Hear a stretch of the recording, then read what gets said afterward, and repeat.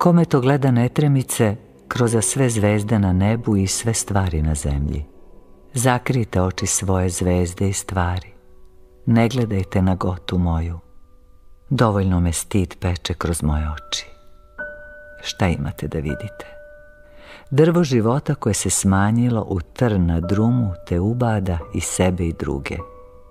Šta drugo nego plamen nebesni zaronjen u blato te niti svetli niti se gasi. Orači, nije glavno vaše oranje, no gospod što posmatra. Pevači, nije glavno vaša pesma, no gospod što sluša. Spavači, nije glavno vaše spavanje, no gospod što bdi. Nije glavno nešto vode u školjkama oko jezera, no jezero je glavno. Šta je sve vreme ljudsko do jedan talas, što okvasi vreo pesak na obali, pa se pokaja što ostavi jezero, jer presahnu. O zvezde i stvari, ne gledajte u mene, no u gospoda sa očima.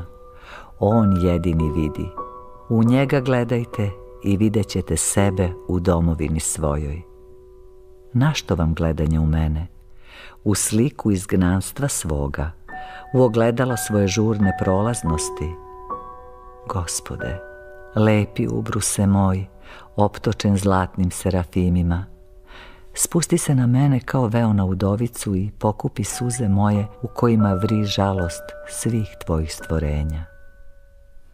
Gospode, lepoto moja, dođi mi u goste, da se ne bih stideo na gote svoje, da se mnogi žedni pogledi što padaju na mene ne bi vraćali doma žedni.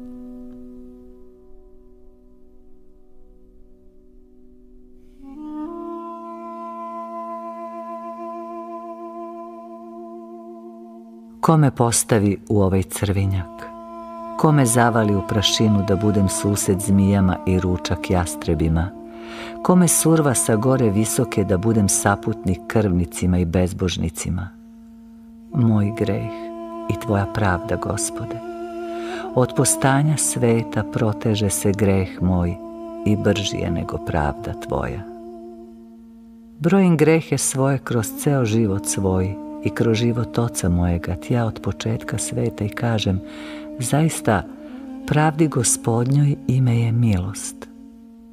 Rane svojih otaca nosim na sebi, rane koje sam pripremah dok u njima bejah, pa su se sada sve objavile na duši mojoj, kao šarena koža na žirafi, kao plašt od zlih skorpija što me kolju.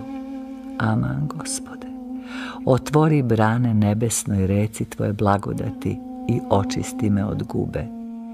Da bi bez gube smeo izgovoriti ime tvoje pred ostalim gubavcima, a da mi se ovi ne narugaju. Podigni me baš za jednu glavu iznad truležnog mirisa ovog crvinjaka, da udahnem nebesnog tamjana i da oživim. Podigni me baš za jednu palmu visoko da se ja mogu nasmejati zmijama što jure za mojim petama.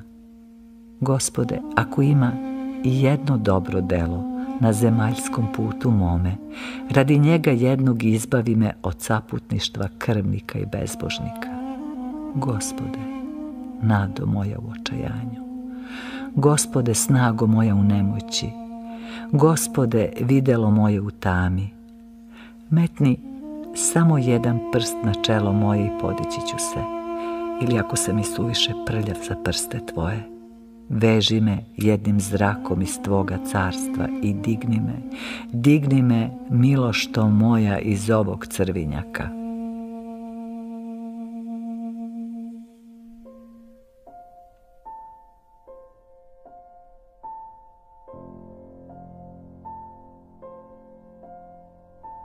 Ima li dana iza tvojih leđa čoveče koje bi želeo da ti se povrate? Svi su te privlačili kao svila i ostajali iza tebe kao paučina. Kao med dočekivali su te, kao smrad ispraćao si ih. Svi su prepuni obmane i greha. Gle, sve bare pod mesečinom liče na ogledala i svi dani obasjani tvojim lakoumom liče na ogledala. No kad si koračao s jednog dana na drugi, lažna ogledala su se razbijala kao tanak led i ti si gacao po vlazi i blatu. Može li dan kome su jutro i veče kapije biti dan? Gospode svetlosni, za jednim danom čezne moja duša rastrzana obmanama, za danom bez kapija iz koga je potonula u smenu seni, za danom tvojim što nazivah danom svojim kad bejah jedno s tobom. Ima li sreće čoveče iza tvojih leđa koju bi želeo da se povrati? Od dva zalogaja iste slasti, drugi je otužniji. Od jučošnje sreće iznete na današnju trpezu, ti okrećeš glavu s dosadom. Dati su ti samo trenuci sreće da te ožaloste sećanjem na pravu sreću u nedrima neizmenljivo srećnoga i vekovi nesreće da te probude iz bunovne samsare obmana. Gospode, gospode jedina srećo moja, spremaš li konak za ugruvanog palovnika Tvoga? Gospode, mladosti moja nestariva, u Tebi će se okupati oči moje i zasjeti sjajem nad sunčanim. Suze pravednika ti brižljivo zbiraš i njima svetove podmlađuješ.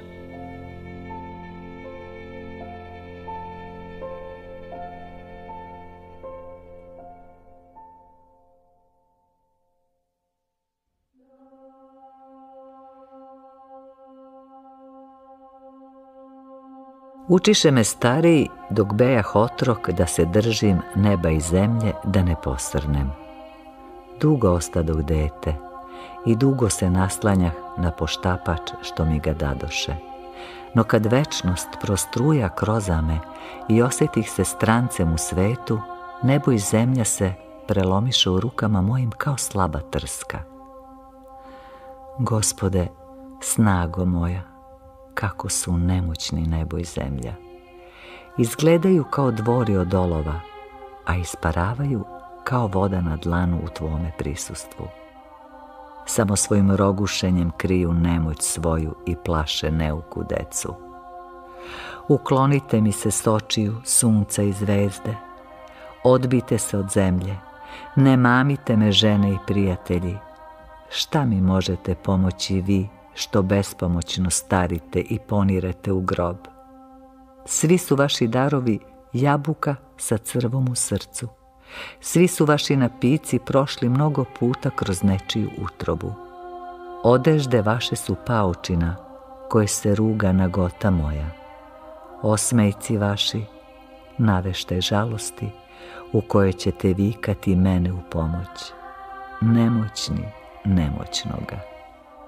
Gospode, snago moja, kako su nemoćni nebo i zemlja i sve zlo što ljudi čine pod nebom, ispoved su nemoći i nemoći.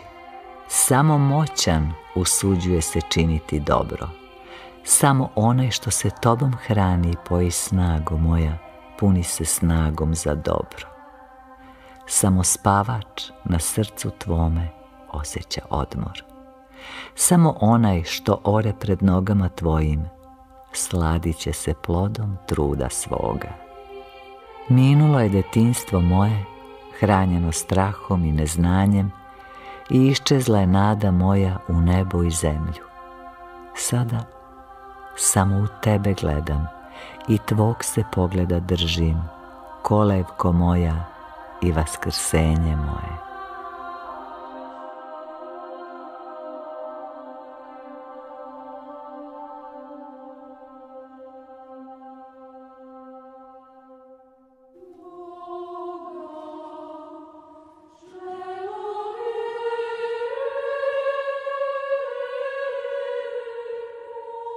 Još malo, malo i put će se moj končiti.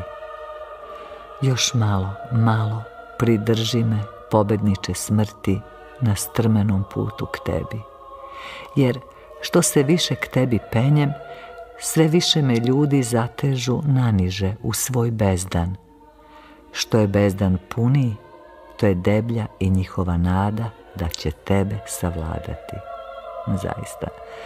Što je puniji bezdan, ti si dalje od bezdana. Kako su glupe sluge drveta poznanja. Svoju moć ne mere tobom, no svojim brojem. Zakon pravde ne osveštavaju tvojim imenom, no svojim brojem. Put većine za njih je put istine i pravde. Drvo poznanja postalo je drvo zločina i gluposti i ledenog mraka. Vaistinu, znalci ovoga sveta znaju sve osim da su sluge satane. Kad svane posljednji dan, satana će se zaradovati broju svoje žetve, sve šturo klasije. No po gluposti svojoj i satana računa sa brojem, a ne sa punoćom. Jedan tvoj klas vredit će za svu žetvu sataninu, jer ti na punoću hleba životnog računaš pobedniče smrti, a ne na broj.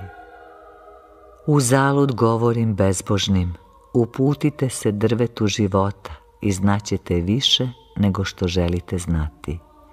Od drveta poznanja satana nam pravi skalu za podzemni svet. Rugaju mi se bezbožni, ti hoćeš kroz drvo života da nas obratiš tvome Bogu koga mi ne vidimo. Zaista, nećete ga nikada ni videti.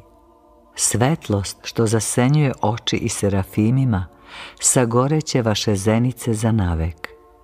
Od svega što raste u gnilini zemljinoj, najređi su oni što u Boga veruju.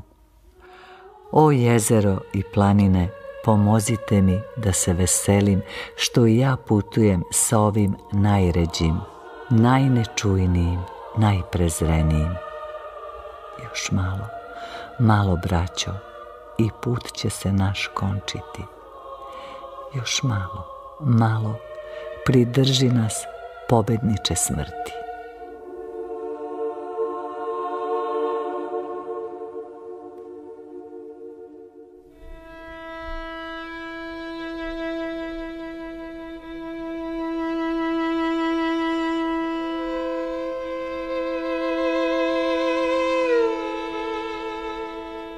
Na kolena plemena i narodi pred veličanstvom Božjim. Padate hitro na kolena pred svojim harambašama, a oklevate pasti pred noge svemogućega. Velite, zar će nas ovako male ne kazniti gospod? Da nas je stvorio većim i snažnijim, pa da nas i kažnjava. Ovako gle, Jedva smo nešto viši od trnovog žbunja u kraj druma prema hučnoj vasioni oko nas, a ti nam pretiš kaznom nesrazmerno većeg od nas. Bezumnici. Kad vas vaše harambaše pozivaju na zlo, od koga se i vasiona zatrese, onda ne govorite da ste suviše maleni. Samo se za svetla dela izgovarate malenkošću i slabošću. Mada ste maleni na oči, pod velikim ste imenom zapisani u knjizi sudbe. Praotac vaš imađaše arhangelsku veličinu i blistaše arhangelskim likom, zato je i vama određena arhangelska nagrada ili arhangelska kazna. Kad se nečujno uvuče u srce pravca vašeg želja da pozna stvari van tvorca, njegov lik arhangelski potamni kao zemlja, i njegova veličina razbi se u sitnice, u vas, seme njegovo. Jer poželi da pozna sitnice, pa se razbi u sitnice, da bi mogao ući u sitnice i okusiti ih i spitati ih. Sve sitnice, svi sitni, presitni, moraju se združiti i okrenuti licem od zemlje ka tvorcu, da bi se vaš arhangelski praotac ponovo vas postavio i da bi lice njegovo ponovo zasjelo sjajem gledala okrenuto ka suncu. Gospode moj, tvorče moj, vas postavi čoveka kakvoga ti prvo stvori. Ovakav kakav je čovek, nije delo tvoje. Ovakav kakav je čovjek je tvorac samog sebe. Ime mu je bolest. Otkud bi bila bolest u rukama tvojim? Ime mu je strah. Otkud bi strah mogao doći od neustrašivog? Ime mu je zloba. Otkud bi zloba mogla doći od nezlobivog? Ispuni me sobom, zdravlje moje. Ispuni me svojom večnom jutarnjom svetlošću i isparit će iz mene bolest, strah i zloba. Kao što pred suncem močvar isparava i pretvara se u njivu plodovitu.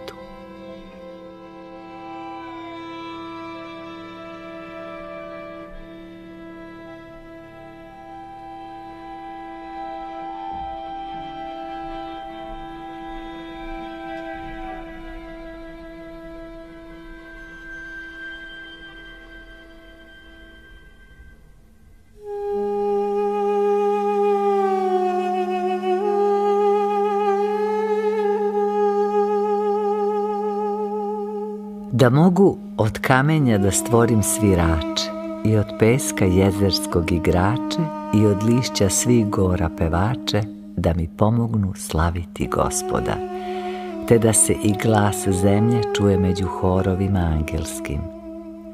Sinovi čoveči naklopili se na trpezu odsutnog domaćina te ne pevaju nikome do sebi svojim zalogajima koje će najzad morati povratiti zemlji. Prežalostno je slepilo sinova čovečih što ne vide silu i slavu gospodnju. Tica živi u gori i ne vidi goru. Riba pliva u vodi i ne vidi vodu. Krtica rovi pod zemljom i ne vidi zemlju. U istini, prežalostna je jednakost čoveka sa ticama i ribama i krticama. Ljudi kao i živina ne obraćaju pažnju na ono čega ima suviše, no uzdižu trepavice svoje samo pred redkostima, pred izuzecima. Suviše te ima, gospode, disanje moje, zato te ljudi ne vide. Suviše si očigledan, gospode, uzdisanje moje, zato je pažnja ljudi okrenuta od tebe i upravljena na polarne medvede, na redkost u daljini. Suviše služiš slugama svojim, vernosti moja slatka, zato si izložen prezrenju. Suviše si revnostan u zažiganju noćnih kandila na svodu nebesnom, revnosti moja nenadmašna. A lenjo srce ljudi mnogo više govori o nehatnom sluzi, no revnosnom. O ljubavi moja, da mi je sve stanovnike zemlje, vode i vazduha pokrenuti da zabruje himnu tebi. Da mi je da se skine lepra sa očiju zemlje i da raspusnica opet postane devojkom kakvom si je stvorio. Vaistinu, veliki si Bože moj, isto i bez sveta. Podjednako si veliki i kad te svet slavi i kad te svet huli. No, kad te svet huli, veći izgledaš u očima svetitelja tvojih.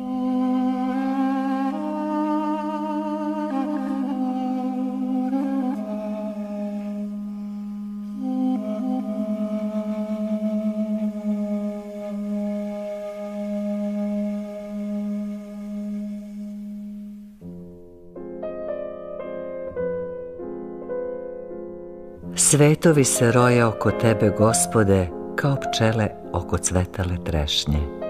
Jedan svet potiskuje drugi, jedan drugom osporava očevinu, jedan gleda na drugog kao na uljeza u svoj dom. Svi polažu veće pravo na tebe od tebe samog. Od prelivanja tvoje punoće rojevi se hrane, sladosti neiscrpna. Svi se prejedaju i svi odlaze gladni. Od svih rojeva, roj ljudi odlazi najgladniji. Ne zato domaćine što ti nemaš jela za ljude, nego zato što oni ne poznaju svoju hranu pa se otimaju s gusenicama o isti brst. Pre svih stvorenja i pre vremena i žalosti Ti si, gospode, uobličio čoveka u srcu svome. Prvo si čoveka smislio, mada si ga posljednjeg objavio na brojanicama stvaranja. Kao što vrtar sve vreme misli o cvetu ruže, dok kopa i sadi suve šipove. Kao što zidar, planirajući hram, najpre uživa u kubetima, mada ove posljednje zida. Prvo si rodio čoveka u srcu svome, pre nego si počeo stvaranje. Pomozi mome smrtnom jeziku imenovati toga čoveka, taj sjaj tvoje slave i tu pesmu tvoga blaženstva, da ga imenujem sve čovekom, jer kao što se on sadržao u srcu tvome, tako se u njegovom umu sadržao sav objavljeni svet sa čovekom i vesnicima čoveka. I niko ne znade oca osim sin, niti ko znade sina osim otac. Kao nirvana bio si gospode dok se sin u tebi ne zače. Bez broja i bez imena bio si. Kako da te veličam i sred roja gladnih gusenica, što jedan vetar donosi na cvetalu trešnju, a drugi odnosi i čiji je sav vek između dva vetra. O gospode, snu moj danonoćni, pomozi mi da te veličam, da ništa ne bi postalo veliko srcu mome osim tebe. Neka te veličaju sva stvorenja, gospode, ne da bi učinili velikim tebe, no sebe. Zaista, preveliki si ti, gospode, da bi te sve naše himne mogle učiniti većim. I kad se svi rojevi insekata oduvaju sa cvetale trešnje, trešnja ostaje ista u veličini i prolećnoj lepoti svojoj.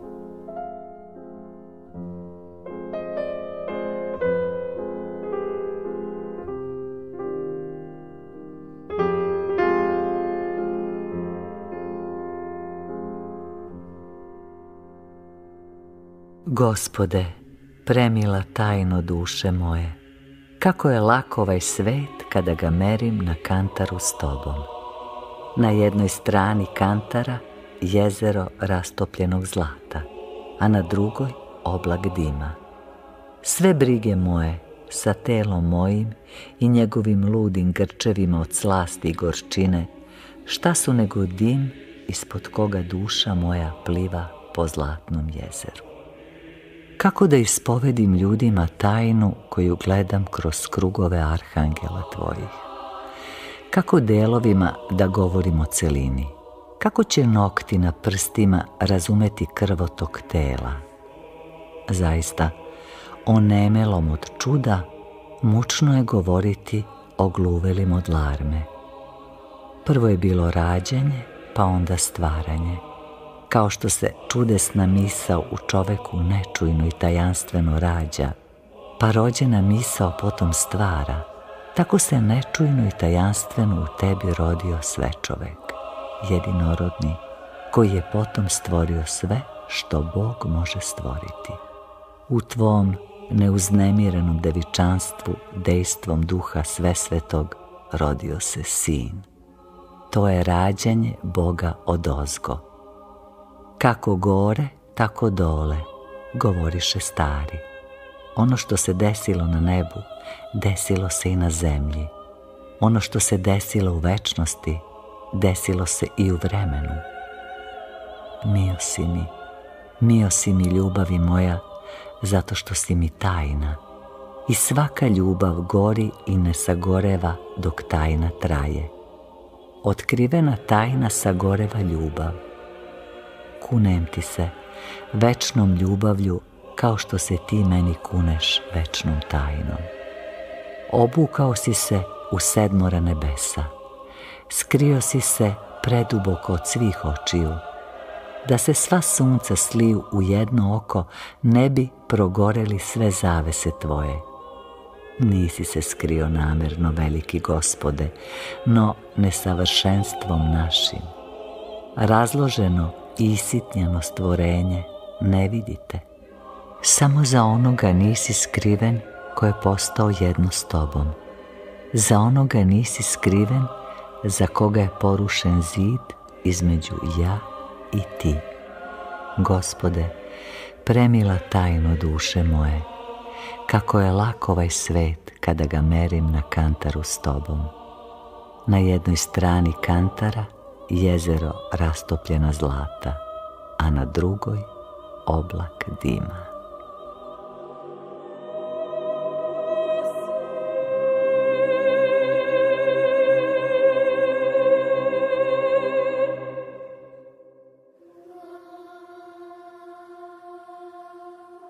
Čutljivom jeziku i zamišljenom umu ti se približuješ ženiče duše moje, duše sve sveti.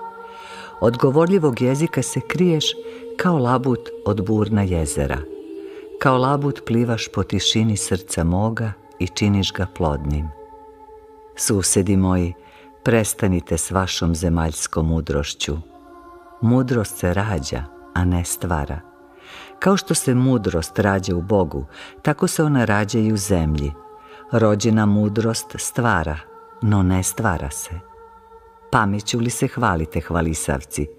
Šta je vaša pamet do mnogo pamćenje? Pa kad mnogo pamtite, kako ne zapamtiste trenutke čudesnog rađanja mudrosti u vama?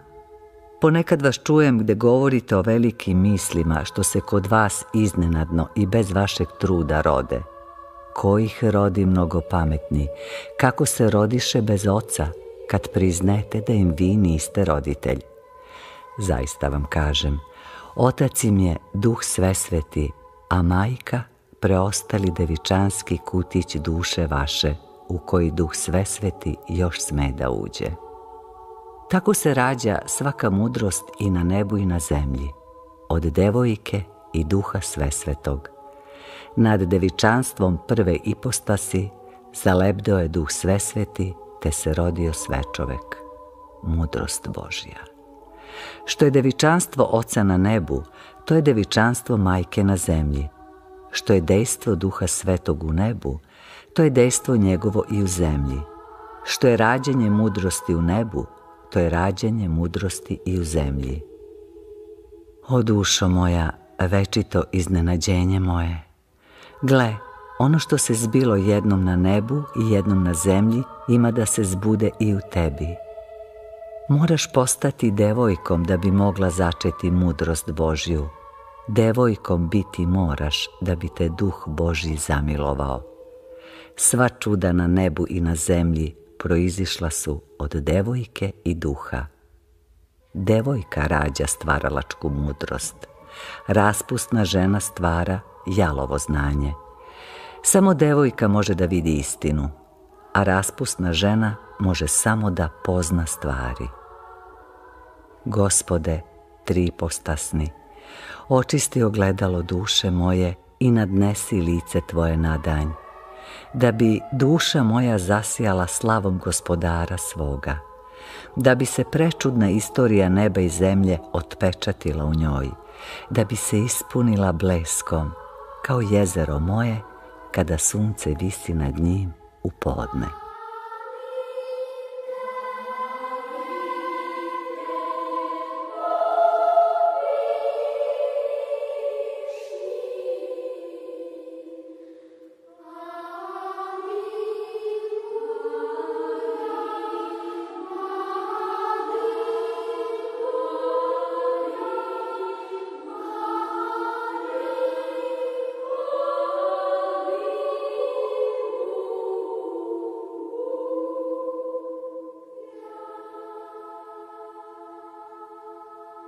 Kad sam se vezao za tebe, ljubavi moja, sve druge veze su popucale.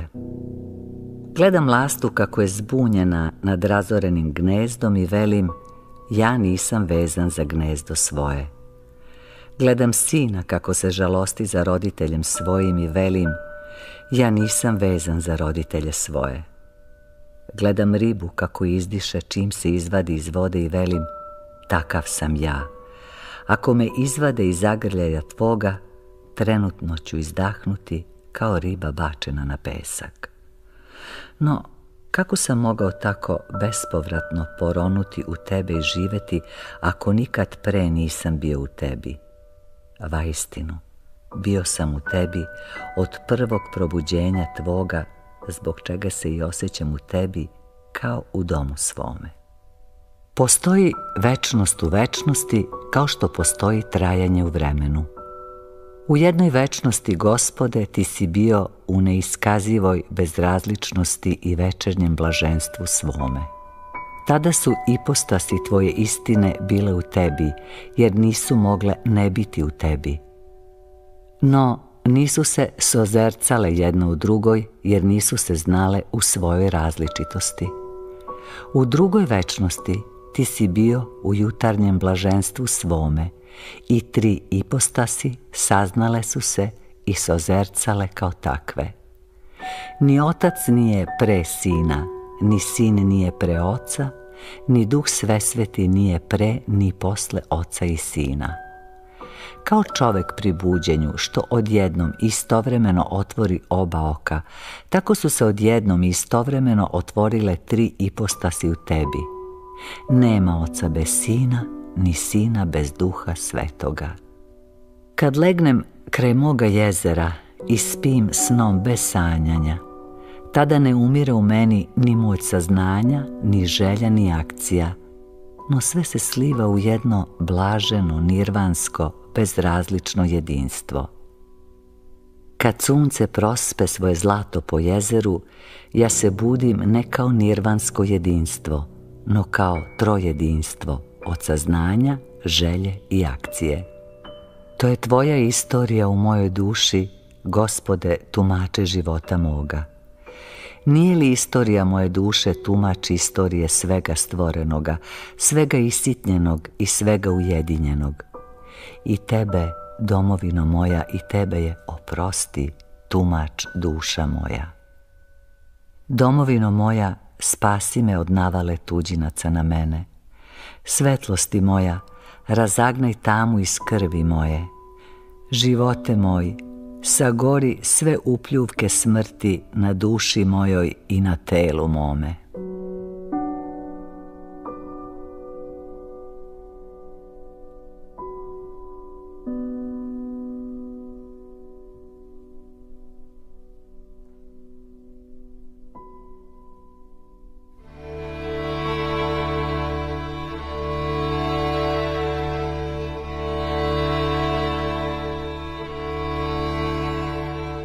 Pomaži srce moje, jele milosti Tvoje, premilostivi gospode moji. Da nikad ne bukne u srcu mome ni gnev protiv moćnih, ni prezrenja nemoćnih. Gle, sve je nemoćnije od rose jutarnje. Da mržnja nikada ne savije gnezdo u srcu mome protiv onih koji mi zlosnuju, da se setim kraja njihova i da budem spokojan. Milost otvara put k srcu svih stvorenja i donosi radost. Nemilost navlači maglu na čelo i stvara teskobnu osamu. Pomiluj milostiva, najnežnija ruko i otkri mu tajnu mudrosti tvoje. Sve čovek je čedo milosti oca i svetlosti duha. Sav stvoreni svet samo je priča o njemu, moćna sunca na nebesima i najmanje kapi vode u jezeru pričaju sobom jedan deo priče o njemu. Svi zidari neba i zemlje, od premoćnih serafima do vladatelja i najmanjeg grumena prašine pričaju istu istovetnu priču o njemu, prasuštini svojoj i praizvoru svome. Šta su sve stvari na zemlji i mesecu, no sunce u pričama? Zaista, tako je sva vidljiva i nevidljiva tvar sve čovek u pričama. Suština je jednostavna, no pričama o suštini nema ni kraja ni broja. Susedi moji, kako da vam govorim o suštini kad ni priče ne razumete? Oda znate kakva je sladost i širina i snaga kad se potone u dno svih priča, tamo gde priče počinju i gde se svršavaju, Tamo gde jezik zanemi i gde sve kazano odjedanput. Kako dosadne onda postanu sve duge i spore priče stvorenja. Zaista, onako isto dosadne, kao što je dosadno slušati priču o gromovima onome koje je navikao gledati gromove. Primi me u sebe, sine jedinorodni, da budem ujedinjen s tobom kao što bejah pre stvorenja i pada. Neka se svrši duga i zamorna priča moja o tebi trenutnim viđenjem tebe. Neka umre samo obmana moja, kao da sam ja nešto pored tebe, nešto drugo izvan tebe. Prepunjene su uši moje priča. Zenice moje ne traže više da gledaju izložbu odela, no tebe suštino moja, pretovarena pričama i odelima.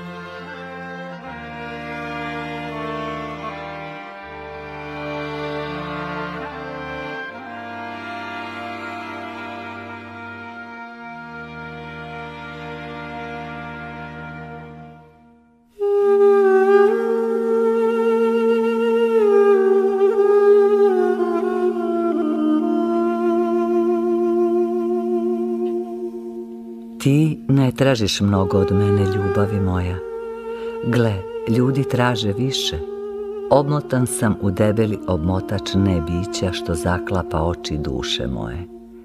Ti samo tražiš da duša moja skine sa sebe magloviti obmotač i otvori oči prema tebi, silo moja i istino moja. Ljudi traže da se duša moja omotava sve gušćim i sve težim obmotačima pomozi mi. Pomozi mi, pomozi duši mojoj da dođe do slobode i lakoće, da dođe do lakoće i vazdušnih krila, da dođe do vazdušnih krila i ognjenih kola. Duge su priče, preduge, kratak je moral, jedno slovo. Priče se prelivaju u priče kao glatko lice moga jezera iz boje u boju. Gde je kraj bojanom prelivanju vode pod suncem, gde li kraj prelivanju priča u priče? Duge su priče, preduge. Kratak je moral, jedno slovo. Ti si to slovo, slovesni Bože, ti si taj moral svih priča. Što zvezde pišu po nebu, to trava šapće po zemlji. Što voda struji na moru, to oganj burla pod morem. Što angel zbori očima, to imam viče na kuli. Što prošlost reče i uteče, to sada veli i beži. Jedna je suštnost svih stvari, jedan je moral svih priča. Stvari su bajke o nebu, smisao ti si svih bajki. Priče su tvoja dužina, širina Kratkoća ti si svih priča, grumen si zlata u bregu kamena. Kad ime tvoje izrečem, sve sam izrekao i više nego sve. Ljubavi moja, pomiluj me. Silo i istino moja, pomiluj me.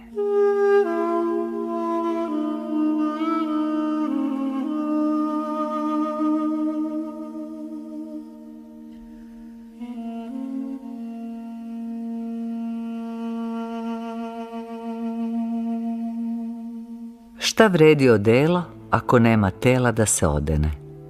Šta vredi telo ako duša njim nije ogrnuta?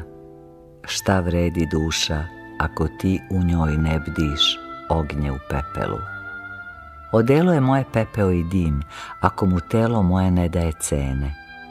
Jezero moje lepo, slepo je blato ako se okata voda ocedi iz njega. Duša je moja pepeo i dim ako se ti iz nje ocediš roso jutarnja. U pepelu svih stvari ti ispisuješ tvoje ime i dimom svojih stvari zasenjavaš plamen tvoga sjaja. Tvoj plamen je rosa za žedne koji se savijaju tvome zagrljaju, no tvoj plamen je sažižući oganj za one koji beže od njega. Zaista, ti si raj čistim i pakao nečistim kad dođe posljednji dan, kad se prvi i posljednji dan otkriju ljudima kao jedan dan, tada će se čisti radovati, a nečisti žalostiti. I vapi će nečisti, avaj, jedo smo pepeo na zemlji, a sad moramo da jedemo oganj na nebu. Proroci tvoji, majko nebesna, behu otkrivači ognja ispod pepela, ronci u vulkanska grotla, po beskrajnoj milosti svojoj svakome si dala da otkrije varnicu za kojom je ronio, dok se sve varnice ne sliše u plameni požar sina tvog, majko nebesna. Gospode, podizao si pastire svakome stadu i pastiri su ložili ognjeve za svoja stada, da se stada ne zamrznu na vrletnom drumu istorije. Dok sve čovek sin jedinorodni, ne razbukta oganj veliki i ne pozva sva stada da se greju. Gle, kako se duboko kriju svi plemeniti metali, oči dubine zemaljske.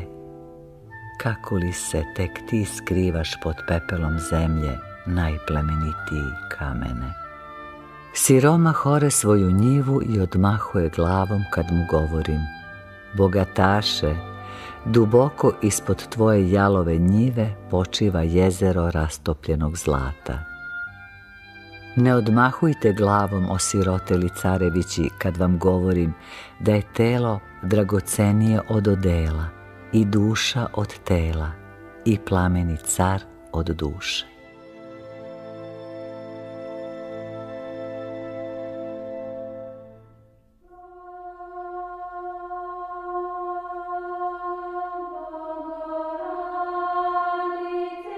Beli galebovi lete nad mojim plavim jezerom kao beli angeli nad plavim nebom. Niti bi galebovi bili beli, ni jezero plavo, da veliko sunce nije otvorilo svoje oko nad njima. Majko moja nebesna, otvori tvoje oko u duši mojoj da vidim šta je šta. Da vidim ko obitava u duši mojoj i kakvi plodovi rastu u njoj Bez tvoga oka ja tumaram beznadežno po duši svojoj, kao putnik po ponoći, po ponoćnoj bezrazličnosti. I pada i diže se ponoćni putnik i ono što sreta na putu naziva događajima. Ti si jedini događaj života moga, svetilo duše moje. Kada dete juri majci svojoj u naručja, za njega ne postoje događaji, kada nevesta trči svome ženiku u sretanje, ona ne vidi cveće u livadi, niti čuje brujanje oluje, niti osjeća miris kiparica, ni volju zverova. Ona vidi samo lice ženika, čuje samo muziku sa usana njegovih, miriše samo dušu njegovu. Kad ljubav, ljubavi hodi u susret, ništa joj se ne događa. Vreme i prostor izmiču se s puta ljubavi. Besciljni putnici i bezljubavni imaju događaje i imaju istoriju. Ljubav nema istorije, niti istorija ljubavi. Kada se neko kotrlja niz goru ili puže uz goru, ne znajući kuda ide, događaji mu se nameću kao cilj njegovog puta. Zaista, događaj su cilj besciljnome i istorija besputnome. Zato se besciljni i besputni zaustavljaju kod događaja i prepiru s događajima. A ja se molčaljivo žurim k tebi i uz goru i niz goru i prezreni događaji srdito se uklanjaju ispred mojih stopa. Kada bih ja bio kamen i kotrljao se niz goru, ja ne bih mislio o kamenju o koje se lupam, no o ponoru na dnu strmeni. Kad bih ja bio potok planinski, ne bih mislio o svom neravnom putu, no o jezeru koje me čeka. Strašan je u istini ponor onih koji su zaljubljeni u događaj što ih vuku naniže. Majko nebesna, ljubavi moja jedina, oslobodi me robovanja događajima i učini me svojim robom najbelji dane svani u duši mojoj da vidim cilj zamršenog puta svoga. Sunce nad suncima, jedini događaj u vasioni što privlači srce moje, obasijaj unutrašnjost moju, da vidim ko se usudio obitavati u njoj osim tebe. Da iskorenim iz nje sve plodove što slade s polja, a srce im miriše gnilinom. Ustajte sinovi Sina Božjega, ustajte, ustalo je i milostivo sunce i počelo neštedno liti svoju svetlost po tamnim poljima zemlje.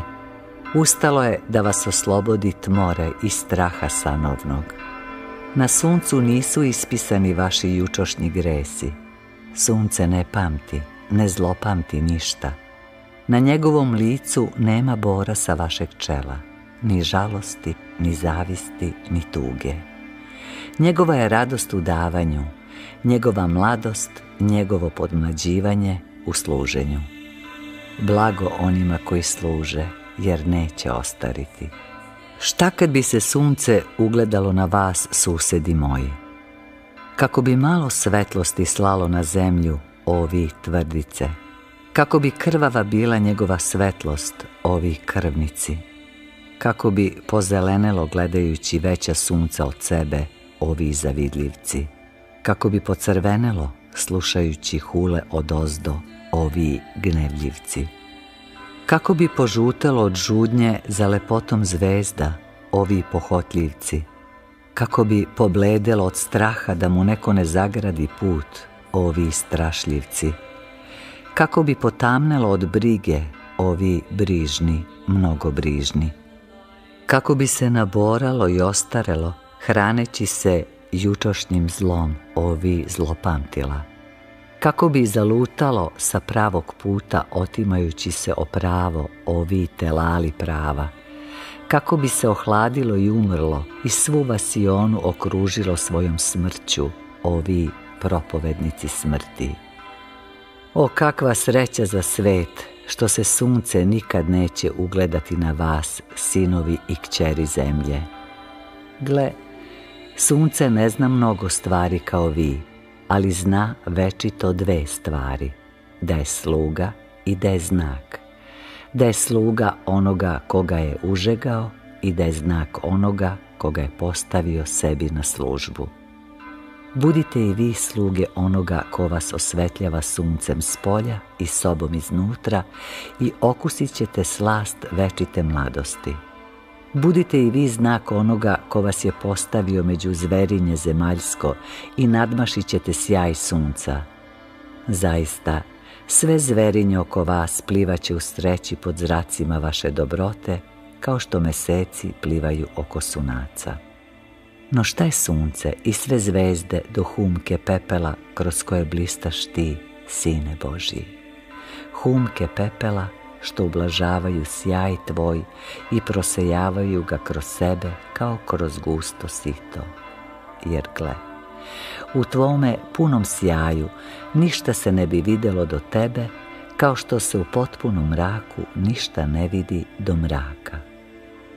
Gospode, Gospode, ne opali nas Tvojim sjajem, nepodnošljivim za naše oči i ne ostavi nas u polu mraku u kome se stari i trune. Ti jedini znaš meru naših potreba, gospode, slava tebi.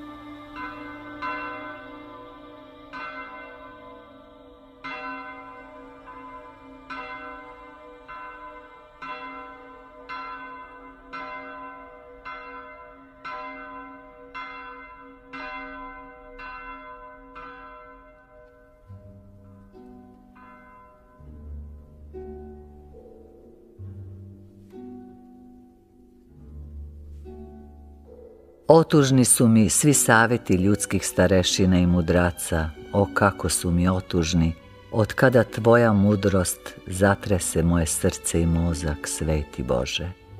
Ne veruju u tvoju svetlost oni koje mračni prohtevi srca vuku u propast. Kamenu što se kotrljan iz brdo nema prepona, što veća strmen i niža propast, to je i kotrljanje kamena sve brže i sve nezadržanije. Jedan mračni prohtev svojim uspehom izmamljuje drugi, drugi treći, dok sve što je dobro u čoveku ne usahne i sve što je zlo ne potekne tokom bujice, dok se sasvim ne obroni zgrada duha svetoga iz polja i iznutra, dok prezirači svetinje ne počnu prezirati sami sebe i učitelje svoje, dok najslađe slasti ne počnu i gušiti svojim smradom. Dok se sva blaga za koja su oni susede ubijali i gradove rušili ne počnu rugati njihovoj rugobi. Tada oni kradljivo pridižu oči svoje k nebu i kroz gnoj svoga bića, obesvećenog i usmrdelog vapiju, sveti Bože, kako me vređa kao vruća strela razmetljivost ljudi svojom moći, otkad saznadoh za tvoju moćnu ruku, sveti krepki. Zidaju kula od kamena i govore, bolji smo zidari od tvoga Boga, a ja ih pitam, da li vi ili oci vaši sazidaste zvezde? Pronalaze svetlost u zemlji i hvale se, znamo više nego tvoj Bog. A ja ih pitam, ko zakopa svetlost pod zemlju da je vi pronađete? lete po vazduhu i nadmeno govore Sami sebi stvori smo krila, gde je tvoj Bog? A ja ih pitam Ko vas podsjeti na krila i letenje, ako ne tice, koje ne stvoriste vi? Nogle, kad im ti otvoriš oči za nemoć njihovu, kad beslovesne stvari pokažu im svoju grdosnu moć, kad se um njihov napuni čuđenjem zvezdanim kulama, što se bez stubova i temelja drže u prostranstvu, kad se srce njihovo ispuni strahom od nemoći i bezumlja njihova, tada oni u stidu i skrušenosti pružaju ruke k tebi i viču, sveti krepki. Kako me žalosti čovečije precenjivanje ovoga života, otkad okusih slast tvoje besmrtnosti, sveti besmrtni. Kratkovidi vide samo ovaj život i govore, ovo je jedini život i delima svojim učinit ćemo ga besmrtnim među ljudima. A ja im velim, ako je vaš početak kao reka, onda mora imati svoj izvor. Ako je kao drvo, mora imati svoj koren. Ako je kao zrak svetlosti, mora dolaziti od nekog sunca. I još im velim, među smrtnim ali zasnivate svoju besmrtnost, ložite oganju vodi. No, kad ugledaju smrt, izgube avaz i muka im stegne srce. Kad omirišu meso svojih mrtvih nevesta, kad spuste u raku bezračna lica svojih prijatelja, kad stave ruke na ohladnele grudi svojih sinova, kad saznadu da se ni kraljevi svojim krunama nisu mogli otkupiti od smrti, ni junaci svojim mišicama, ni mudraci svojom mudrošću, tada osete studen vetar smrti gde i na njih duva i padaju na kolena i obaraju glave nad oborenom gordošću svojom i mole se tebi. Sveti, besmrtni, pomiluj nas. Sveti, besmrtni, pomiluj nas.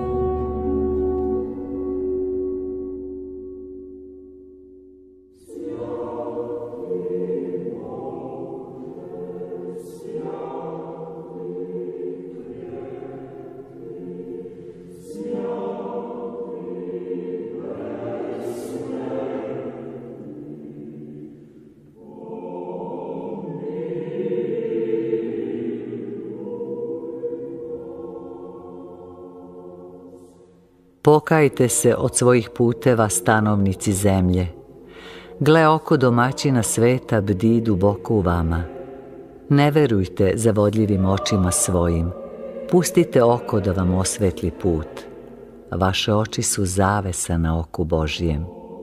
Pokajanje je priznanje pogrešnog puta. Pokajanje proseca nov put. Pokajniku se otvaraju oči za dva puta – za onaj kojim ide i za onaj kojim treba da ide. Više je onih koji se kaju, no onih koji skreću svoje kolesnice na nov put. Kažem vam, dve hrabrosti potrebne su pokajniku, jednom hrabrošću da se zaplače nad starim putem i drugom da se obraduje novom. Šta vam vredi kajati se, a stalno tapkati po starom putu? Kako nazivate čoveka koji se davi i viče za pomoć, a kad mu se pomoć ukaže, ne hvata se za konop spasenja? Tako i ja nazivam vas. Pokajte se od želje za ovim svetom i svim što je u ovom svetu. Jer svet je ovaj groblje vaših predaka koje stoji otvoreno i čeka vas. Još malo, malo i vi ćete biti preci i želećete čuti reč pokajanje, no nećete čuti. Kao što vetar duhne i odnese maglu ispred sunca, tako će smrt odneti vas ispred lica Božja. Pokajanje podmlađuje srce i produžuje vek. Suze pokajnika peru tamu sa očiju i daju detinji sjaj očima. U moga jezera oko je kao u srne, vazda vlažno i dijamantski sjajno. Zaista, vlaga u očima i sušuje gnev u srcu. Kao nov mesec, takva je duša u pokajnika. Pun mesec mora da opada, nov mesec mora da raste. Pokajnik krči njivu svoje duše od korova i seme dobra počinje da raste. Zaista nije pokajnik onaj ko tuguje zbog jednog učinjenog zla, no onaj ko tuguje zbog svih zala koje je u stanju učiniti. Mudar domaćin ne seče samo onaj trn što ga je ubo, no i svaki trn na njivi što čeka da ubode. Gospode moj, pohitaj i pokaži nov put pokajniku kada prezre svoj stari put. Majko nebesna, nevesto sve svetoga duha, prigni se k srcu našem kad se kajemo. Otvori istočnik suza u nama da se operemo od teške ilovače što nam oči pomuti. Duše sve sveti, duhni i razagnaj nečisti zadah iz duše pokajnika što ga je gušio i pokajanju priveo. Molimo ti se i poklonimo životvorni i moćni duše.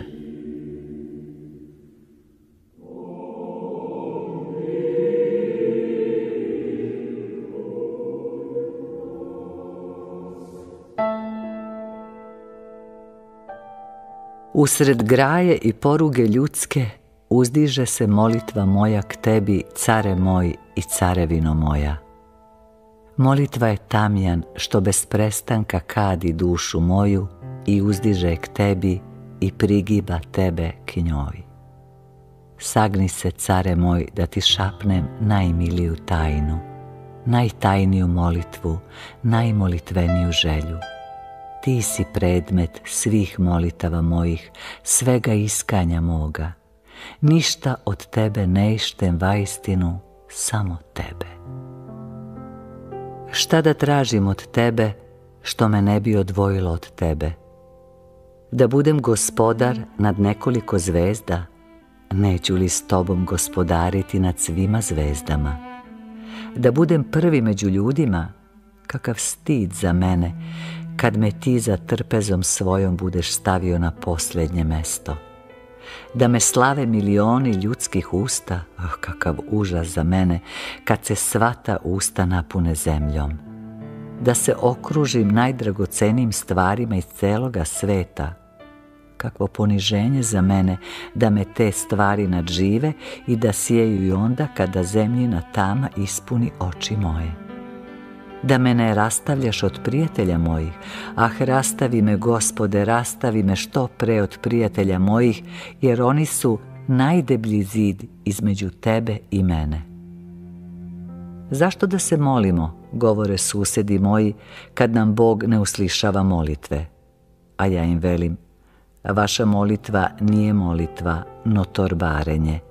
Vi se ne molite Bogu da vam da Boga, no đavola. Zato mudrost nebesna ne prima molitve sa jezika vašeg. Zašto da se molimo, ropću susedi moji, kad Bog zna unapred šta nam treba? A ja sa žalošću odgovaram, zaista Bog zna da nama ništa ne treba do njega jedinoga. Na vratima duše vaše on čeka da uđe. Molitvom se otvaraju vrata za ulazak veličanstvenoga cara. Ne govorite li i jedan drugome na vratima, molimo, uđite. Ne traži Bog slavu sebi, no vama. Njegovoj slavi svi svetovi ne mogu dodati ništa. Kamoli ćete vi? Molitva vaša proslavlja vas, a ne Boga. U njega je punoća i milost. Sve dobre reči koje u molitvi uputite njemu vraćaju se dvogubo na vas. Svetlosni care moj Bože moj, tebi se jedino molim i poklonim. Izlij se u mene kao bujan potok u žedan pesak. Samo se ti izli, životvorna vodo, lako će onda trava rasti po pesku i beli jaganci pasti po travi. Samo se ti izli u suhotnu dušu moju, živote moji i spasenje moje.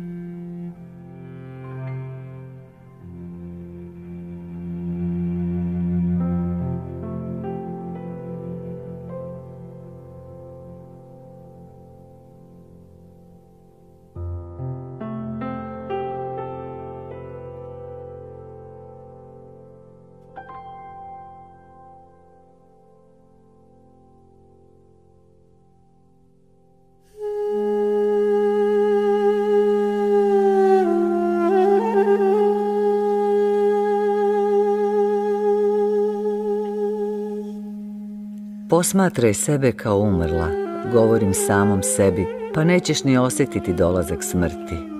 Utupi žalku smrti za života i kad dođe, nećete imati čim ubosti. Posmatraj sebe svako jutro kao novorođeno čudo i nećeš osjetiti starosti. Ne iščekuj dolazak smrti, jer gle, smrt je već došla i ne izbija iz tebe. Zubi njeni su neprekidno u tvome mesu.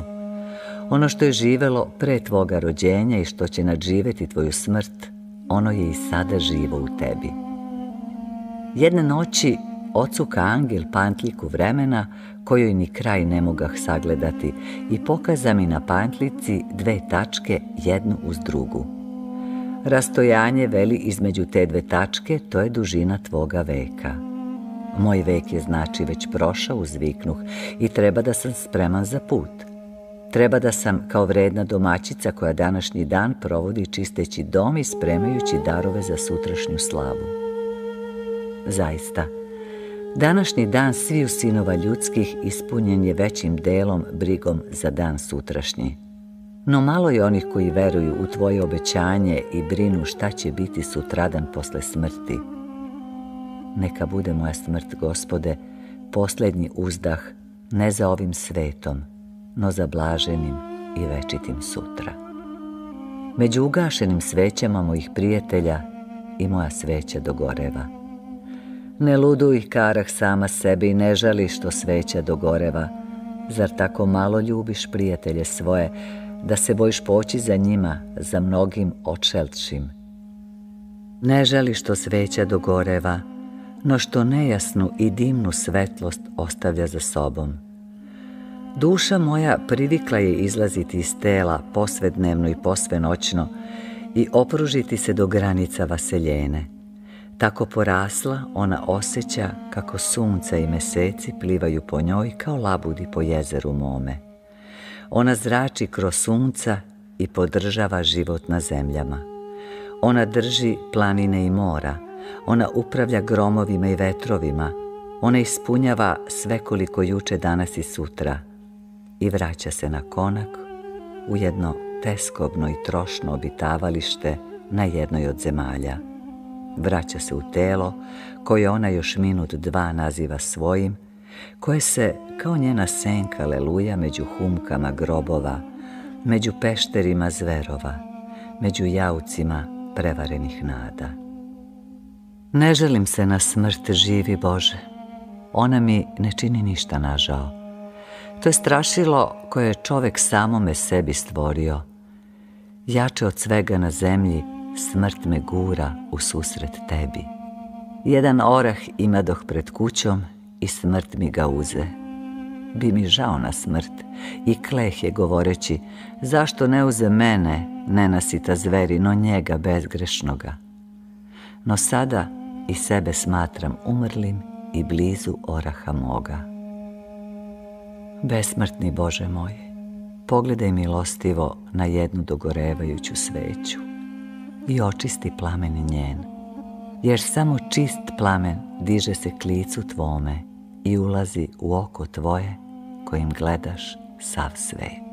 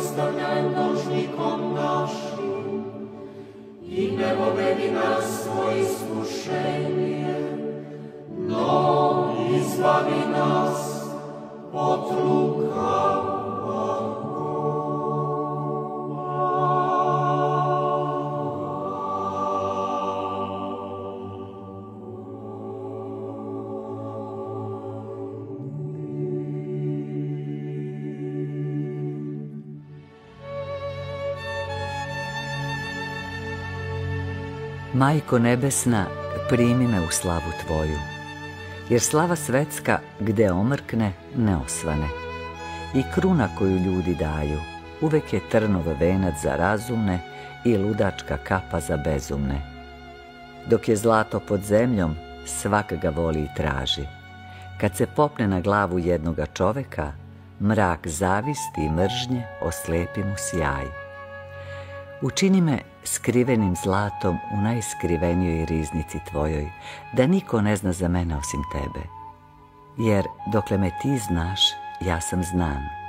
Dokle me samo ljudi znaju, moje ime je sumnja. Sakri me od zlih očiju sveta, jer zelenim od njih. Čuvaj me kao tajnu, koju zavist ne može naslutiti. Budi mudrija od mene i ne objavljuj me nikome Gle, ja imadoh tebe kao najmiliju tajnu i objavih te svetu i svet mi se naruga. Jer zavist se ruga kad ne može da otme. Prijatelji moji, šta imate od slave ljudske do pijanstva koje se počinje pesmom, a završava leženjem u blatu? Prijatelji moji, sva usta što vam pevaju hvalu, znaju još za jednu suprotnu pesmu koju ćete vi čuti docnije. Bežite od slave što liči na kulu sazidanu na leđima kita, da vam se ne nasmeju sa obale i neprijatelji i prijatelji. A jednodušna slava, što od ljudi dolazi, najbeslavnija je, jer je ravnodušna. Ako li je vaša slava nagrada od naroda, onda ste vi isplaćeni nadničar i sutrašnji dan može da vas izbaci iz svoje njive. Zaista, Nijedan novi dan ne priznaje vaš ugovor s prošlim danom. Svaki otvara novu njivu i čini novu nagodbu. Ako je vaša slava delo vaše mišice, vaši dani bit će gnev, a vaše noći strah. Ako je vaša slava delo vaše mudrosti, ova će biti ujalovljena od slave vaše i neće se moći kretati. Ako li slavu svoju zovete slavom svojom, nebo će vas kazniti za laž i otmicu. Prošetajte sa svojom slavom po groblju i vidite da li će vas mrtvi slaviti. Zaista, vi već neprestano šetate po groblju i od pokretnih grobova primate slavu. Ko će vas slaviti kad pokretni grobovi postanu nepokretni? Ožalostit ćete se veoma u drugom svetu kad budete čuli iskreno mišljenje o sebi od onih koji su vas u ovome svetu slavili. Majko nebesna, sakri me duboko od očiju ljudskih i od jezika ljudskog, tamo kuda samo tvoje oko prozire i gde se samo tvoja reč čuje. Molim ti se, večna lepoto moja. Sine Boži jedini, primi me u mudrost Tvoju. Ti si glava svih sinova ljudskih, ti njihov nebesni razum, obasijanje i radovanje. Ti si onaj što isto dobro misli u svima ljudima, ista misao i svetlost ista. Tobom čovek čoveka poznaje, tobom čovek čoveku prorokuje. Tvojim glasom ljudi se čuju, tvojim jezikom razumeju. Vajstinu, ti si sve čovek, jer svi ljudi su po suštastvu u tebi i ti u svima i u svemu. Ti zidaš um ljudski, a tvoja senka raziđuje. Ti si uobličio sve oblike i na sve njih udario pečat svoje mudrosti. Ti si sazidao sve sudove od zemlje i sve ih nalio pesmom i radošću svetog jediničnog trojstva i senka tvoja kanula je u svaki sud kap žalosti kojom žalosni pišu žalbe na tebe. Gospode veličanstveni, što igraš u krilu matere svoje oživotvorenom duhom svesvetim, ispravi um moj umom tvojim i očisti ga sjajem tvojim od žalosnih misli, od žalosnih slutnji, od žalosnih planova, gospode veličanstveni moj. Ti ispunjavaš svu dušu matere svoje, sva devičanska nedra njena i ništa nema u duši matere osim tebe ti si njen sjaj i njen glas, zaista oko njeno i pesma njena. Ti si ponos gospoda duha svetog, dejstvo njegovo i plod njegov, njegovo zanimanje i njegovo divljenje. Gospode veličanstveni što igraš u krilu matere svoje, oživotvorenom duhom svetim. Ti si hrabrost Svete Trojice, njen heroizam i njena istorija, njen trojični zrak ti si se usudio pustiti u haos i mrak i svet je postao čudo, koga se oko ne može nagledati, ni uho naslušati, tvorče i oka i uha. I sve ovo čudo, samo je bleda slika tvoja, samo umnožen i povređen lik tvoju komadima poluzračnog ogledala srce moje žudi za celim obrazom Tvojim, Sine Boži. Jer gorčina je biti deo obraza Tvoga, što se nesigurno leluja na okeanu tame. Raširi te skobu duše moje, širino trosunčanog božanstva. Osvetli um moj svetlosti angela i stvari, oslovesi život moj premudro slovo Božje, učini dušu moju devojkom i budi njeno oko i pesma njena.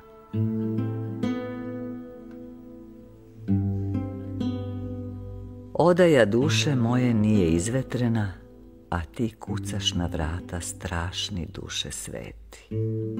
Samo jedan trenutak, dok izvetrim odaju svoju od nečistih duhova, pa ću ti otvoriti jer ovako i da otvorim, ti ne bi ušao u odaju punu ružna zadaha i udaljio bi se od mojih vrata za navek. Samo jedan trenutak molim ti se, najveći goste moji. Ah, stide moji žalosti moja, kako se oteže ovaj jedan trenutak. Još malo, malo i celi moj vek na zemlji smestit će se u ovaj trenutak. A ti strpljivo čekaš pred vratima i osluškuješ moj dah. Drski su nezvani gosti u meni, drski i veoma namnoženi. Pođem li da otvorim prozor, oni mi zatežu ruke nazad. Pođem li k vratima da osjetim tvoje životvorno prisustvo, oni mi se sputavaju oko nogu. Vezaše me navikom na njihov gadan zadah, pa strepim od svežine i drhtim od novine, ah samo da ne odocnim da tebi vrata otvorim. No evo, i po cenu smrti ovog ropskog života, ja ću otvoriti sve prozore širom i imenom prečiste devojke i sina njenog, izjurit ću iz sebe sve pakosne gospodare i tirane duše moje. A ti kad uđeš, oživećeš moju lešinu tvojim životvornim dahom, tvojom mladalačkom snagom, tvojom ljubavnom rosom.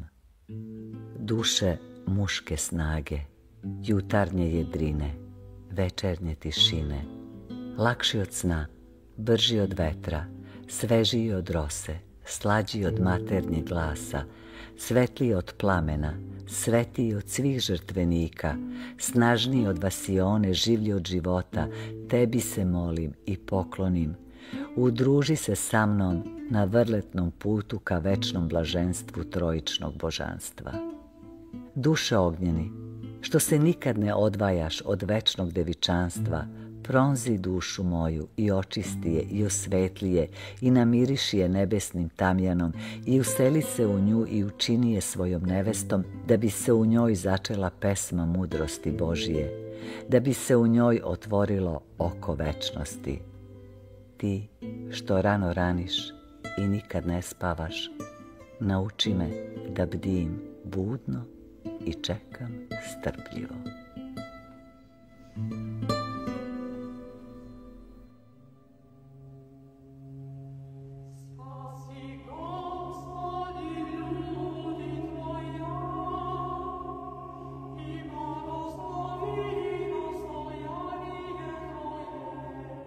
Ti što dolevaš od svoga svetoga ulja u zvezde i od bezumnih požara praviš kandila pred slavom nebesnom, doli sebe i u moju dušu i od strasnog požara napravi kandilo pred nebesima.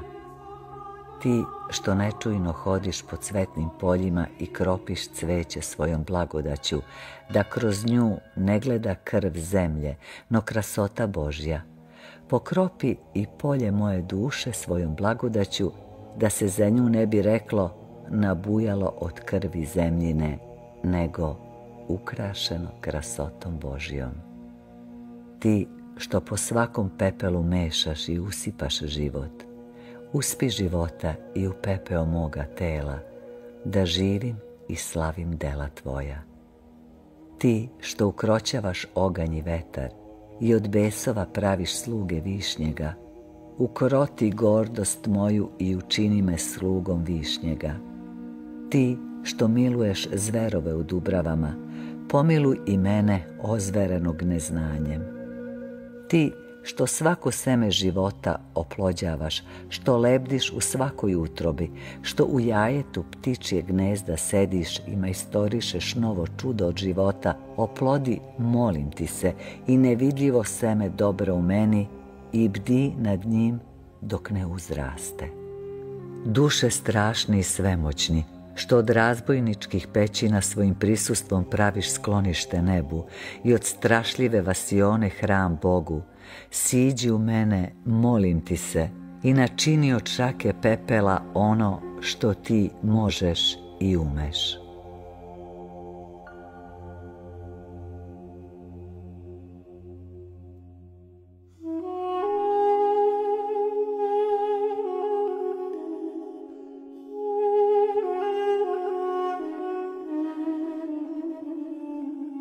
Duše mrtvih, pridružite se mom slavljenju nebesne trijade. Kakva drugog zanimanja vi imate nego ili da se grčite od straha daleko od Boga ili da se širite od radosti u blizini Boga. Ostavili ste telesni pepeo, svoju omiljenu brigu i sada imate da se brinete samo o svojoj nagoti. Da li bar sada uviđate da nije telo davalo miris duši vašoj, no duša telu? O, kako je teško grešnoj duši kad ostane sama sa svojim punim mirisom, nerazrađenim po telu i neskrivenim telom. Zaista, točak ne ide sam u blato ako ga vozar ne navede. Ne uviđate li sada da je se točak uprljao voljom vozara? Točak je primio svoju platu i vozar će primiti svoju. Grešne duše, ne žudite više da se vratite u telo, da bi kao tobož pobegle od zlog mirisa što vas tamo guši. Isti taj miris vi bi opet donele sobom i umnožile ga u novom telu. Grešne duše, ne žudite više da uđete u telo, da bi kao izbegle oganj što vas peče i dim što vas guši. I oganj i dim vi nosite sobom, i telo bi bilo ne spasilac vaš, no žrtva vaša. No ustremite svu pažnju svoju u večno devičanstvo Božije koje može razagnati zao miris iz vas i u sina devojačkog koji bi vas osvetlio plamenom mudrosti trojične i u duha sve svetoga koji bi vam dodao snage i hrabrosti da se uzvisite k angelskim krugovima očišćene duše, što mirišete zanosniji od svih balsama zemaljskih. Ne odvajajte se od nas zemaljskih, što još čas dva tumaramo po stradalnim putevima vašim i po pepelu vašem. Svi čisti na zemlji bit će čisti i na nebu, i bit će drugovi vaši namirisani rajskim balsamom i obučeni u devičansku belinu. Usilite ljubav svoju prema nama, i molitvu svoju za nas. Jer između vas i nas nema druge pregrade do nemoćne zavese tela našeg. Jer ako ste vi i izmakli, a mi zaostali, put je isti i grad na kraju puta isti. Duše pravedne, i mi se molimo gospodu za vas da vaš hod k njemu olakša i ubrza Mada nemoćniji od vas, mi se ipak molimo Bogu za vas. Molimo se iz ljubavi kojom gori srce naše za vas, kao što mlađi i nemoćniji brat pruža ruke svoje da pomogne starijem i moćnijem. Jer, kao što su mlađa i starija braća jedno telo u očima ljubavi koja ih je rodila, tako smo mi i vi jedno telo u očima premudre i premoćne ljubavi Višnjega. Bezbrojna jata duša umrlih, ne delite se i ne zbunjujte se i ne obzirite se više na hladno ostrvo zemaljskog života uz koje smo mi malobrojni još za čast dva pripijeni dok se i mi ne pridružimo vama u letu za toplije i svetlije predele. Za sve vas, i pravedne i grešne, molimo se mi, polumrtvi, poluživi, nebeskoj milosti, da se ne zbunjujete, da se ne strašite i ne obzirite nazad, no punim letom da se ustremite sve napred i sve naviše ka svetlosti i radosti, ka miru i punoći.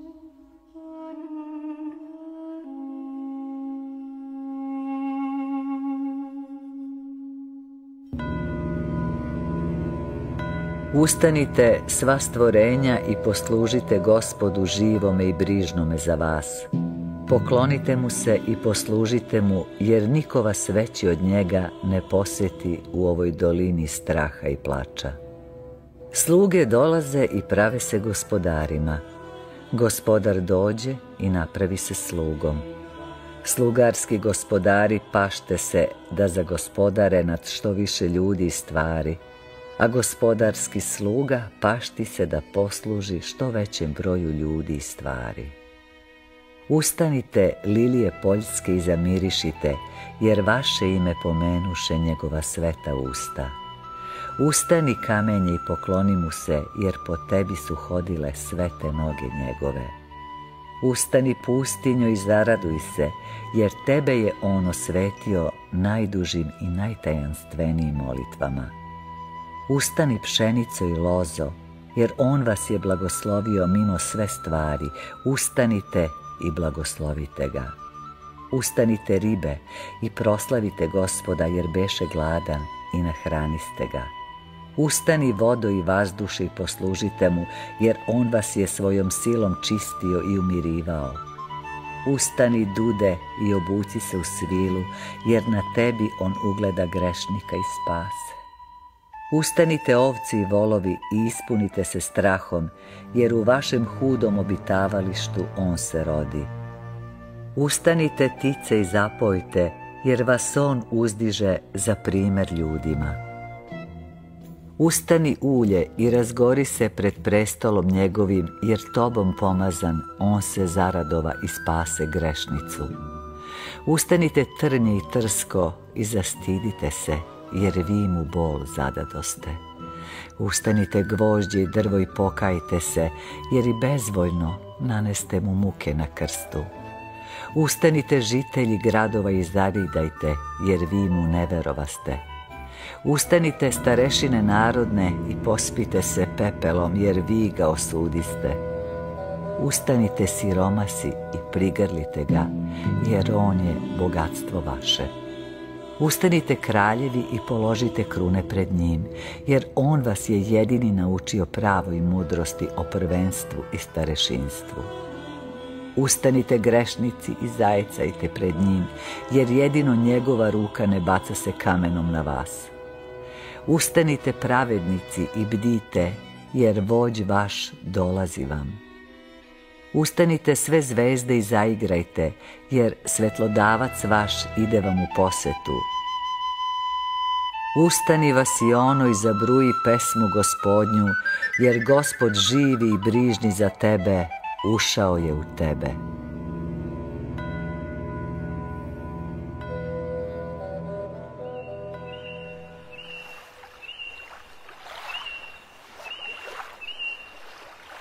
Tice me tvoje bude izjutra, a šum jezera uspavljuje uveče.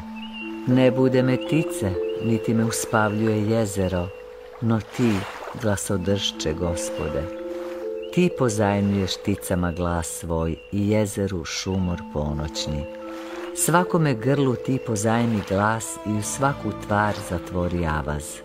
Okružen sam glasonošama tvojim kao učenik mnogim učiteljima i slušam ih neumorno od zore do meseca. Glasodršće, gospode, govori jasnije kroz glasonoše tvoje. Sunce mi govori o sjaju lica tvoga, a zvezde o harmoniji bića tvoga. Inim jezikom govori sunce, a inim jezicima govore zvezde no svi jezici nalevaju se iz istih glasnica. U tebe su glasnice i ti pusti prvi glas što zadrhta u gluvilu i bezobličju ničega i razbi se u bezbrojne glasove i glasonoše kao gromovni oblak u kaplje kiše. Glasodršće, gospode, govori jasnije kroz glasonoše tvoje jedan usklik otese iz grudi bogoneveste kad spazi sina svoga. Jedan glas prepunjene ljubavi koja se nije mogla zadržati u čutanju. I taj usklik odjeknu srcu sina i odjek taj, taj odgovor majci na ljubav, rasturi duh sveti snažnim rukama po vascelom prostoru. Otuda je sav prostor ispunjen glasonošama tvojim, pesma moja i ljubavi moja. Glasodržče, gospode, govori jasnije kroz glasonoše tvoje. Zato si ti i govorio u pričama, Sine Božji, i tumačio stvari i događaje kao priča o Bogu svevišnjemu. Ti si lečio rečima i oživljavao rečima, jer si poznavao tajnu ljubavi a tajna ljubavi, tajna je reči. Kroz sva bića, kao kroz trube, tanane i plamene, izlile su se reči, a kroz reči ljubav neba. Glasodržče, gospode, nauči me ljubavi tvojoj kroz sve glasonoše tvoje.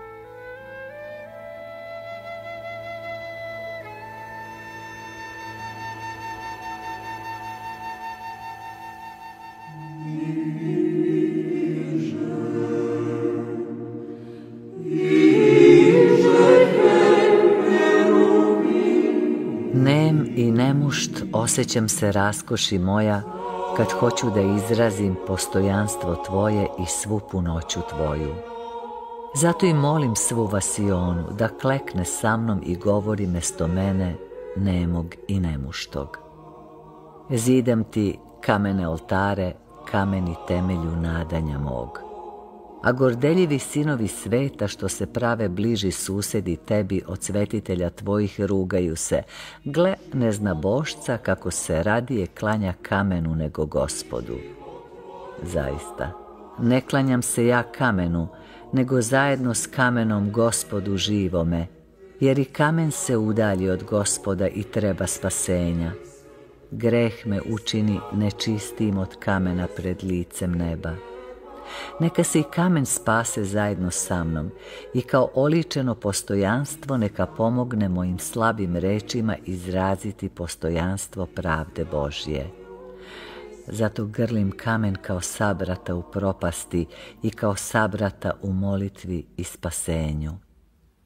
Palim ulje i vosak na kamenom oltaru svetlosti neugasiva, a gordeljivci se nadimaju i viču – Gle muža sueverna, koji ne zna da je Bog duh. Zna sluga tvoj gospode da si ti duh, no zna i tvoju milost prema svakoj ploti. Pa kad vidim blistavo ulje i mirisni vosak, ja govorim sebi, šta si ti bolji od ulja i voska? Kao što sunce u podne, tako ulje i vosak u ponoći jasnije predstavljaju svetlost gospoda slave nego tvoj jezik. Neka ti budu pomoć u molitvi, neka ti budu sabraća u molitvi i spasenju. Krasim oltar tvoj drvenim ikonama i zlatnim krstovima i srebrnim ripidama i svilenim tkaninama i knjigama spasenja kožom obvijenim i činim duboke poklone pred okićenim oltarima tvojim. A gordeljivci se smeju i govore, gle idolopoklonika koji se ne klanja gospodu, no nemuštim stvarima. A ti znaš, jedini idole moj, da se ja samo tebi klanjam. No, da ne bi gordost savladala moje srce i odložila spasenje moje, ja prizivam i drvo, i travu, i smole, i životinje, da zajedno sa mnom vapiju k tebi svako svojim jezikom. Gle, Sva stvorenja potrebuju spasenja, zato sva i treba da se združe na molitvi sa čovekom vođom greha i vođom spasenja. Osvećujem hleb i vino na oltaru tvome i hranim njima dušu svoju. Neka se rugaju gordeljivci do kraja vremena, ja se neću postideti želje da se tobom hranim i pojim, životvorna hrano moja. Klanjam se pred oltarom kamenim da bih se naučio smatrati svu vasionu oltarom svevišnjega. Hranim se osvećenim hlebom i vinom na oltaru tvome da bih se naučio smatrati sve što jedem tvojim svetim telom i sve što pijem tvojom svetom krvlju. Molim se sa svima stvorenjima i za sva stvorenja da bih se naučio smirenju pred tobom i da bih iskazao svu tajnu moje ljubavi tebi, ljubavi sveobuhvatna.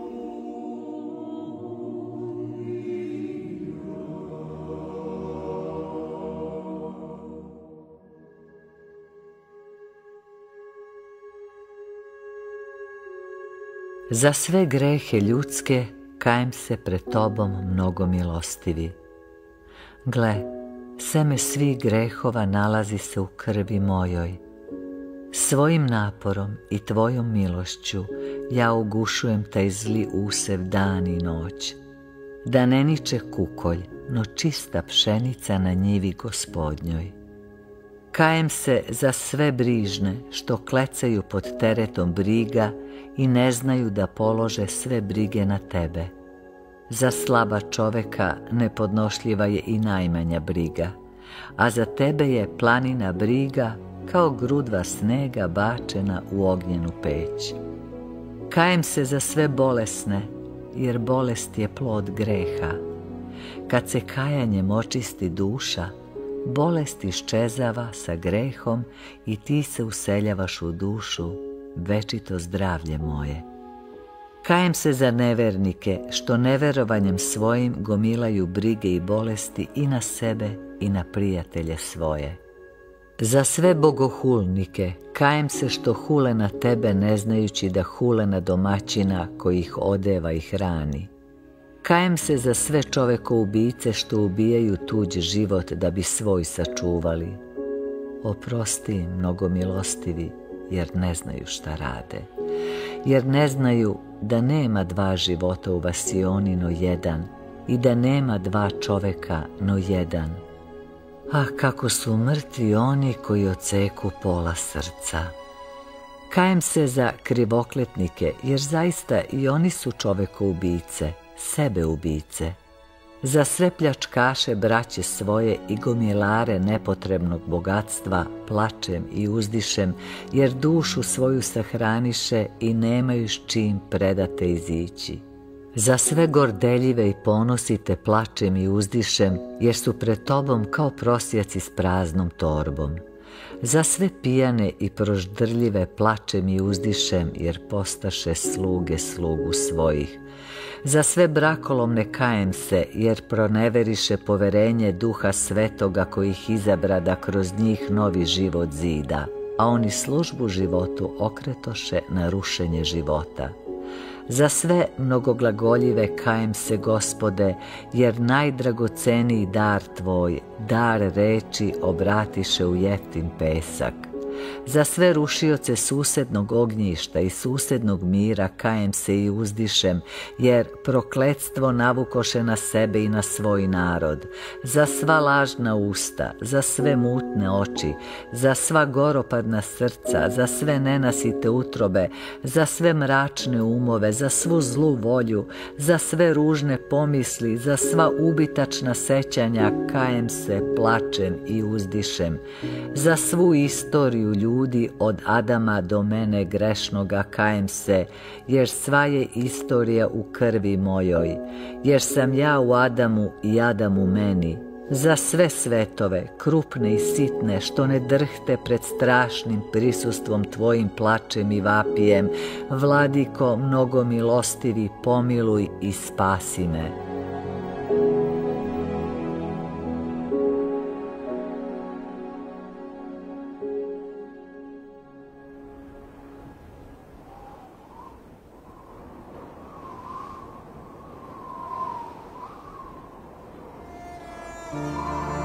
Izbriši, gospode, sva sećanja moja osim jednog, jer sećanja me čine starim i nemoćnim. Sećanja mi upropašćuju današnji dan. Ona mi pritiskuju današnji dan prošlošću i slabe mi nadu na budućnost, jer mi u legionima šapću na uho, bit će samo ono što je bilo. A ja ne želim da bude samo ono što je bilo ja ne želim i ti ne želiš, gospode, da budućnost bude potvorena prošlost. Neka bude nebivalo ono što se nikad ne pojavi. Suviše skupo sunce da bi gledalo samo povtorenja. U trvene staze zavode putnika. Dugo je zemlja hodila po zemlji, Dosadne su postale hodađije zemaljske, jer se ponavljaju s kolena na koleno kroz sve vreme. Izbriši, gospode, sva sećanja moja osim jednog. Jedno jedino sećanje ne izbriši, no pojačaju meni. Ne izbriši, no pojačaju svesti mojoj sećanje na onu slavu što ima dok kad beah sav s tobom i sav u tebi pre vremena i vremenih obmana. kad ja bejah harmonično trojičan u svetom jedinstvu, kao što si ti od večnosti u večnost. Kad i u meni beše duša u prijateljstvu sa svešću i životom, kad i moja duša beše devičanstva utroba i moja svest mudrost u devičanstvu i moj život duhovna sila i svetost. Kad ja bejah sav svetlost i kad tame u meni ne beše. Kad ja bejah blaženstvo i mir i muke od neravnoteže kad u meni ne bi. Kad ja znadoh tebe kao što ti znaš mene i kad ne beh pomešan s tamom kad ja ne ima do granica niti komšija, niti deobe na ja i ti. Ovo sećenje ne izbriši roditelju moj, no pojačaj, mada mi ono otkriva ponor po kome sada u poniženosti i ništavilu putujem, mada me ono deli od prijatelja i prijatnosti i ruši sve pregrade između juče, danas i sutra mada me ono izvodi van sebe i čini me ludim u očima saputnika mojih. Zaista, nemilo mi je svako društvo sem tvoga i svako sećanje sem sećanja na tebe. Milostivi roditelju moji, izbriši sva sećanja moja sem jednog jedinog.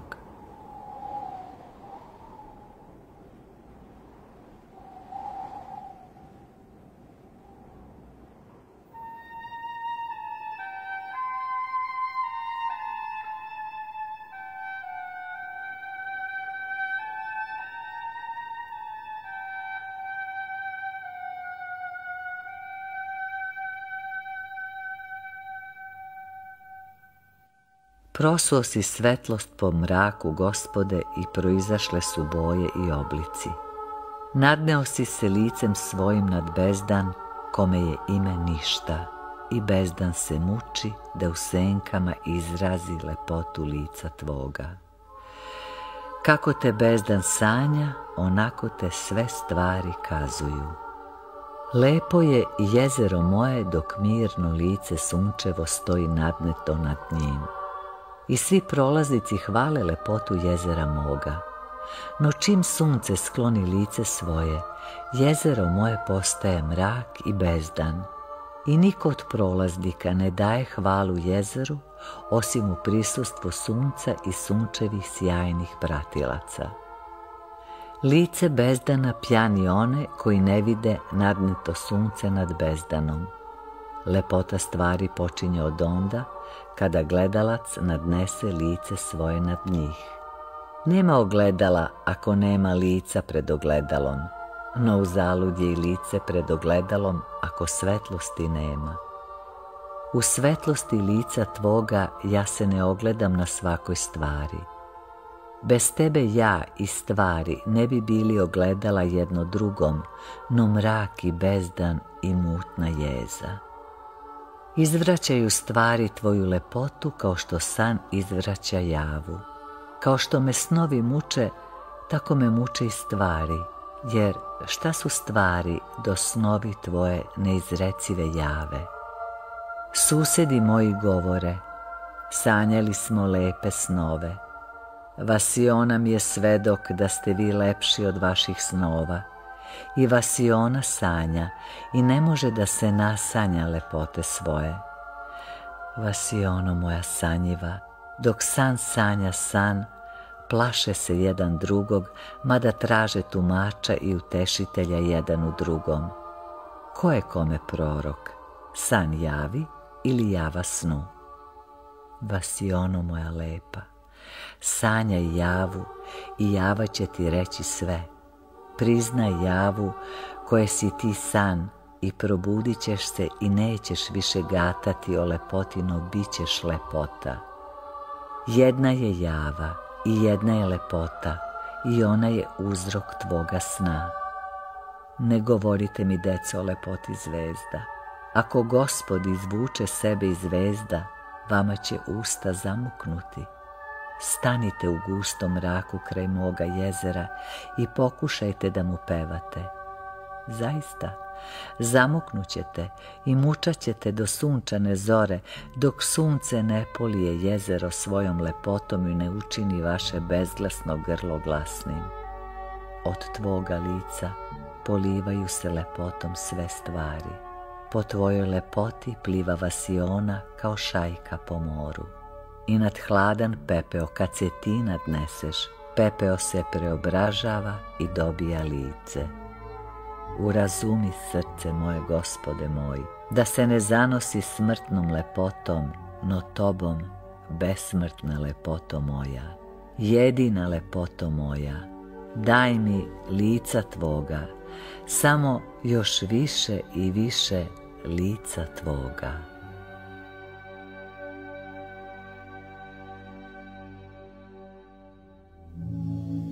Vera te moja vidi, gospode, ona je svetlost i daljno vid očiju mojih.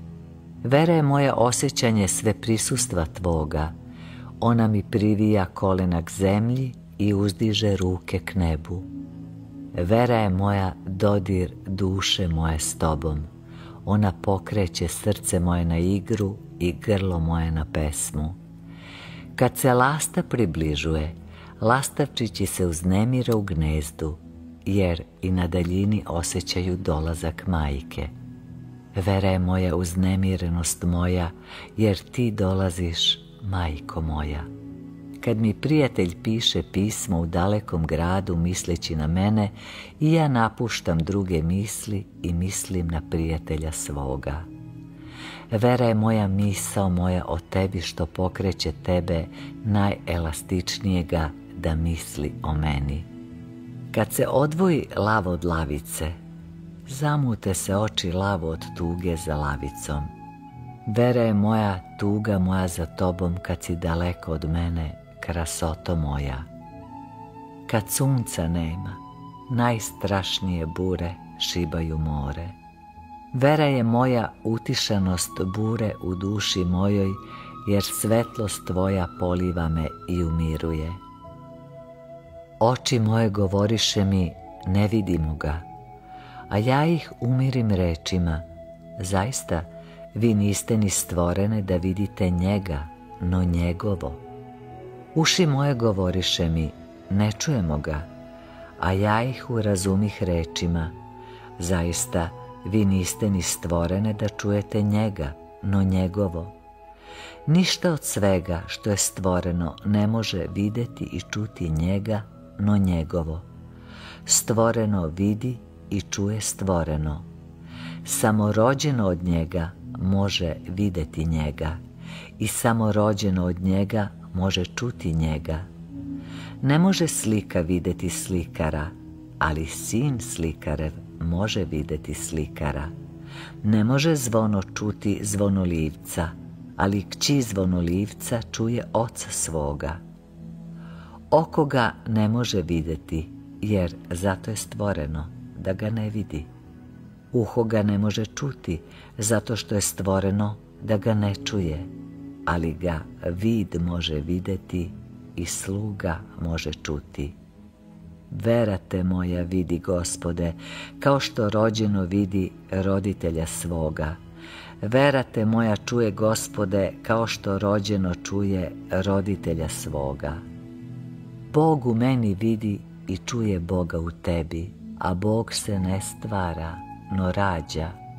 Vera je moja gnjuranje u bezdan duše moje, isplivavanje s tobom. Vera je moja jedino ozbiljno znanje moje, sve drugo je dečje sabiranje šarenog šljunka na jezeru. Vera je moja jedino ozbiljno zanimanje života moga, Zaista, sve je drugo komedija čula. Kad kažem dodaj mi vere, ja mislim dodaj mi sebe, oče moj i Bože moj.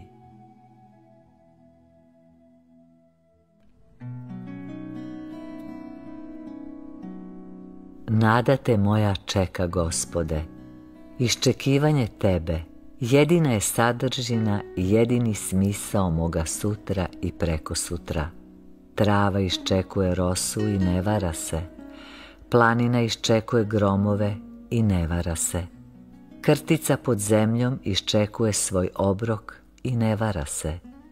Iščekivanje svih bića ti zadovoljavaš. Ja iščekujem tebe i ti mi hodiš u susret. Prema brzini moga hoda k tebi i ti prilaziš k meni. Šta je sutra, deco zemlje, nego vaša nada? Iskorenite li svu nadu svoju, umreće i želja vaša da osvane sutra. Ne ropćite na nebo što vam ne ispunjava sve nade, nego ropćite na sebe što ne umete da se nadate. Nebo ne ispunjava nade, no nadu, najuzvišeniju i najječu nadu nebo uvek ispunjava. Ne ropćite na nebo, što ono ne vidi vaše rođačke i partijske plodove i što ne ulazi u vaše zavere jednih protiv drugih. Ono je vidovito i milostivo.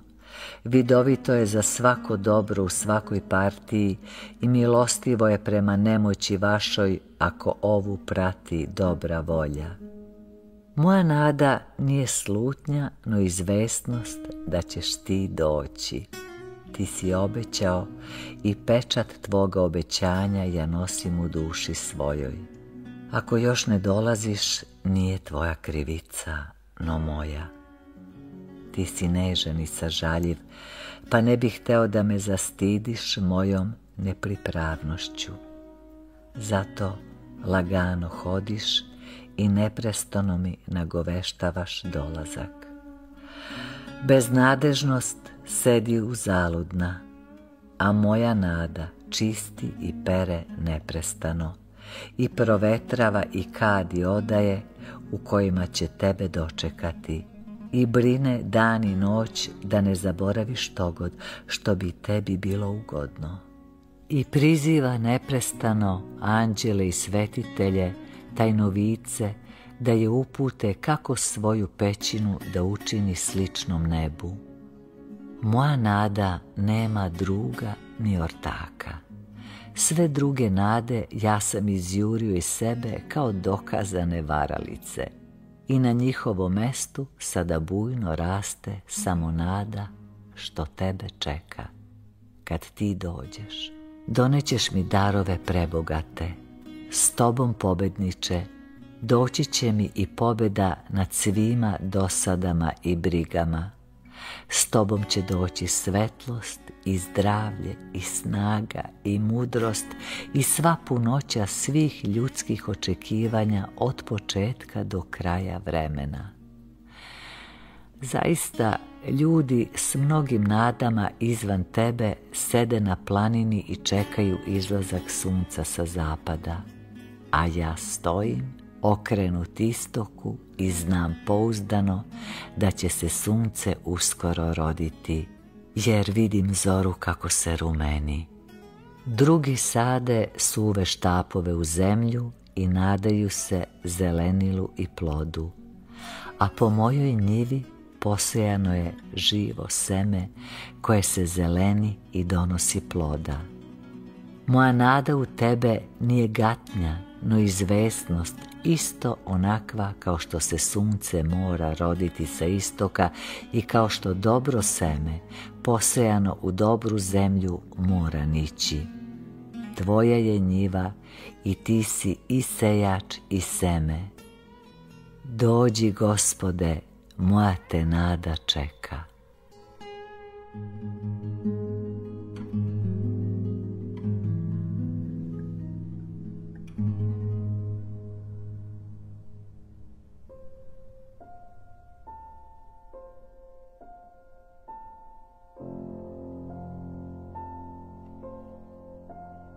Ljubav me čini Bogom, a tebe Bože čovekom. Gde je jedan, tu nema ljubavi. Gde je dvoje ujedinjeno, tu je samo prizrak ljubavi. Gde je troje ujedinjeno, tu je ljubav. Tebi je ime ljubav, zato što ti je ime jedinstveno trojstvo. Da si jedan, ti ne bi bio ni ljubav ni mržnja da si dvojstvo, ti bi bio neizmeničnost ljubavi i mržnje, ali ti si trojstvo, zato si ljubav i u tebi nema tame ni neizmeničnosti. Ljubav ne zna za vreme i prostor, ona je van vremena i van prostora. Za nju je jedan dan kao hiljada godina i hiljada godina kao jedan dan. Kad sam spojen s tobom ljubavlju, onda ne postoji nebo i zemlja, postoji samo Bog. Niti postoji onda ja i ti, postoji samo Bog. Ljubav ima tri postasi, devičanstvo, poznavanje i svetost.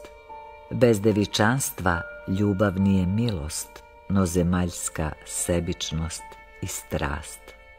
Bez poznanja ljubav nije mudrost, no ludost. Bez svetosti ljubav nije moć, no slabost. Kad se ujedine strast, ludost i slabost, onda postaje pakao koji đavo naziva svojom ljubavlju. Kad je duša moja prečista devojka i svest moja jasnovidna mudrost i duh moj životvorna svetost, onda sam ja ljubav koja se poklapa s tvojom ljubavlju. Kroz ljubav ja vidim tebe kao sebe i ti vidiš mene kao sebe. Kroz ljubav ja ne gledam sebe, no samo tebe. Kroz ljubav ti ne gledaš sebe, no samo mene. Ljubav se žrtvuje i ne osjeća žrtvu kao davanje, no kao dobijanje. Deco zemaljska, reč ljubav je najduža molitva. Postoji li zemaljska ljubav, pitaju me susedi. Onoliko isto koliko i zemaljski bog. Zemaljska ljubav gori i sagori. Nebesna ljubav gori i ne sagoreva. Zemaljska ljubav, kao i sve zemaljsko, samo je san i gatka ljubavi. Koliko idoli liče na Boga, toliko zemaljska ljubav liči na ljubav. Koliko dim liči na plamen, toliko vaša ljubav liči na božansku ljubav. Kad razmenite zlatnik u groševe, vi ne nazivate groševe zlatnikom, no groševima. Zašto onda ljubav božansku, usitnjenu i samlevenu u pepeo vremenom i prostorom nazivate ljubavlju, a ne pepelom? Gospode, udostoj me ljubavi kojom ti živiš i život daješ.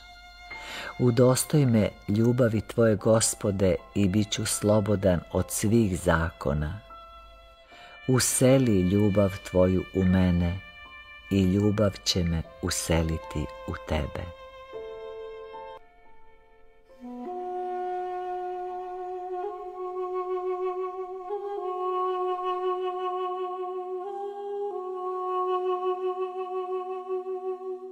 Mučenici prave vere, molite se Bogu za nas.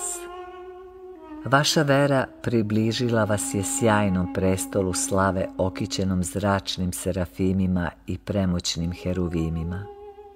Bliži ste besmrtnosti od nas i molitva vaša čistija je i čujnija. Pomenite u molitvi svoju i nas, da bi se i vi još više razglasili po nebu ponesite i nas na sebi, pa ćete brže i lakše leteti ka prestolu slave. Ko samo sebe nosi, taj laganije hodi i više se spotiče. Što veći teret svoje braće teglite, sve brže letite. Rekoh ljudima, svi ste vi mučenici, no ne svi jednog mučeništva. Mučenici za pravu veru, nisu isto što i mučenici za krivu veru. Zaista i kosti im se razlikuju, a ne samo duša, jer duša prenosi svoju moć i nemoć i na kosti. Vi što stradate za pravu veru, stradate za ono što vaš duhovni vid vidi vi što stradate za krivu veru, stradate za ono što vaše telesne oči vide. Vi prvi stradate za veru u javu istinu, vi drugi stradate za san i prizrak. Svoje znanje, duhovni vid, nazvao je skromnim imenom vera. Svoju veru telesne oči nazvale su gordim imenom znanje. I jedno i drugo je viđenje. Prvo, viđenje mirne i blešteće suštine stvari. Drugo, viđenje treperenja te suštine po tami. Od svih stvari najneizbežnije je vaše mučeništvo, sinovi neba i sinovi zemlje. Mučenje vaše sastoji se u bežanju vašem. Ili bežite od tame ka svetlosti, ili od svetlosti ka tami. Ako bežite od tame ka svetlosti, uzbunit ćete svet protiv sebe. Ako begate od svetlosti ka tami, nebo će se udaljiti od vaših grčeva i vaše propasti. Ukrštaju se putevi sinova ljudskih i sukob je neizbežan, jer jedni hode ka istoku, a drugi ka zapadu. Gospod je milostiv i šalje angele svoje svima. Puna je duša moja mučenika kao plodna njiva pšenice i kukolja. Jedni su okrenuti ka istoku, a drugi ka zapadu. Šapćem duši svojoj u ponoći dokle ćeš se raspinjati između raja i pakla, saberi se i kreni tamo kuda su mučenici prave vere hodili. Šapćem susedu svome uzoru, ne udaraj suviše u trvenim putem, jer mnoge lešine smrde oko njega. Hajmo stazom uz planinu koja je vrletna, no koja ne zaudara lešinama šapćem jutrom i večerom vama, mučenici prave vere. Molite se Bogu za nas.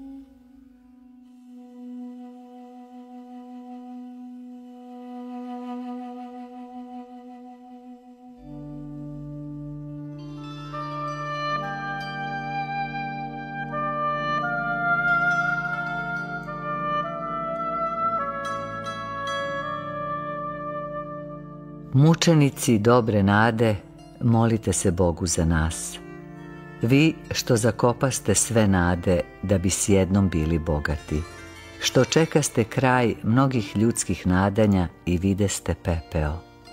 Što videste mnoge uplakane oči gde se vraćaju sa groblja svojih nada. Što čuste mnoge ispovesti o zlom mirisu svake zemaljske nade s drugog kraja i što se dadoste raspeti za jednu izabranu nadu, što se ne svršava pepelom, ni grobljem, ni zlim mirisom. Vama se molimo i poklonimo. Molite se Bogu za nas. Videh dete gde dugo trčaše za jatom prolećnih leptirova, te kad mu jedan leptir beše na domaku, on ga ostavi i otrča za drugim koji mu se učini lepši. Rekoh, takvi su sinovi ljudski i takvo je njihovo trčanje kroz ceo život za mnogim željama. Zaista, trka vaša je zamorna i beskorisna. Kad vam dođe samrtni čas, nećete umeti reći za čim ste trčali i ući ćete u drugi svet praznih ruku i zbunjena srca. I sinovi neba imaju zamornu trku, no ne i beskorisnu, i kad im dođe samrtni čas, oni će umeti reći za čim su trčali i u drugom svetu imaće pune ruke i odmorno srce. Orao ispod oblaka vidi jagnje u polju i spušta se k njemu i pita vrapce što stoje na leđima jagnjeta. Ne vidite li jagnje? A oni mu odgovaraju, ne, ne vidimo. Tako je i s mučenicima dobre nade. U velikoj daljini oni opaze svoju hranu i jure k njoj, dok susedi te hrane hode po njoj i ne vide je. Duga je trka za dobrom nadom. No junak se rešava na trku i baca sve varljive nade pod noge i gazi po njima kao po suhu lišću. Mnoge su premnoge prepone do njegove nade. I smrt je jedna od prepona. No on ih sve preskače, preskače i smrt i juri za svojom nadom. Mučenici dobre nade, što se kao jato beli golubova vijete u kolu oko nebesne svetlosti, molite se Bogu za nas.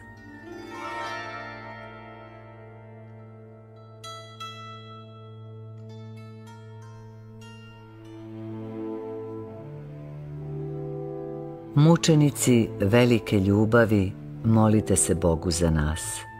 Vi što poznaste ljubav jaču od smrti, molite se ljubavi za nas. Što se srećno izvukoste u ovom životu iz mreže prolazne ljubavi, koja je kao malo boje na steni što kiša spira. Što propovedaste da je ljubav tajanstvenija od tela i večnija od zvezda na nebu što kroz ljubav razumedoste i drvo i kamen i zvera u gori i ribu u vodi. Jer ljubav lomi pečate svi u tajni i sve stvari se pokazuju nage ljubavniku svome. Što ljubavlju ispuniste sve proroke, zadovoljiste sve religije i pokriste sve zakone. Najveći osvajači, ko je jači od vas?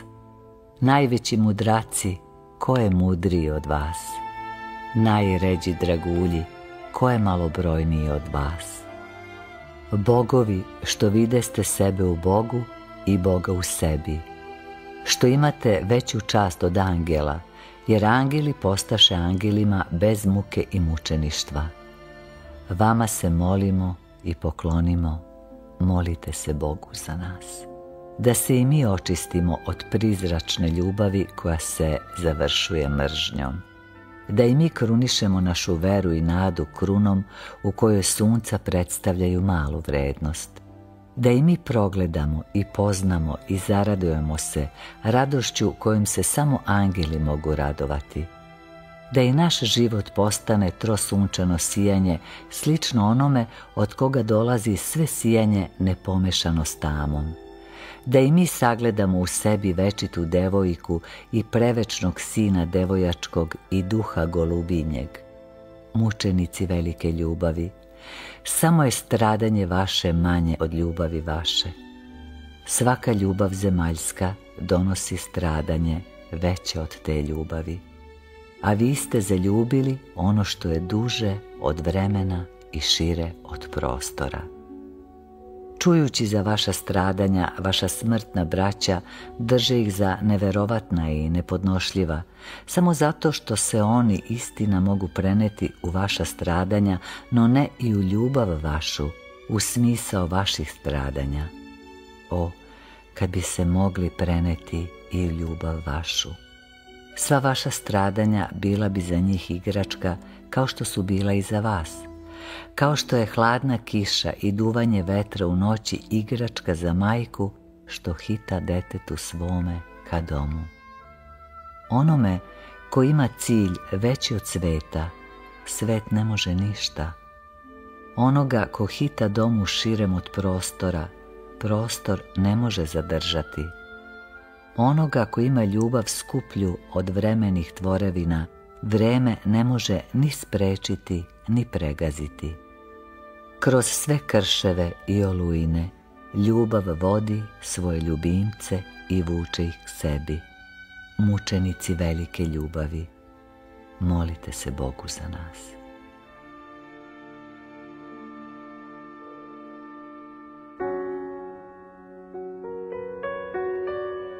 Kroz stvari činiš čuda, gospode, kad ljudi izgube dar čudotvorstva – Vodu i oganj uzimaš za sluge svoje kad se ljudi odreknu službe tebi.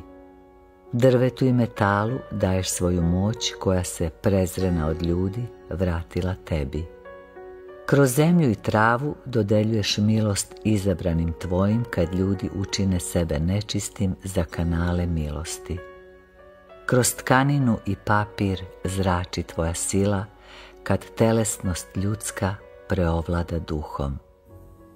Kosti svetitelja glase ime Tvoje i prisustvo Tvoje kad jezik ljudi zamukne od neverovanja. Kad generali zaborave pobeđivati, ti redove činiš pobednicima. Napunio si ognjem mrtve stvari, da one svetle kad mrak zatvori oči zvezdama. Kad nema sunca, paprati glog preuzimaju dužnost svetljenja. Kad slepi postanu vođe slepima, ti ustupaš vođstvo konjima i psima. Kad se bolesni nametnu bolesnim za lekare, ti činiš mrtve kosti i blato lekarima. Kad tvoj lik u duši ljudskoj iščezne, ti daješ silu i moć tvome liku na drvetu. Smeju se oni koji će na kraju krajeva ljuto plakati i govore kako mogu mrtve stvari činiti čuda koja mi ne možemo činiti. Nisu li stvari žive kad ih ti oživiš i nisu li ljudi mrtvi kad ih ti napustiš, gospode strašni. Angeli tvoji znaju, a ljudi ne znaju da su sve moći tvoje u tebi i od tebe i da ih ti pokazuješ svetu kroz čiste kanale. Šta ako je kamen čist, a čovek nečist? Neće li sila gospodnja pokazati se pre kroz kamen nego kroz čoveka? Smehom radosti smeje se samo pravednik. Smeh nepravednika je pakost. Sme se nepravednik moštima svetitelja i izede se od smeha pakosnoga.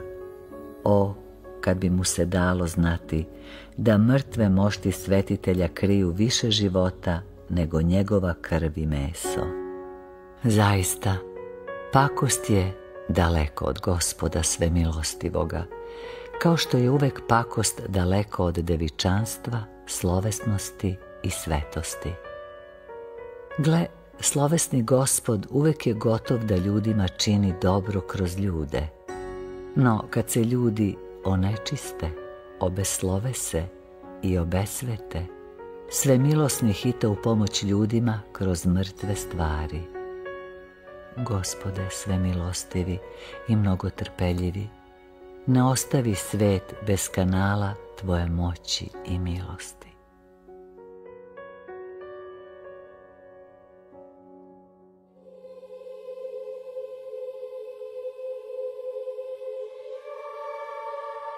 Znaš li, dete moje, zašto se zatvaraju oblaci onda kada su polja žedna kiše, a otvaraju onda kada polja kišu ne žele?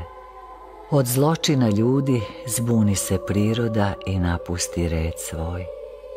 Znaš li, dete moje, zašto njive ponesu teški plod u proleće, a uleto daju jalovu žetvu? Zato što i kćeri ljudske omrzoše na plod utrobe svoje i ubijaju ga u cvetu.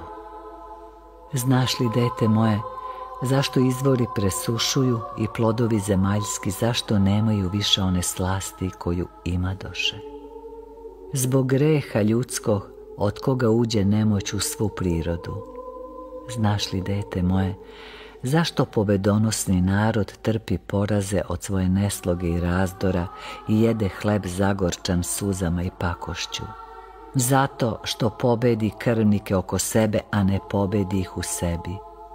Znaš li, dete moje, zašto majka hrani i ne može da nahrani decu svoju? Zato što dojećih ne peva im pesmu ljubavi, no pesmu mržnje prema susedu.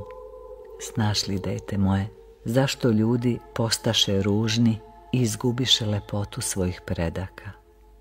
Zato što odbaciše lik Božji, što iznutra, iz duše delja lepotu lika i navukoše obrazinu zemlje. Znaš li, dete moje, zašto se bolesti umnožiše i pomori strašni? Zato što ljudi počeše smatrati da je zdravlje otmica od prirode, a ne dar od Boga, a što se otima s s dvojnom mukom mora se braniti. Znaš li, dete moje, zašto se ljudi bore za zemlju i ne stide se svoga ravenstva s krticama? Zato što im zemlja proraste kroz srce, te oči vide samo ono što u srcu raste i zato, dete moje, što i greh suviše onemoća za borbu za nebo. Ne plači, dete moje. Skoro će gospod doći i urediti sve.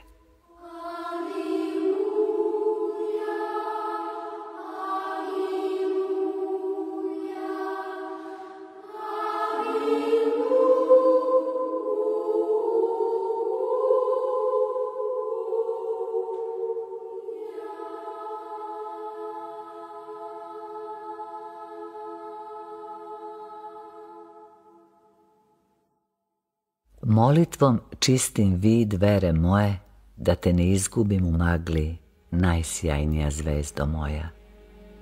Na što će Bogu tvoja molitva, pitaju me tamni argati zemlje. Pravo kažete, sinovi zemlje, na što će polarnoj zvezdi durbin moreplovca kada ona vidi moreplovca i bez durbina? No, ne pitajte me kad već znate na što će durbin moreplovcu. Molitva je potrebna meni, da ne izgubim spasonosnu zvezdu iz vida, a ne zvezdi da ne izgubi mene. Šta bi bilo od mog unutrašnjeg vida kad bi prestao vežbati ga molitvom? Ne vežbaju li se vojnici zemaljski dugo i naporno da vide daljne predmete? Ne vežbaju li se tkači svile dugo i naporno da razlikuju najfinija vlakna? Kako ja da ne vežbam vid vere moje, da što jasnije vidi jedino blago moje? Uhvaćen u mrežu iluzija, ja sam jedva sagledao jedan otvor van, pa zar da ga izgubim iz vida? Uzmite se na um, saputnici moji, nije jeftina stvar viđenje Boga. Vi što žrtvujete bogatstva da bi vidjeli raskoš polutara i polarnu svetlo severa, budite spremni da skuplje platite viđenje onoga prema kome je raskoš polutara siromaština, a polarna svetlost lojana sveća. Kada date i ceo svoj život za viđenje njega, dali ste jedva jednu poturu, no on je plemenit i dobrosrdačan, pa i ne traži od vas više no toliko. Vi, vežbatelji tela, što ne zaboravljate ni jedno jutro da vežbate svoje ruke i noge i glavu i vrat, da li ste vi u istini misaona bića, vi samuraji? Da li ste vi u istini misaona bića ako držite da će vera vaša u Boga postati i ostati vidovitom bez vežbanja? Sve zvezdano nebo što još gleda iskustvo otaca vaših, sve dok mi je da će vera vaša oslepeti, ako uopšte nekad i progleda. I na mesto izgubljenog dobra ostaće samo jedno licemerno nazvanje. Držite svoje oči samo tri dana povezane i osjetit ćete po tom da ih vređa svetlo sunca. Prekinite svoju vezu s Bogom samo tri sata i osjetit ćete da vam je bolno ponovno gledanje u njegovu svetlost. Pitate me koliko traje molitva moja. Da li me možete razumeti kad vam kažem? Duža je od dana mojih. Jer molitvom svojom moram da vežbam i vašu veru i otvaram joj vid i pokazujem viđenje i viđenog ba istinu, molitvom svojom ispunjavam i svoje i vaše dane. Neprestano prizivam sve nebesne krugove da me podrže u molitvi svojom večitom molitvenošću, da bih se i ja udostojio zreti onu slavu i krasotu koja je širom otvorena njihovom zrenju. O saputnici moji, kako je veličanstveno viđenje vere. Kunem vam se kad bi vi znali, molitva vaša ne bi imala ni odmora, ni kraja.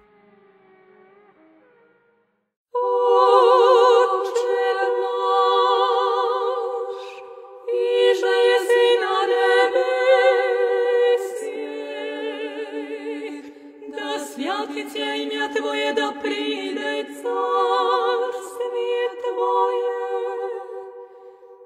Bude tvoja tvoja jako na nebesih i na zemlji. Hljeb dnes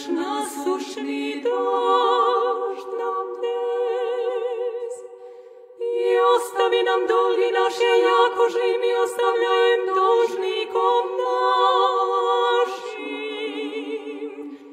I ne vovedi nas svoj iskušenje,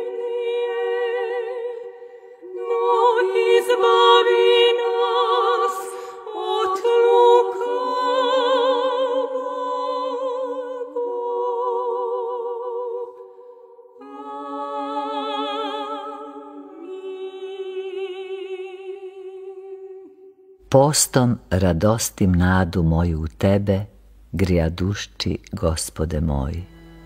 Post ubrzava moju pripremu za dolazak tvoj, jedino čekanje mojih dana i noći. Post otanjava telo moje, da bi ono što ostane mogao lakše osvetliti duhom. Čekajući tebe ne želim da se hranim krvlju, niti život da oduzimam, da bi radost moga čekanja i životinje osjetile. No zaista, neće me uzdržavanje od jela spasti, ma se hranio peskom iz jezera. Ti mi nećeš doći ako post ne uđe dublje u dušu moju. Saznadoh kroz molitvu svoju da je telesni post više simbol pravog posta, vrlo koristan za početnika u nadi u tebe, no i vrlo tegoban za onoga ko samo pri njemu ostane.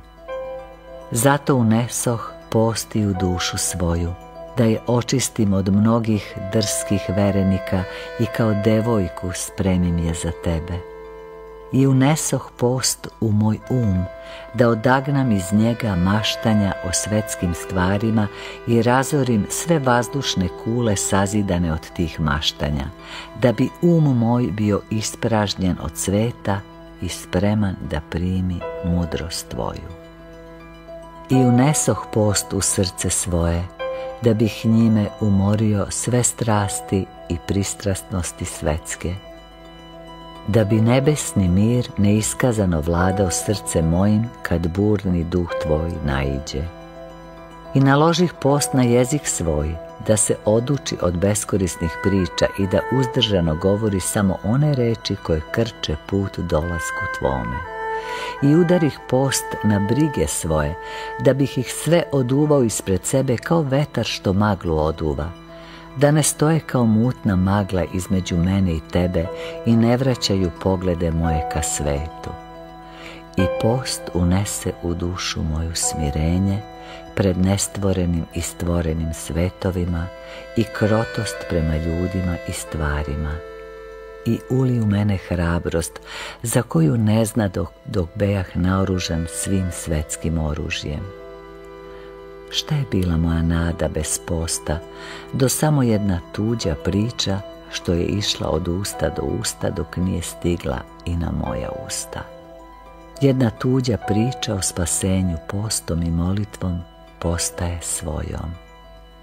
Lažan post prati lažnu nadu, kao što nikakav post prati beznadežnost. A kao što točak ide za točkom, tako istinit post ide za istinitom nadom. Pomozi mi da radosno postim i radosno se nadam, najradosniji prazniče moj, što mi se približuješ sa sunčanim osmejkom.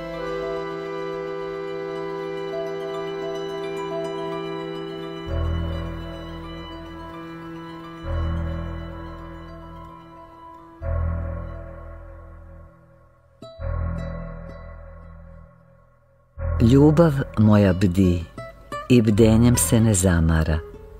Onaj koga volim i koga iščekujem dolazi mi okružen svitom nebesnom. Kako da spavam i kako bdenje da me zamara. Bdim nad pričama ljudi i nad pričama stvari, ne bih li dokučio neku tajnu poruku ljubavi moje. Ničija me priča ne zanima priče radi ni pričala radi, no tebe radi. Kao čovjek koji izgubi svoj glas, pa pođe da osluškuje svačiji glas ne bi li svoj poznao.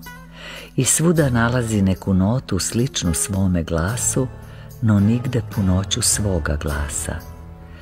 Kao čovjek koji razbije stakleno ogledalo pa pođe da ogleda svoje lice na licima ljudskim i licima životinskim i licima svih stvari.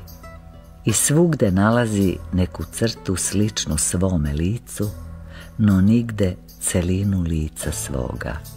Tako i ja bdim nad bezbrojnim glasovima cele vasione, ne bih li poznao glas svoje ljubavi. I bdim nad bezbrojnim licima u vasioni, od lica belog šljunka na jezeru, do lica sunčanih kola, ne bih li poznao lice svoje ljubavi. I niko me ne obmanjuje, no svako kazuje o tebi ono malo što zna i može.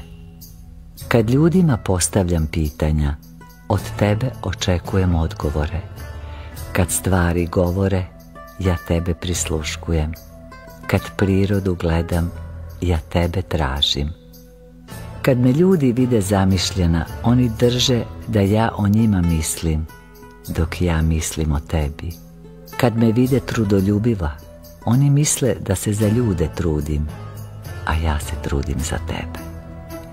Kad priroda čuje svoje ime na usnama mojim, ona misli da o njoj pevam, a ja pevam o tebi.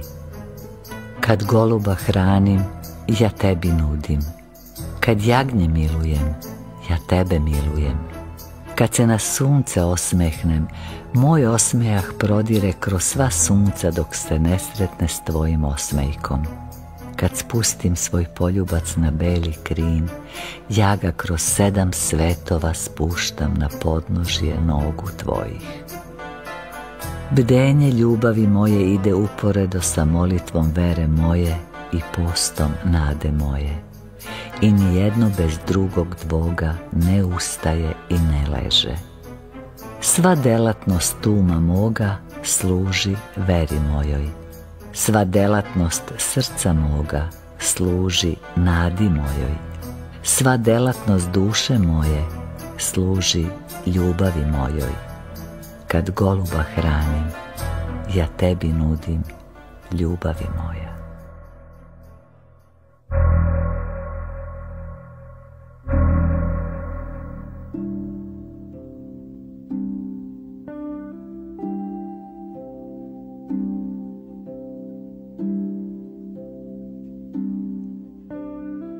Nikakvo mi zlo ljudi ne mogu učiniti ako u meni nema ranjavog mesta. Videh dve pećine od kojih jedna odavaše eho, a druga beše nema. I prvu posjećivahu mnoga radoznala deca i nestašno se nadvikavahu s pećinom. A iz druge se posetioci brzo vraćahu, jer im ne odgovaraše ehom. Ako je duša moja ranjava, svako zlo svetsko odjekivaće u njoj i ljudi će mi se smejati i navaljivaće sve jače sa svojom vikom. I zaista neće mi nahuditi zloreci ljudi ako je jezik moj zaboravio izgovarati zle reči. Niti će me ožalostiti pakost s polja ako nema pakosti u srcu mom da odjekuje kao kozji bubanj niti ću moći gnevom odgovoriti na gnev, ako je gnezdo gneva u meni ispražnjeno, te nema šta da se budi. Niti će me strasti ljudske zagolicati, ako su strasti u meni pretvorene u pepeo. Niti će me ožalostiti neverstvo prijatelja, ako sam ja tebe izabrao za svog prijatelja niti će me nepravda svetska moći skrušiti ako je nepravda isterana iz misli mojih. Niti će me zamamiti prevareni duhovi svetske slasti, časti i vlasti, ako je duša moja kao prečista nevesta koja samo svetog duha prima i za njim čezne. Nikoga ljudi ne mogu u pakao otisnuti ako se sam ne otisne, niti ljudi mogu nekoga dići na ramenima svojim do prestola Božjeg ako se sam ne digne. Ako duša moja nema otvorenih prozora, nikakvo se blato u nju ne može ubaciti. Neka ustane sva priroda protiv mene, ništa mi ne može učiniti do jedino što pre postati grobom tela moga. Svaki svetski usev zasipa se đubretom da što pre nikne i bolje raste. Ako je duša moja ava i napustila devičanstvo svoje i primila seme ovoga sveta u sebe, onda će morati primiti đubre što svet baca na svoju njivu. Ali ja tebe prizivam dan i noć. Nastani se u duši mojoj i zatvori sve ulaze za neprijatelje moje učini pećinu duše moje praznom i nemom, da niko od sveta ne poželi ući u nju. Dušo moja, jedina brigo moja, budi na straži i razlikuj glasove što udaraju od tebe. Pa kad poznaš glas gospodina svoga, napusti nemilo i odjekni svom snagom.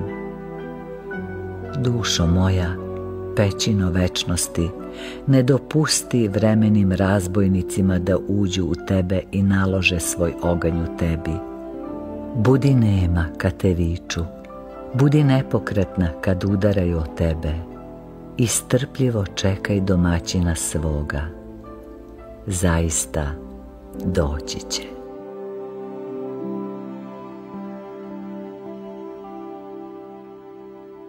Silazim duboko u srce svoje da vidim ko to u njemu obitava se mene i tebe, večni Bože. I sa strahom nalazim mnogobrojne strance kako se bore oko podele srca moga. Nađoh ih onoliko u srcu mome koliko vreme od Adama sadrži ljudskih i neljudskih duša. Pa razumeh zašto je srce moje iznemoćalo te ne može da primi ni tebe ni mene u odaje svoje, nego nas gura kraju, sobstvenike na ivicu imanja njihova. Pre nego izađoh iz utrobe matere svoje, svet sa svojim željama useli se u mene. Svaku lasku sveta skupo sam i preskupo plaćao, vazda odvajajući i dajući deo srca moga dok ne predadoh svetu celo srce svoje i dok mi laske ne postaše otužne. Žale mi se starci na godine govoreći, od mnogih godina ostari srce naše. Zaista starci, ne ostari srce vaše od mnogih godina, no od mnogih želja, pa savjetujem srce svoje u samoći Ocepi se od jučošnjeg dana, jer i on se već ocepi od tebe. Svi ovi predmeti za koje te je želja juče vezivala, danas ne postoje. Jedni su se izmenili, druge je bolest unakazila, treći su umrli. Niti postoje predmeti tvojih sutrašnjih želja. Svojim bičem vreme šiba svoje stado i ovo se znoji i krvavi od udaraca a predmeti današnjeg dana ubacuju u tebe već prepunjeno senkama mrtvaca nove želje koje će sutra i same biti senke mrtvaca. Ne ponavljaj prošle osjećaje, jer će te ovi onoliko puta vezati za stup vremena, koliko ih puta budeš ponavljalo srce moje. I bit ćeš rob vremenu i ostarit ćeš i umrećeš pre smrti Kidaj što brže čvorove strasti koji se zavezaše od udruženih i često ponovljenih želja i osjećaja. Lakše je iskidati pojedinačne konce želja i konce osjećaja nego jake čvorove strasti. No i ove moraš iskidati, ma se raskrvavilo, ako želiš novo detinstvo i novu mladost, lepšu i večniju od prošle ti mladosti. Izbaci sveti sebe srce moje, pa ga posmatraj onda kako je nemoćan. Ih posmatraj tada sebe i osjetit ćeš neslučenu moć. Svet nam se čini moćan samo dotle dok robujemo svetu.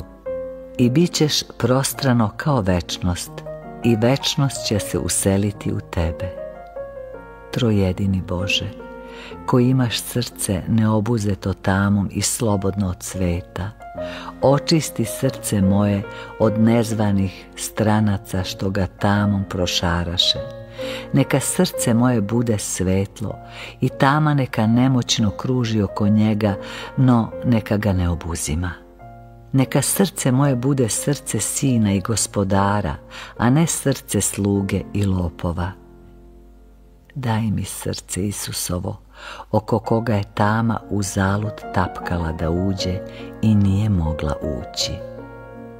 Carice, nebesne krasote, ogradi srce moje materinskom brigom. Duše sveti i svemoćni, oplodi srce moje nebesnom ljubavlju, da sve ono što se u njemu rodi i poraste ne bude od ploti i krvi, no od tebe duše sveti i gospode moji.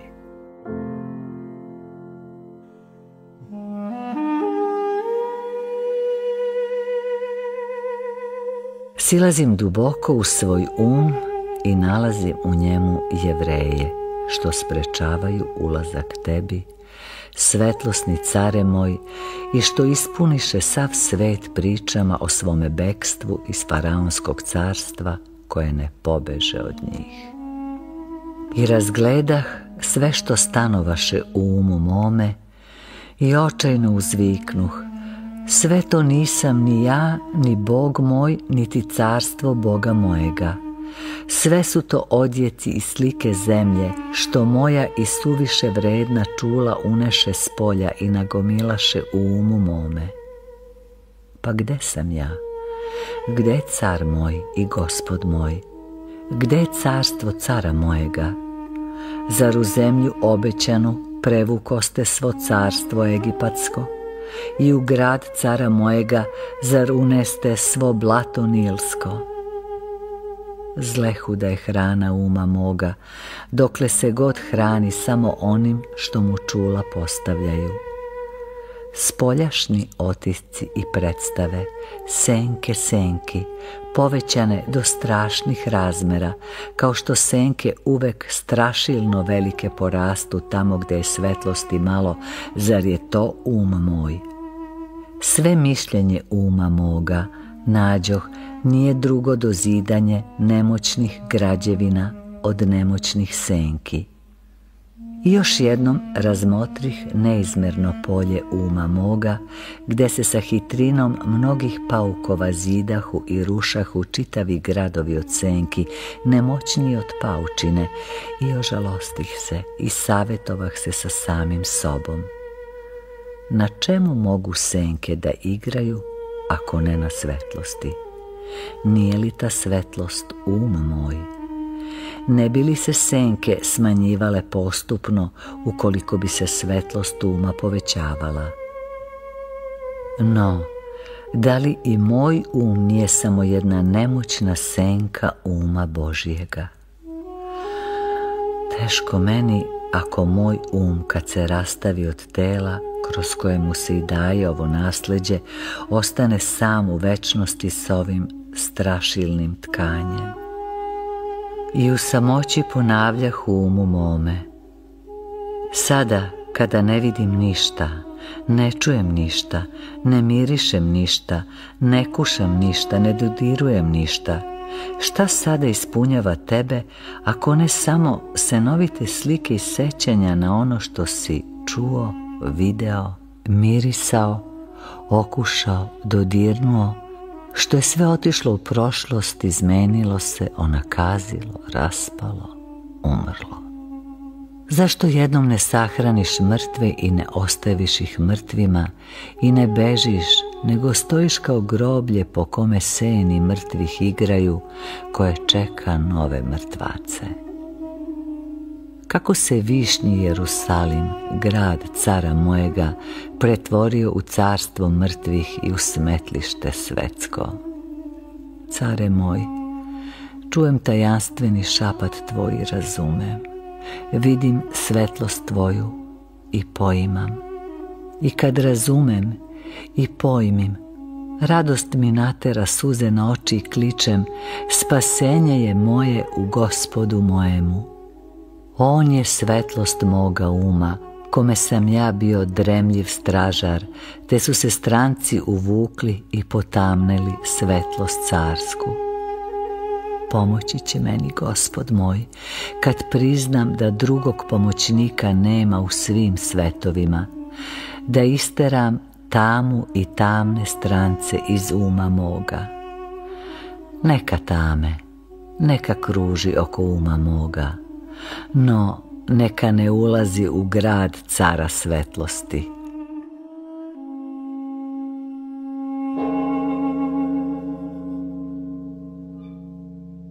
Slazim duboko u dušu svoju da vidim ko se u njoj rađa i ko iz nje ishodi. Kako je strahovita dubina duše čovekove nevesto nebesna, kad se čovek osmeli da ponire u nju. Kroz svet i kroz ad ponire smeo čovek tja, do beli kao mleko angelskih horova što stoje oko tebe kao spoljašnja odežda tvoja. Zaprepastih se kad pregledah sav mnogočisleni porod duše moje, koja se uplaši od mene i prnu u stranu kao preplašeni gavrani sa strvine. A duša moja ležeše razvraćena kao devojčura sa pijaca vavilonskih koja zaboravi svoga verenika. I u gnevu nemoćnoga i po običaju krivoga poče se pravdati duša moja i pre optužbe poče se pravdati govoreći Ne rađam li ti sinove, ne šaljem ti duhove? A ja se pokrih stidom i rekoh Zaista u tome jeste i moja i tvoja propast, što mi rađaš sinove kad ja trebam sina i što mi šalješ duhove kad ja trebam duha. Rodila si mi ne sinove, no sluge i razbojnike, Poslala si mi ne duhove, no prljeve stanovnike ada. Kao devojka data si mi na čuvanje srodniku tvome, da od svetoga duha začinješ i sina mi rađaš. A ti, nesrećnice, zače ne od Boga, no od sveta, i rodi mi ne Boga, no svet. Zašto ne sačeka duha Božijega u devičanstvu, nego primi duhove tame koji se namnožiše u tebi i zarobiše srce moje. Podignuta si da budeš hram Bogu, a ti se prevrati u putnu krčmu gde razbojnici se vraćaju i leže. Zašto ne rodi sina mudrosti koji bi i tebi davao svetlost i glas, nego mi rodi sinove zla koji se dočepaše uma moga, i platiše i tebi tamom i beslovešnošću. Gle, kakav plod rađaš, onakvim se plodom i hraniš i sve što iz tebe izlazi, k tebi se vraća umnoženo.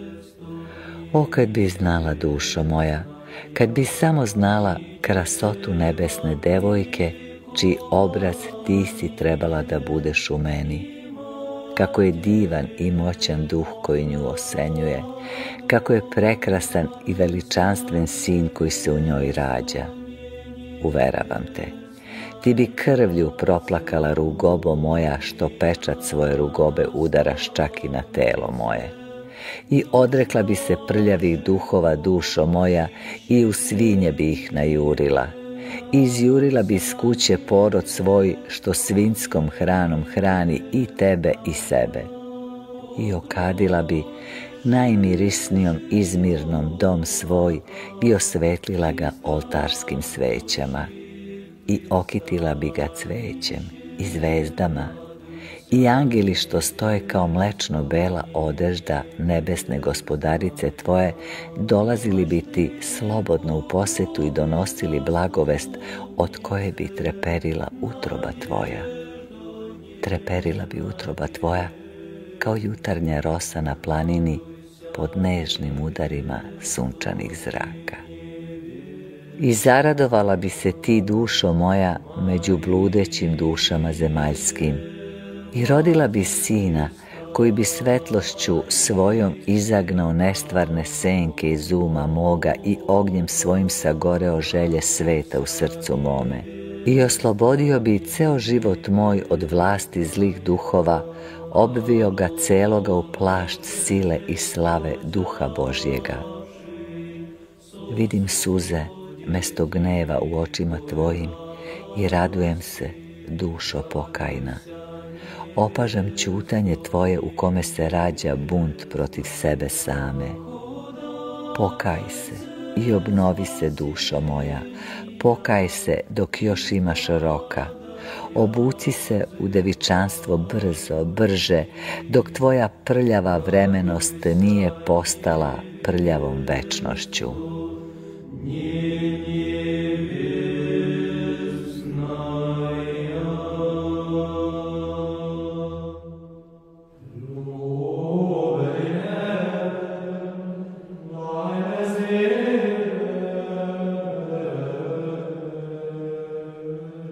Priđi mi bliže i još bliže veličanstveni duše istine.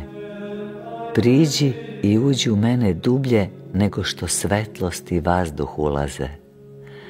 Gle, bez svetlosti mogu celu noć provesti, a bez tebe ne mogu ni u postelju leći. I bez vazduha mogu deset koraka koračati, a bez tebe ne mogu ni. Useli se u dušu moju dublje nego što te misao moja može slediti. Sva vasiona ne može dušu moju ohrabriti da istraje u devičanstvu ako je ti ne ohrabriš.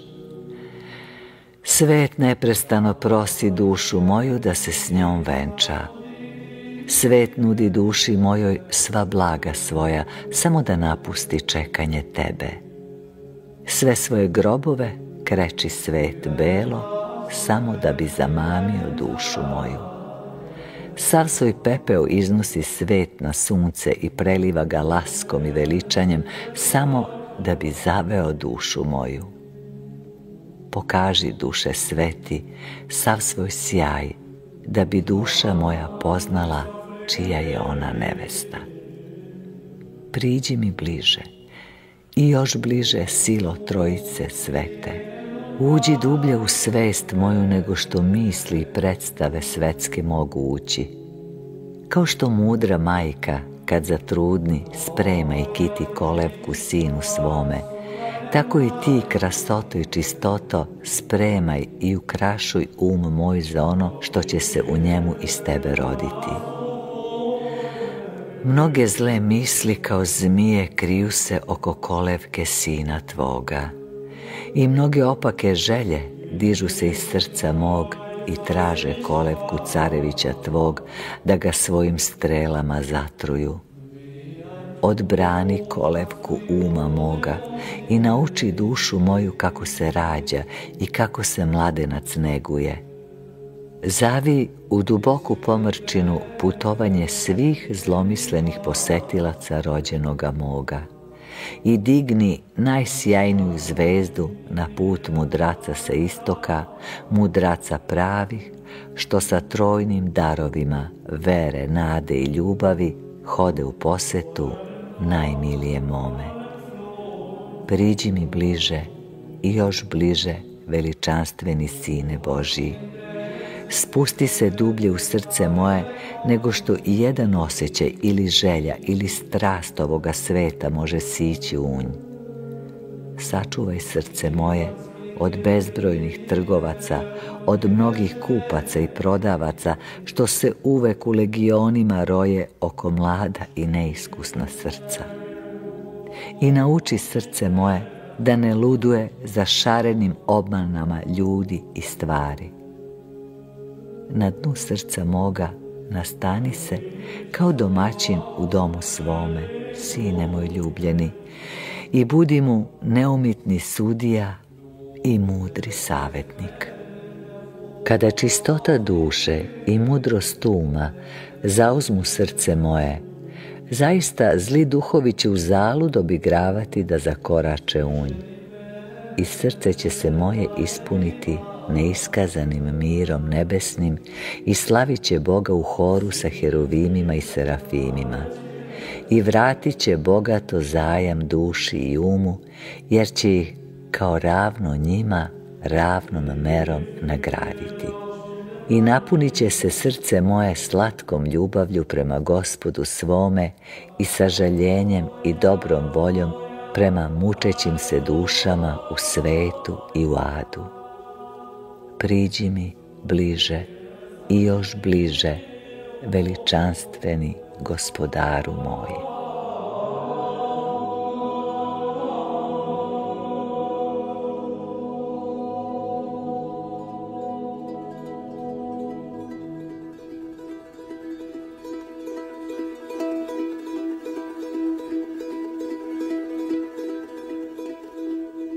Svi proroci od postanka vapiju duši mojoj da se stvori devojkom i spremi za prijem Sina Božanskog u prečistu utrobu svoju, da postane lestvica niz koju će Bog sići u svet i čovek uzići k Bogu.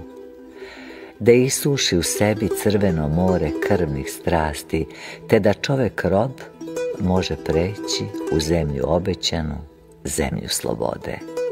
Kitajski mudrac opominje dušu moju da bude mirna i nepokretna i da čeka da Tao dejstvuje u njoj.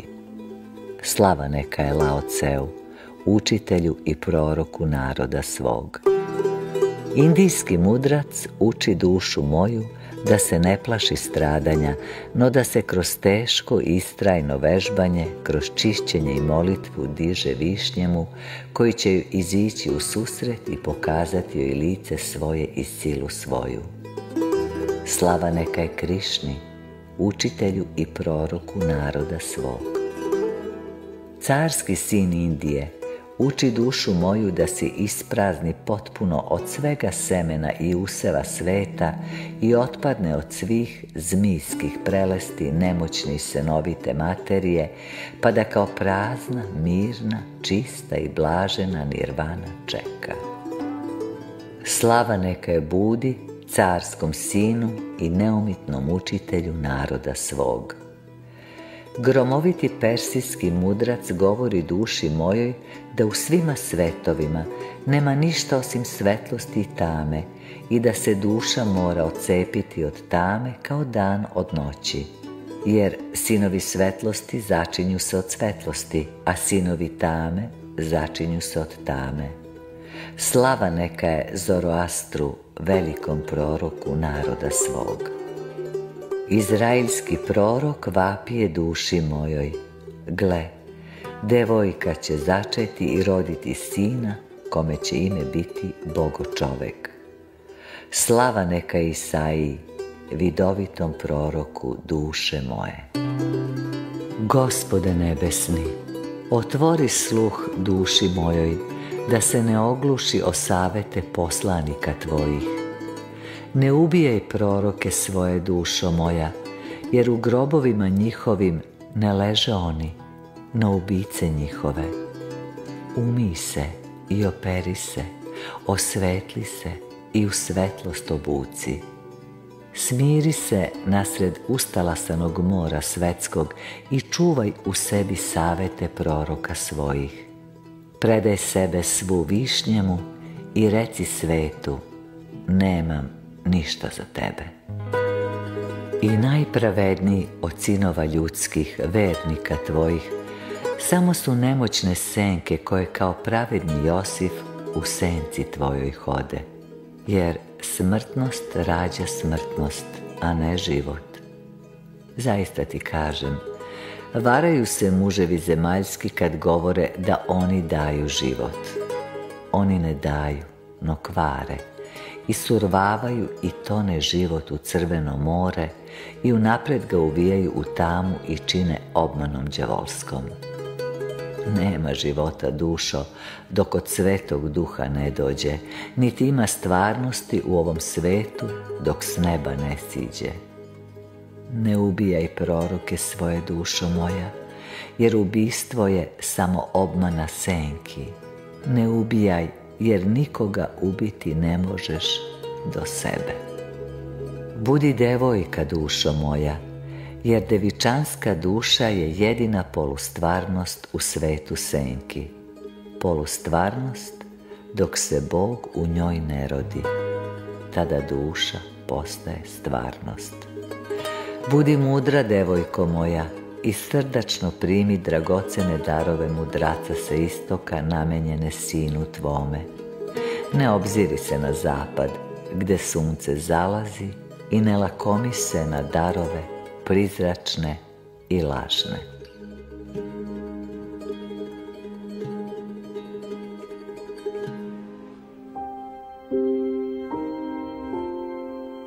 Skloni Bože od zlih očiju dušu moju kada rađa mudrost Tvoju. Osami je između ljudi u pećinu čobansku. Neka je niko od smrtnih ne prati osim senka jednog pravednika.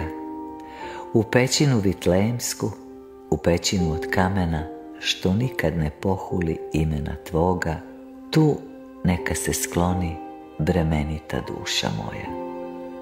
Neka joj društvo prave nevina jagnjadi telad, što su od rođenja namenjeni za jelo, nečistijim od sebe. Neka nad pećinom tiho gore ognjevi nebesni i sa strahom neka gledaju na skromni ugao vasione, na crnu zemlju i na najskupoceniji deo toga ugla, u pećinu bogorodnu. Neka se odmaknu carevi zemaljski i mudrujući prepirači varoški neka se ne približuju. Skromni pastiri jagnjadi i teladi stajaće oko pećine moje i gledat će nebo kako se otvara i pevaće s angelima nebesnim kada duša moja rodi spasitelja moga. Neka se udalje svi ostali koji žive od trenutnih spasioca i spasenja.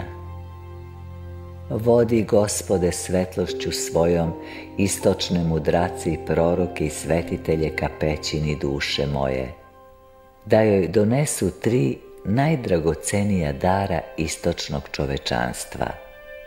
Prvi dar je vidovito znanje o tebi, što prevazilazi sva ostala znanja – neka nosilac toga dara kadi dragoceni tovar svojim molitvama svih proroka istoka i svih oltara istočnih proroka. Drugi dar je vidovito iščekivanje rođenja Tvoga u čistoti devičanskoj. Neka nosilac toga dara drži post celim putem, da mu se oko ne zamuti od zemljine masnoće, te ne izgubi iz vida zvezdu vodilju. Treći dar je vidovita ljubav prema tebi. Neka nosilac toga dara bdi nad svojim darom u putovanju svome, da se ne spotakne srce njegovo o neku zemaljsku prelest, te ne zadocni na poklonjenje novorođenome. Zaista, jednoga od njih pratit će sav um moj i sva svetlost uma moga. Drugoga od njih pratit će sve srce moje i sve želje srca moga. Trećega od njih iščekivaće duša moja, ispunjena blagodaću i ljubavlju. No svešteni putnici će oprezno putovati i zastajkivaće na putovanju svome i pitaće za put i dovešće u opasnost dušu moju i prvenca duše moje.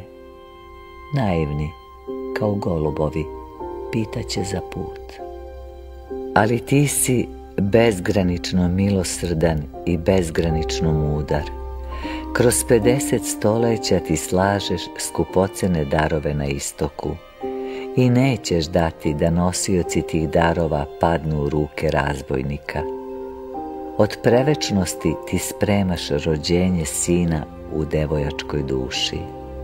Ti nećeš dopustiti da ga ubije Irod, neko koga je zemlja rodila i zemlja krunisala u poegipćenom gradu Jerusalimu. Skloni Bože dušu moju od mnogih zlih očiju.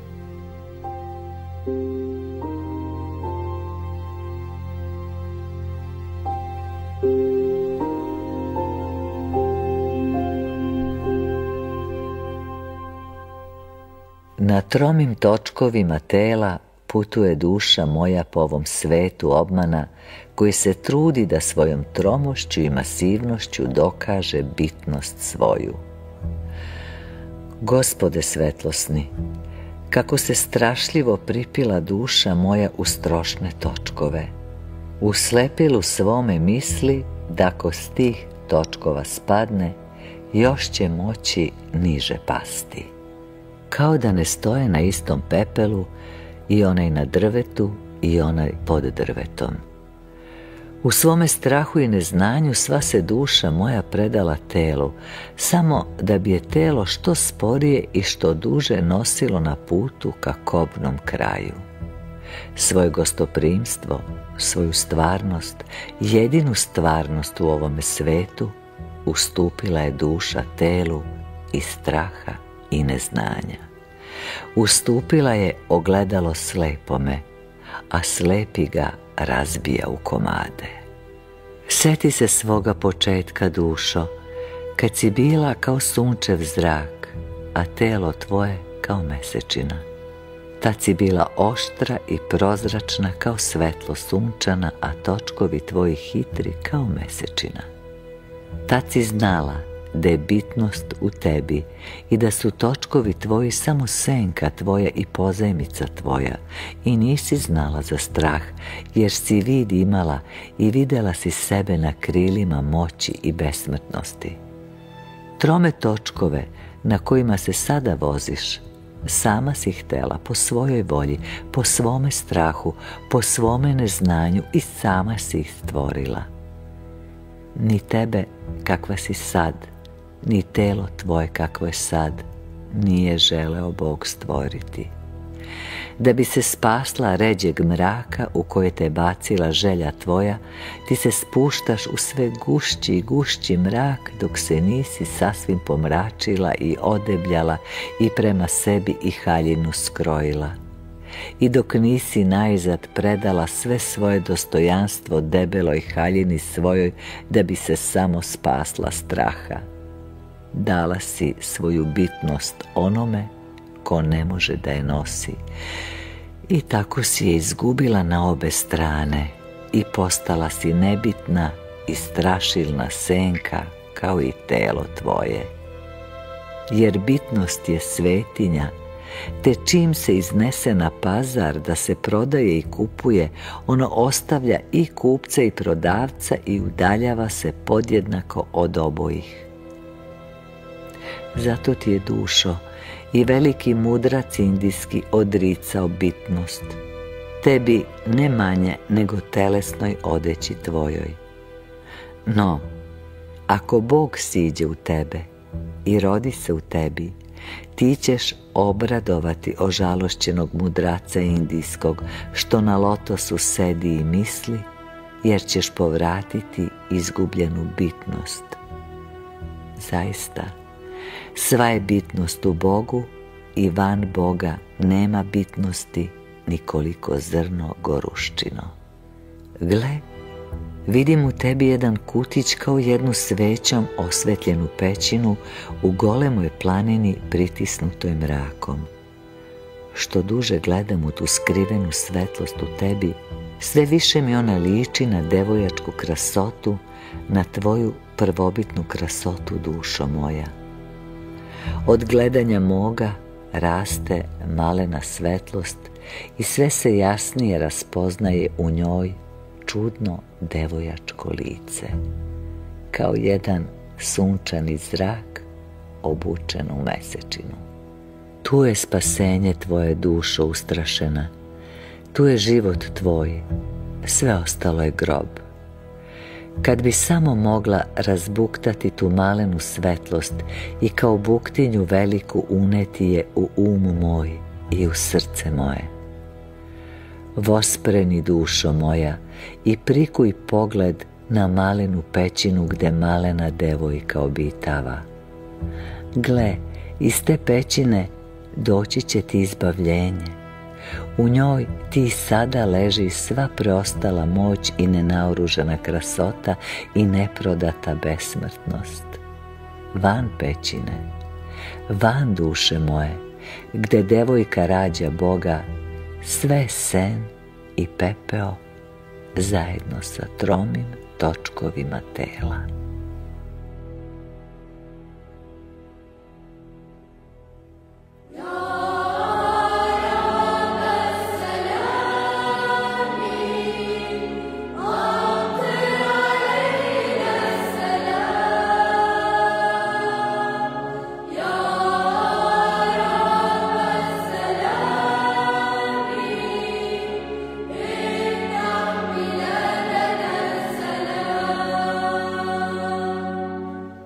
Duše sveti, gle kako je podla duša moja.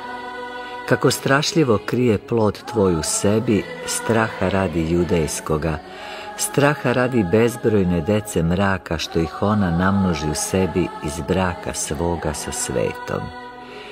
Narodila je bezbrojne vukove i lisice i stavila ih u carske ode svoje, dok sin tvoj nema gde glavu da prikloni.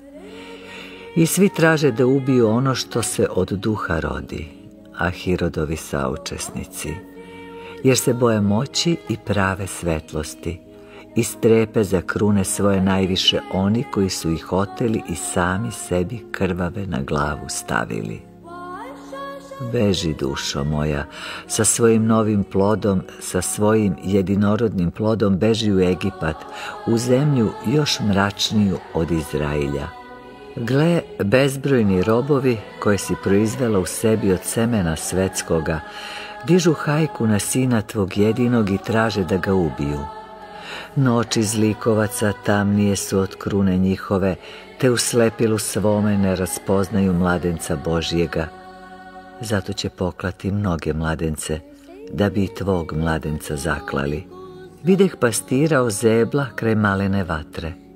Oči svoje ne skidaše on sa vatre, kao da hoćeše pomoći joj ognjem očiju svojih da gori. I zaklanjaše vatru rukama od studenih vetrova i duvaše je dahom svojim da se jače razgori, da poraste i odoli vetrovima i njega da zagreje.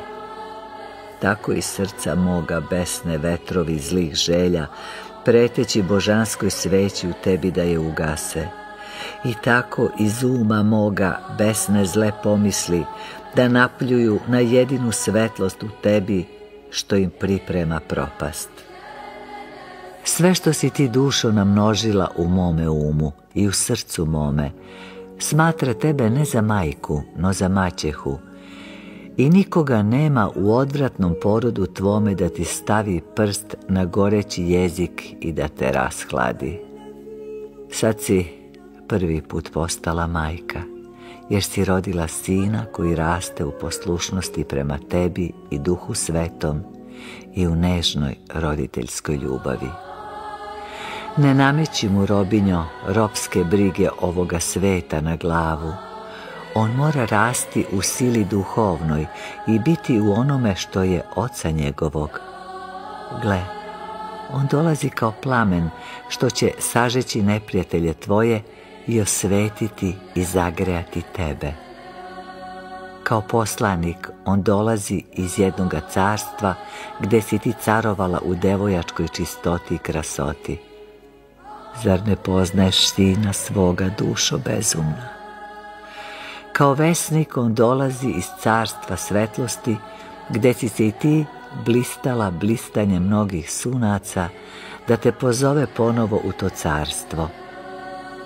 Zar ne raspoznaješ glasa sina svojega, ogluvela dušo?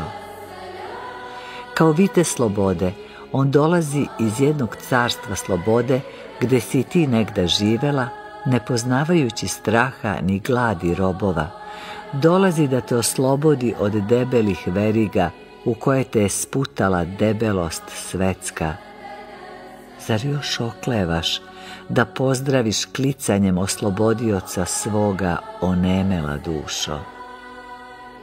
Duše svemogući, ojačaj spasonosnog mladenca u kolevci duše moje i sačuvaj ga od svih otrovnih strela koje lete nanj od ozgo iz Izrailja i od ozdo iz Egipta.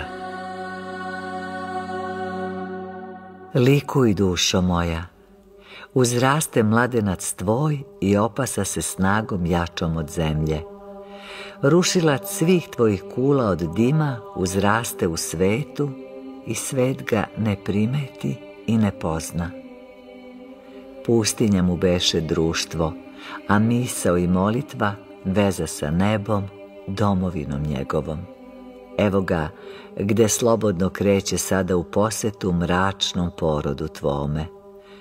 U očima mu sija večnost i na licu mu se čita večnost i u rukama mu boravi večnost.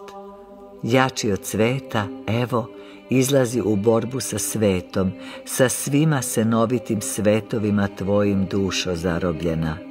Likuj dušo moja, gle mladenca tvoga gde uzraste nečujno od sveta i opasa se snagom jačom od sveta.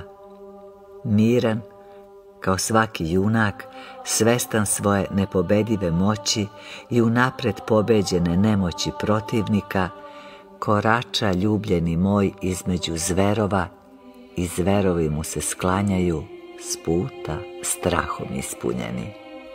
Vaistinu, priroda ga upozna pre ljudi i predade mu se kao pravi sluga pravom gospodaru svome.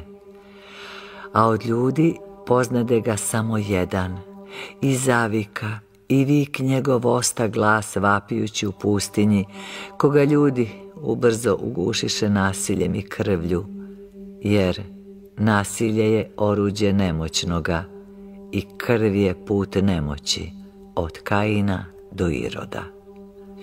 Otac svih nasilnika od početka sveta srete ga i ponudi mu sva blaga ovoga sveta samo da poštedi i ne zgazi njegov usev u svetu.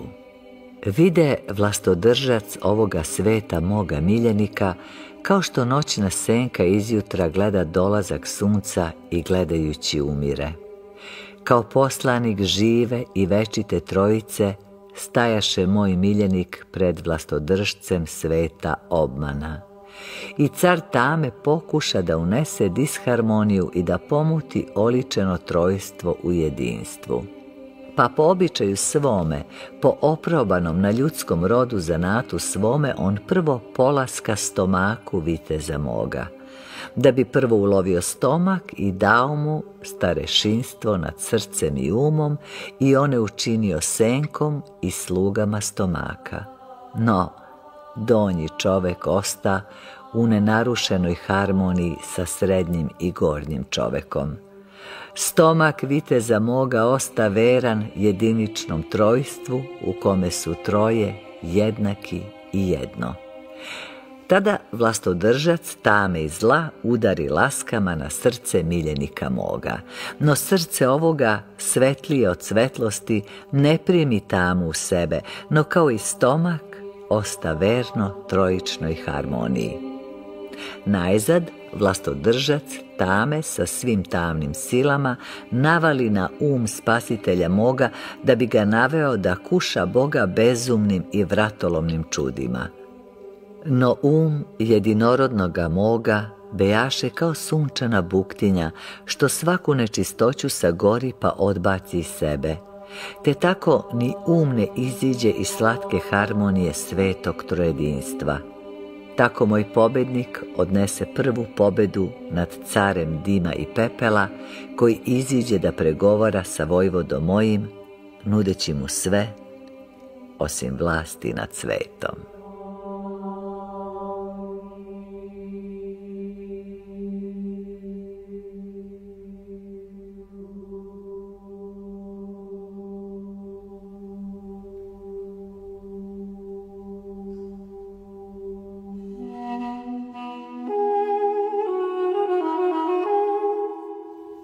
Neka se spusti nebo i pridigne zemlja, kad otvara usta svoja um prevečni, rođen u pećini duše moje od duha svetoga i prečiste devojke. Reči njegove kaplju na groblja i pepeo se počinje zeleniti i cvetati. Odbačeni od sveta i koji odbaciše svet, trče mu u susret, a miljenici sveta sa užasom beže od njega. Ja i otac jedno smo, pre čoveka ja jesam. Tako govori mudrost, rođena u devojaštu tvome dušo moja. Slušaj i razumi večnost svoju izgubljenu u pepelu vremena. Svaka duša koja tvori volju Oca Nebesnoga može se nazvati majkom mudrosti Božje – Ovako govori mudrost Božja, rođena od duha svetog u tebi, dušo moja. Ja sam život i vaskrsenje mrtvih. Ko prekine vezu sa mnom, prekida vezu sa životom i postaje kao oblak dima u kome nema ni svetlosti ni vlage. Vi što mislite da ste živi, a u stvari ste mrtav oblak dima što se kreće slučajnim vetrom, priđite k meni i ja ću vas napuniti svetlošću i vodom, svetlošću istinitom i vodom živom i bit ćete živi u istini. Vi što dragovoljno prilazite k meni i punite se mojim životom, gubite sebe kakve vas svet sazda i postajete jedno sa mnom kao što sam ja jedno s Ocem Nebesnim. Zaista, nećete se plašiti vremena, jer vreme je bić sveta i pripada svetu, a ne meni. Niti će vas zbuniti kolebanja u vremenu i prostoru, jer sva kolebanja su uobraženo zviždanje bića po igralištu i pripadaju svetu, a ne meni. Dajem vam moj mir, koga vreme ne može nagristi, ni prostor stesniti, niti sva kolebanja sveta pokolebati. Ispunjeni svetom, ispražnjeni su od života i robovi su sveta. Ispunjeni životom, ispražnjeni su od sveta i sinovi su života. Ja sam pun života i smrti nema dela u meni nikoliko vrh od igle. Zato mene svet ne poznaje, jer sveta nema u meni. Svet poznaje samo svoje kao što život poznaje svoje. I zaista ja sam najnepoznatiji gost u svetu. Došao sam da ponudim, a ne da uzmem. Od svoje punoće nudim, od ništa se nema šta uzeti. Moja punoća, punoća je Boga koji me posla u svet, da dam sebe svetu i oživim groblja pa da se opet vratim u carstvo života. Ja i život jedno smo, i pre Adama ja jesam, i posle Adama ja jesam. Dušo moja vaskrsavaj, dok je vaskrsitelj tvoj u tebi vaskrsavaj, kad on ode iz tebe, ti nećeš moći ništa činiti, dorađati mrtve i sahranjivati mrtve. Pretvori se u sluh i u poslušnost, neživotni porode duše moje i vas krsava iz groba.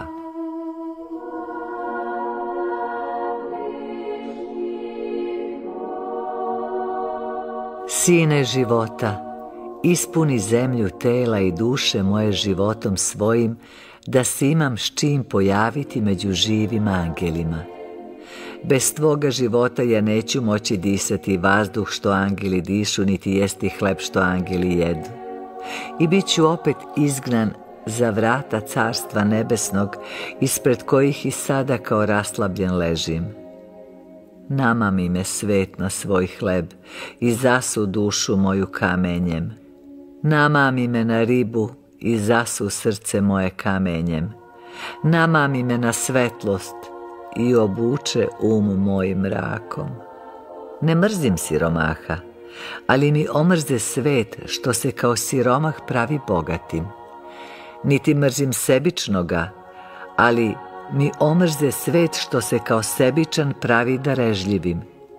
Niti mrzim bezumnoga, ali mi omrze svet što se kao bezuman pravi umnikom niti mrzim bolesnoga, ali mi omrze svet što kao jehtičav namerno truje vodu zdravima.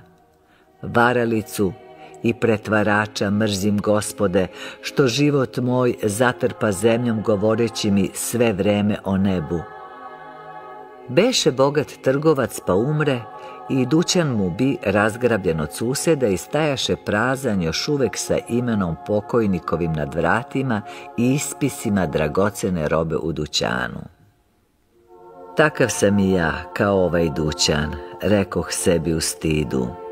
Još nosim ime života, a život je moj sav razgrabljen od suseda mojih. Sine Boži, sine života, ispuni zemlju moju životom. Prvo izbaci kamenje iz duše moje i nahrani je pravim hlebom. i očisti srce moje od zmija i ispuni ga sobom i razagnaj tamu iz uma moga i napuni ga svetlošću neba. Jer zaista neću oživeti ako samo duša moja oživi, a srce moje ostane ispunjeno smrtnim željama. Niti ću vaskrsnuti, gospode, u carstvu tvome, ako se samo srce moje očisti, a um moj ostane i dalje ispunjen mrakom.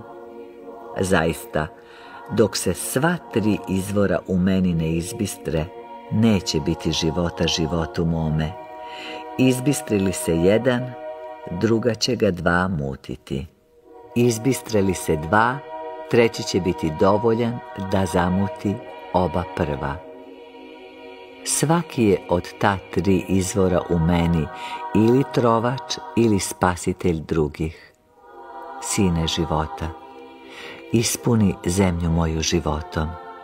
Ti si mudrost moja, jer je u tebi ne samo um božanski, no i devičanstvo božansko i svetost božanska, jer da nisi rođen iz božanskog devičanstva i božanske svetosti, ne bi bio mudrost, no ograničeno svetsko znanje i veština. Sine Boži, ti si jedini hranljivi hleb života moga.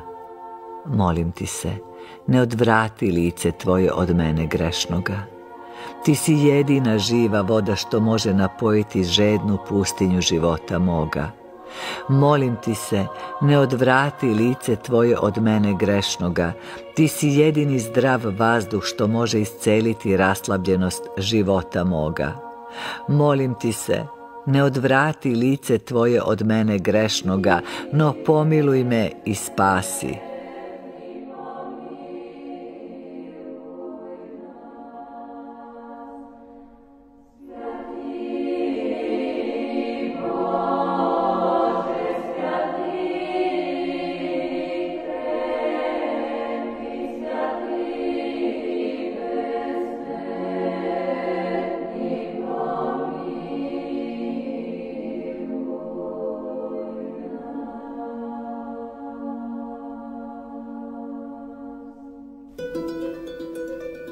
Ko si ti? Pitaju deca, sveta sina, devičanska dušo moja. Jer ga vide gde hodi među njima kao car među robovima i slušaju njegove moćne reči i ne razumeju. I gledaju njegova moćna dela i pune se strahom i osjećaju silu gde izlazi iz njega i zbunjuju se. A sin tvoj najlepši među sinovima ljudskim, sa čistim očima voda i mirnoćom jagnjeta i snagom lava i zamahom orla i licem angela odgovara. Ja sam istina, došao sam od istine, donosim vam dar od istine i vraćam se istini. Kad bi u vama bilo istine, vi bi me poznali i ne bi pitali ko si ti? Zaista, vi ne umete reći ni ko ste vi, kako ćete onda razumeti kad vam kažem ko sam ja? Gle, vi ste sami po sebi ništa, kao san odvojen od sanjača. I niste ni u dva sekunda u vremenu, niti na dva koraka u prostranstvu. Kao kad se dim nosi nad jezerom, pa mu senka igra po vodi, tako je i život vaš prazno i nebitno igranje senki. Još samo niste zaboravili da izgovorite reč istina i to je sve što vam preosta od istine. Svetlucanje stvari nazivate istinom, kao kad bi večiti tamničar koji je samo čuo za sunce nazvao bubu svetlića suncem. Ko poznaje istinu, istina se useljava u njega i on postaje jedno sa istinom i nije polovan, no ceo čovek. Istina uceljuje i čini celim, dok obmana sitni u komade i melje čoveka u pepeo. Kao što je razvejanom pepelu od drveta nemoguće više znati zeleno drvo, tako je vama nemoguće poznati mene. Zaista, ja sam istina, ista juče, danas i sutra. Duh istine koji je sa mnom, on govori kroz me, on živi u meni, bez njega ja bih bio ništa kao i vi, no zbog njega u meni ja sam onaj koji jeste. Sa visine sam sišao kao plaha kiša da napunim isušeno rečno korito koje vi još uvek nazivate rekom.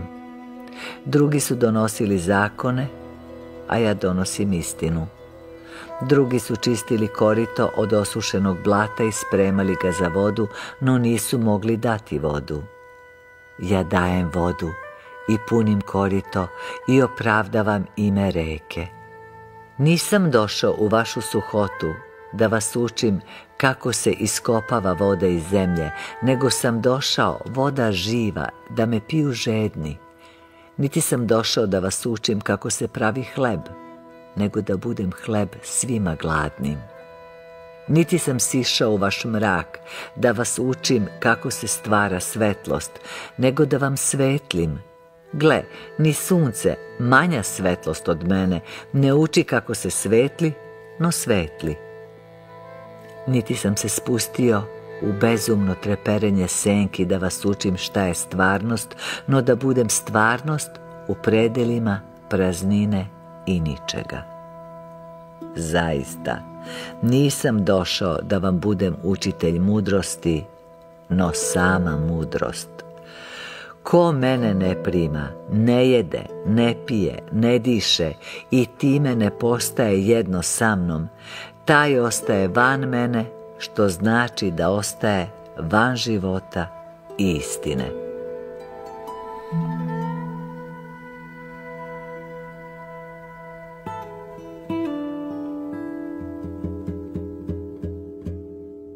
Za istinom trči duša moja sine istine i trčanju njenom nema kraja niti imena njenom umoru. Bolje umiri se dušo moja i mirom svojim privuci istinu. Kako bi ti nazvala onoga ko bi u ponoći rekao ne mogu bez svetlosti moram trčati na sunce da donesem nekoliko zrakova? Našto počinjati trk od hiljade godina kad je svetlost brža od tebe i može ti pasti u krilo za nekoliko trenutaka.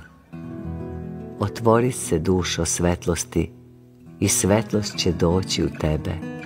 Zidovi što stoje između tebe i istine izgledaju ti kao čudovišne planine koje pokušavaš zamornim trčanjem da pređeš, jesu tvoja tvorevina i slabiji su od bele pene na jezeru. Samo kad bi ti mogla otvoriti oči dovoljno da ih ne vidiš. Zaista, biće tih zidova zavisi od tvoga viđenja. Ako ih ti ne bi htela vidjeti, oni ne bi postojali. Gledah pile na crnoj tabli gdje trči u krugu obeleženom belom kredom. Gleda ga dugo kako trči i ne usuđuje se preskočiti belu liniju koja mu valjda izgleda ili kao živa stvar ili kao visok zid. Takva je rekoh u žalosti i duša moja, kad misli da je od njene slobode deli ili neki moćni divovi ili strašno visoki zidovi. U stvari, između njene tamnice i slobode postoji samo jedna uobražena linija tanja od dlake. Svi zidovi tvoje tamnice, dušo moja, sastoje se iz tvoga straha od sveta, iz tvoje želje za svetom, iz tvojih misli o svetu.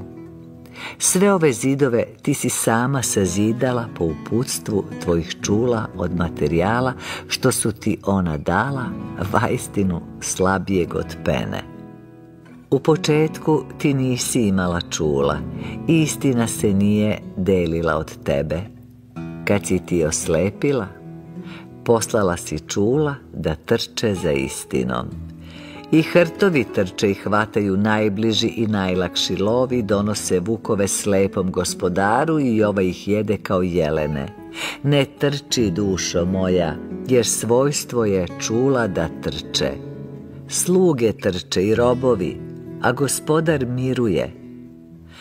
Gle, u jednom uglu dubokog mira i devičanske čistote u tebi otvorilo se predvečno oko tvoje. To oko ne vidi zidove tvoje tamnice, zato i ne trči uz planine koje ne postoje.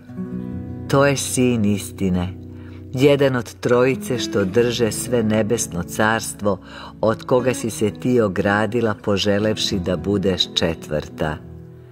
Zaista ti kažem, četvrti ne postoji nigde u nakrst postojećeg. Njegovo je ime nepostojeći. Tvojim igranjem i zaigravanjem po tami ti si me dušo učinila četvrtim. Sav tvoj narod i sveta četvrtih bacit će se kamenom na sina istine. Beži dušo bedna od sveta četvrtih, odreši se od sveta, baci sve, omrzni sve i pokloni se istini trojičnoj koja ti se kroz sina istine daje. Gospode istine i života, pomozi duši mojoj da se baci predati zajeca. Ti si moje biće, moj život i moja istina, premili sine svete trojice. Ti si moje sve i ja ti sebe predajem naga i siromašna. Nemam šta da odbacim, niti da prezrem, niti da omrznem, jer sem tebe ništa i ne postoji. Smiluj se i primi me u svoje naručje.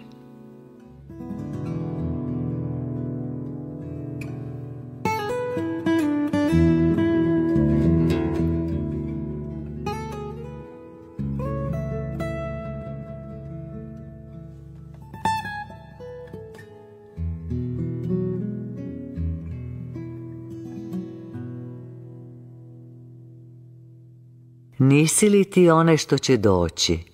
Pitaju sinovi zemlje rođenoga od devojke tvoje, dušo moja. A rođeni od devojke blista jutarnjom svetlošću među sinovima zemlje koji su mračni kao ugašeni dani. Plameni serafimi sijaju u njegovim očima, premudri heruvimi sede na njegovim usnama, gospodstveni prestoli drže stav njegov. Videći ga sama, vođa bezemaljske vojske, svaki umni čovek poveruje da to može biti vođa strašne i bezbrojne vojske nevidljivih sila. I evo, okružen angelskim vojskama, tvoj vođ dušo otvara usta i odgovara. Zaista, ja sam onaj koga očekujete i drugome se ne nadajte. Ako tražite put, ja sam put. Ja sam vaše sutra od danas do kraja vremena. Svako dobro što vi očekujete od svih sutrašnjih dana u meni je. Danas je vaše sutra u meni ispunjeno i ni jedan dan do posljednjeg dana neće vam doneti ono što vam ja donosim. Gle, ja sam dan bez početka i bez kraja. Ja sam riznica svekolike budućnosti i put ka toj riznici. Sva budućnost ne može vam dati ni jedno zrno dobra dok od mene ne pozajmi. Svi proroci pokazivali su put k meni. U meni se završuju i gube svi proročki putevi. Od sada sam samo ja put i van mene su besputnice. Kao mnogi potoci što se ulivaju u jednu reku i pritom gube svoj put. Tako su se svi proroci ulili u mene i od sad ja određujem tok života, koji nadalje produžuje da ide putevima proroka, taj će ići putevima nepostojećim i ugruvaće se. Proroci su dolazili da pokažu put. Ja sam došao da budem put. Ko hoće za mnom da ide, taj ne može ići za mnom samo nogama, no i svom dušom i svim srcem i svim umom svojim. Dug je moj put i pašće od umora ko se samo u svoje noge uzda. Kada deca žele da idu uporedo sa divovima, moraju se otkazati hoda svojim nogama i sesti na leđa divovima. Ko hoće da ide uporedo sa mnom, mora se otkazati svojih nogu i svoje duše i svoga srca i svoga uma. Onoga ko se otkaže svega toga, ja ću uzeti na svoje noge, u svoju dušu, u svoje srce, u svoj um. I neće mi on biti težak, niti ja njemu zamoran. Onaj pak ko se ne otkaže svega, niti može mene na putu stizati, niti zadržavati. Ja sam put. I onaj ko ide mojim putem ne ide sam, no sa mnom. Proroci su pokazivali put ovuda ili tuda ili onuda, jer sami nisu bili put. Ja ne mogu pokazivati put ovuda, tuda ili onuda, niti pustiti ikoga od mojih da ide bez mene. Ko hoće da ide mojim putem, toga ću ja nositi na sebi. Još vam jedno kažem, ja sam željeno sutra i put ka sutra. Bez mene niti možete naći put ka svome željenom sutra, niti ga dočekati. Bogonosni sine, pomiluj nas i povedi nas sobom.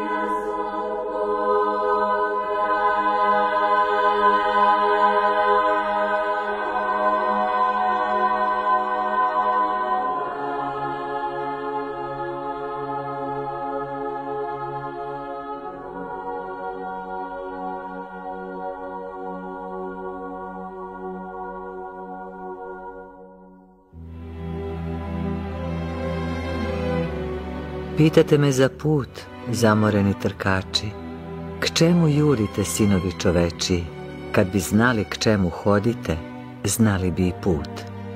Bezbrojne su mete vaše, zato su vam i putevi bezbrojni. Sudarite se i proklinjete jedan drugog zato što vam se putevi sudaraju. Neka vas je koliko trave na zemlji, nećete se sudarati ako imate jednu metu i jedan put. I usta vaša osušit će se od proklinjanja. Oni što traže život i istinu imaju jednu metu i jedan put. Meta im pokazuje put kao što se sunce pokazuje svetlošću. Zaista, ko se skrije od sunca, izgubit će i metu i put i u zalu će se bacati po mraku tamo i ovamo. Ne puštajte se na puteve svojih misli, jer one vas vode jedna drugoj i izvan sebe ne znaju ni mete ni puta. Ne puštajte se na puteve svojih uobraženja, jer oni vas zamamljuju uravnanim koritima dok iznenadno ne ponore pod zemlju. Ne verujte svojoj duši, dok god vam ona ukazuje na meso u koje se obukla kao na metu i put. Da li je ikoga do sad odeća vodila putem? Put carstvo blaženstva ne nalazi se i ne pokazuje se i ne preseca se. On se rađa u duši onda kad se u njoj rađaju život i istina. Rode li se život i istina u duši vašoj? Radujte se i veselite se jer je i put rođen. Kao što se život ne može odvojiti od istine, tako se ni put ne može odvojiti od života i istine. Dok se sve troje ne objavi, nijedno nije objavljeno. Ne polažite nadu svoju na sutrašnji dan, da vam jaču svetlost baci na vaš krivi put. Jer sutrašnji dan je samo jedna nova krivina vašeg puta i nova zagonetka. Ne polažite nadu u dane, jer dani su rukosad mašte vaše, nego položite svu svoju nadu u dan koji kad osvane ne smrkava. Gospode, gospode moj, trosunčano božanstvo moje, ko će dospeti do tebe? Putevi su ljudski kao mreža po kojoj trkači ceo dan trče i uveče se nađu na istom mestu. Zbunjuju me izmrežani putevi ljudski i pitam se ko će dospeti do odmorišta gospoda mojega. Ko pozna mene kao metu svoga idenja, tome ću ja biti put ka dvorovima mojim. Gospode, gospode moj trosunčano božanstvo moje, ko će smeti ući u svetlost tvoju? Ko je privikao gledati svetlost moju u sebi, taj će smeti ući u svetlost moju i neće biti spržen. Dušo, dušo moja, tronoćna tamo moja, kad ćeš skinuti obrazinu svoju i obratiti se u trosunčani dan? Spasavaj se, dok božanska luča gori nad tobom, jer kad ode od tebe, nestaćete kao što nesta gle igrajućeg meseca na dnu jezera.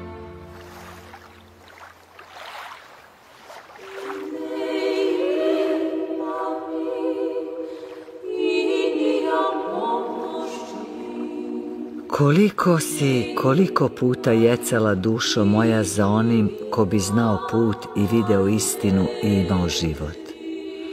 Davala si se žedno mnogim trčiznalcima koji su te povodili na svaki put donekle, a povraćali te nazad. Slušala si mnoga pričala o istini dušo moja, no kad si im ti stavljala važna pitanja, od koje ti utroba tvoja gori, njima se reč zagrcavala u grlu, a ti si ožalošćena išla drugim pričalima i slušala iznova istu priču, koja kao i sve ostale idu samo donekle, kao zategnuta guma. A oni koji su se starali da ti pokažu život, otvorili su ti samo oči za smrt. No evo, Vaskrsitelj dolazi i sve strašeća smrt izmiče u strahu ispred njega. Evo ti dušo priča o životu koji smrt ne skraćuje, no čini dužim. Evo ti žive priče o istini što daje odgovora na sva tvoja pitanja pre nego što ih i postaviš. Evo ti putovođe čijem putu kraja nema i koji kad te povede ne vraća se. Evo pastira dobrog koji više ceni život jedne ovce nego sve subote jevrejske. I lekara evo, kome je dragoceni život pokajanog grešnika nego hram Solomonov. Ne brini dušo moja, ni za jednu ovcu u svome toru, ni jedna poginuti neće. Niti žali za vukovima oko ovaca, ni jedan umaći neće. Jer pastir tvoj ima mač oštar s obe strane. Sve su ovce u tebi i svi su vukovi u tebi, porod iz tvoga braka sa nebom i zemljom i evo miljenik moj ulazi s mačem oštrim s obe strane. Ne kukaj, ako te zaboli od njegovog mača. On je lekar dobri i iseca iz tebe samo ono što nisi ti. Ne kukaj za tuđincima što ti doneše bolest i sram i rane teške. Ne plaši se ognja neugasivog što on unosi u tebe odavno je nagomila na starež, potrebovala požar u tebi. Dugo će trajati taj požar, jer je gnila starež u tebi. Ono što te bude volelo, to nisi ti, dušo moja, no tvoj drugi brak i nezakonita deca. Ne ropći. Ako te odvoji od oce i majke i braće i sestara, od svega što je nebesno, on te neće odvojiti i ni jednu tvoju nebesnu vezu on ne misli preseći. Gle, on te samo odvaja i čisti od zemlje i preseca veze tvoje sa zemljom. Kad bi ti bila devojkom čistom dušo moja i gledala nezamućenim okom nebesne nevinosti, ti bi se i sama lako odrešila od tih veza, jer bi vidjela da one u istini i ne postoje. Žuri dušo moja i ujedini se sa sinom Boga živoga, jer meni se ne čeka. Kad se ujediniš, gle, ni njegov mač, ni njegov oganj neće biti strašni, no slatki kao med.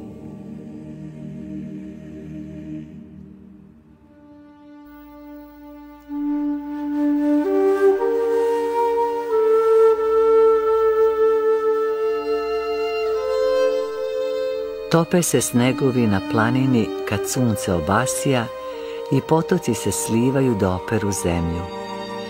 Koje će sunce otopiti sneg s vrhova vaše duše, sinovi ljudski, i oprati zemlju vašu? Kao ljuti mraz, tako je stegnuta duša vaša od greha. Kao lanjski sneg na koji pada novi sneg, tako nepomičan leži vaš lanjski preklenski greh postelja grehu današnjem i sutrašnjem. Ne bi imali greha da nemate grešnosti, grešne volje da nemate, ne bi greha imali. Ne bi se zadržavao sneg na planini kad bi zemlja bila topla, kad bi topla zemlja bila i kad bi se hladna magla što krije sunce uklonila, ne bi se zadržavao sneg ni na planini ni u dolini. Hladna počva i hladna magla između vas i sunca vašeg gomilaju sneg na sneg i led na led. Ko će otpustiti grehe vaše i zamrzlost vašu ko će otkraviti? Zaludu vi sami sebi opraštate grehe. Opraštanjem svojih grehova vi od snega pravite led, još glađu postelju za novi sneg. Svetlost trosunčanog božanstva jedina može otpustiti grehe vaše, kao što sunce jedino može otopiti sneg na planini, otopiti sneg i led i izmamiti cveće iz crne zemlje. Opraštaju ti se gresi, ustani, čoveče, poznaješ li onoga ko ima vlast da te pozdravi ovim slatkim rečima? Kunem ti se, nećeš ga naći ni sresti na zemlji, ma svu zemlju u nakrst razrio. Ma razrio i sve zemlje što kruže oko sunca nećeš ga naći, jer on od zemlje nije i zemlja ga ne hrani. To je nebesni čovek. spasitelj duše tvoje, daleko od onoga ko sam sebi grehe oprašta, a blizu, vrlo blizu onoga ko omrzne grehe svoje i zavapije nebu da ih istrebi. Njegov um je čistiji od sunca i reč je njegova vrelija od sunca. Te topi sneg sa duše čovekove i izmamljuje cveće da raste. Sve naslagane spratove snega i leda može on otopiti i svu zemlju oprati. Njega prizovi na duše svoje i doći će. Kad on vikne, opraštaju ti se gresi, duša tvoja, sada ukočena pod teretom greha, postaće laka i pokretna i nestaće raslabljenosti tela tvoga. Gresi duše, rane su duše kako će biti telo zdravo u ranjave duše. Bezumnik govori, gle moga suseda okorelo grešnika kako mu telo cveta zdravljem. Zaista, greh duše ne šteti telo, govori bezumnik. Očekaj, bezumniče, očekaj još malo, dok gnoj duše ne probije kroz telo tad ćeš zaključati usta svoja i bežati od greha kao što bežiš od smradne truleži. Očekaj dok crv ne razjede jabuku iznutra i ožalostit ćeš se od njene spoljašnje uvelosti i bledila. Tad ćeš i ti stati s gubavima u kraj druma i samrtnički vikati, Sine Boži, pomiluj me. I tad ćeš čuti i razumeti spasonosne reči opraštaju ti se gresi, idi s mirom.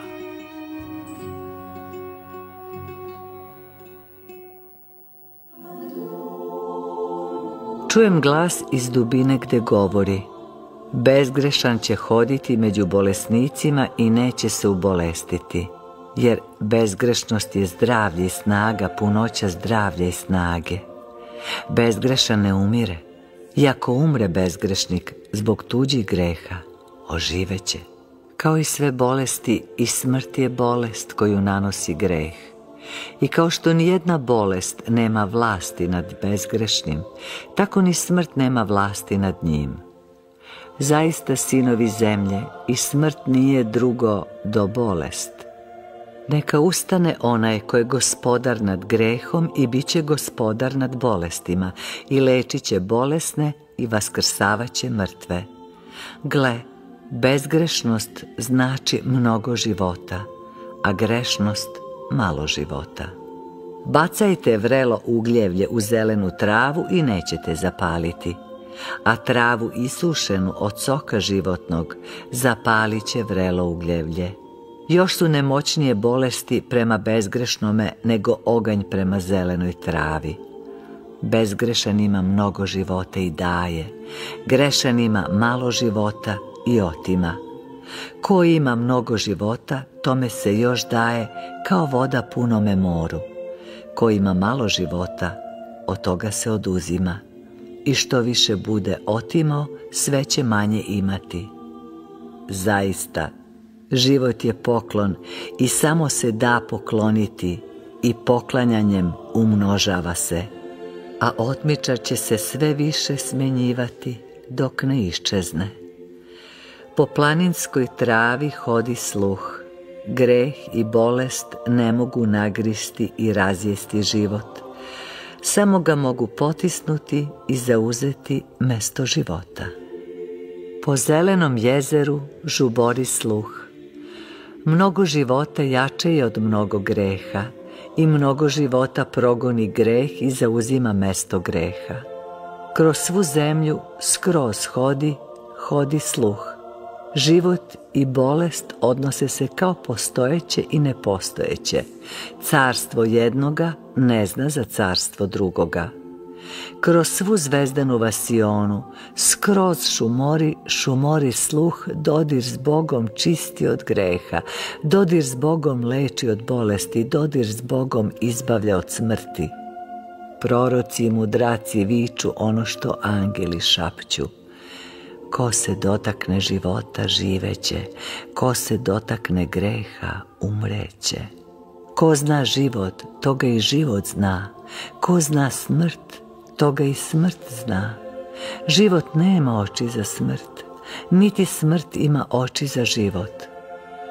Pogle kako prisustvo sišavšeg s neba leči one koji ispovediše život i umrtvuje one koji ispovediše smrt.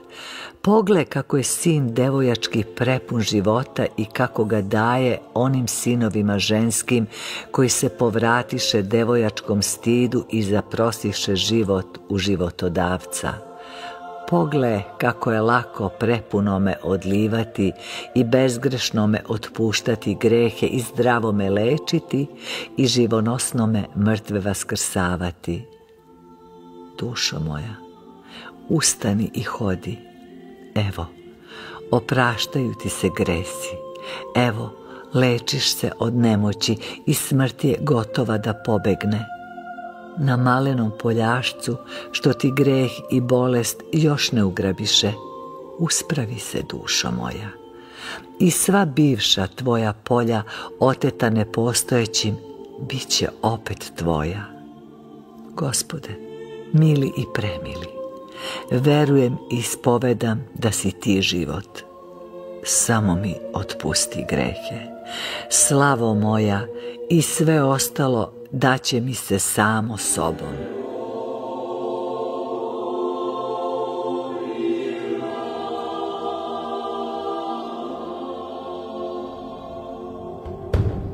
Vojnici života, vojujte krepko i ne sustanite verovati u pobedu, Pobjeda se daje onom čije oko neumorno gleda u nju.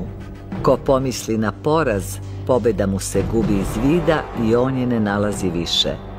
Malena zvezda u daljini što od istrajnog pogleda raste i približuje se. Život je pobjeda, deco moja. Vojnici života, vojnici su pobede. Stražarite budno, da ni jedan neprijatelj ne uskoči preko zida u vaš grad, uskočili jedan, grad je izgubljen. Samo jedna zmija uvukla se u raj i raj se pretvorio u pakao. Gle, jedna kap otrova u puno telo krvi i lekari proriču smrt. Nije važno ubiti neprijatelja van grada, koliko ne pustiti ga u grad. Vojnici života, vojujte krepko i ne sustanite verovati u pobedu. Šta vam vredi ako svet osvojite i svet vam zauzme mesto duše? Zaista, svet će ostati, ali duše vaše neće biti. Plašljiva je tica duša. I ako malo, malo pepela bacite na nju, ona prne i otima se da pobegne. Skuplja je duša od sveta. Bolje dakle osvojite dušu nego svet. Verni je saveznik duša nego svet. Bolje vežite savez dušom. Bogatija je duša od sveta. Bolje ostavljajte svoje blago u nju.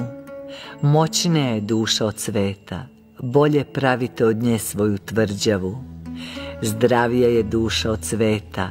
Bolje tražite zdravlje u njoj lepša je duša od cveta, bolje uzmite nju za nevestu.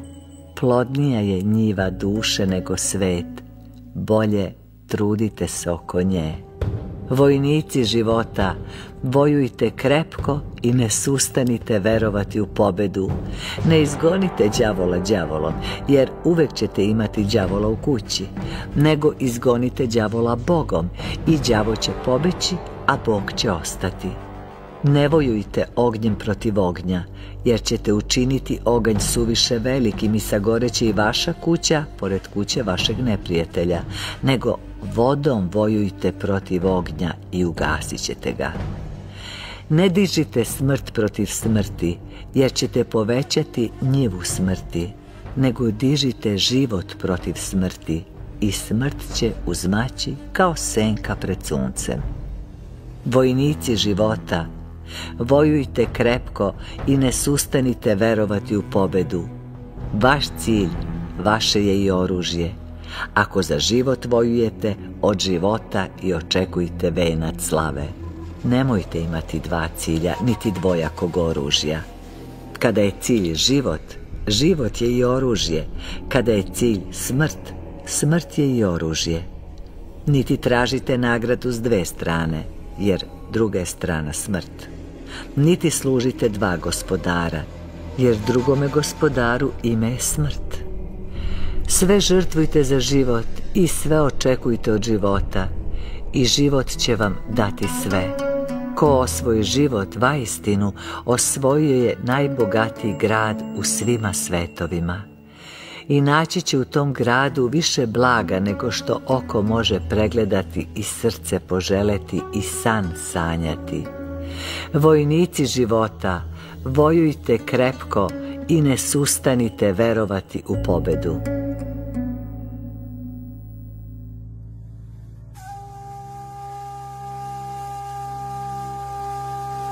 Ko unese greh u svet, gospode, te se sav svet u bolesti i postade hrana smrti. Um je kapija kroz koju greh uđe, kroz um kanu ka potrova u srce i u dušu. Odvojen od devičanstva i svetlosti, ne trojičan, nego jediničan um se odvaja od svete trijade i stoji kao četvrti, nepostojeći i misli ono što je zemaljsko, a ne ono što je božansko.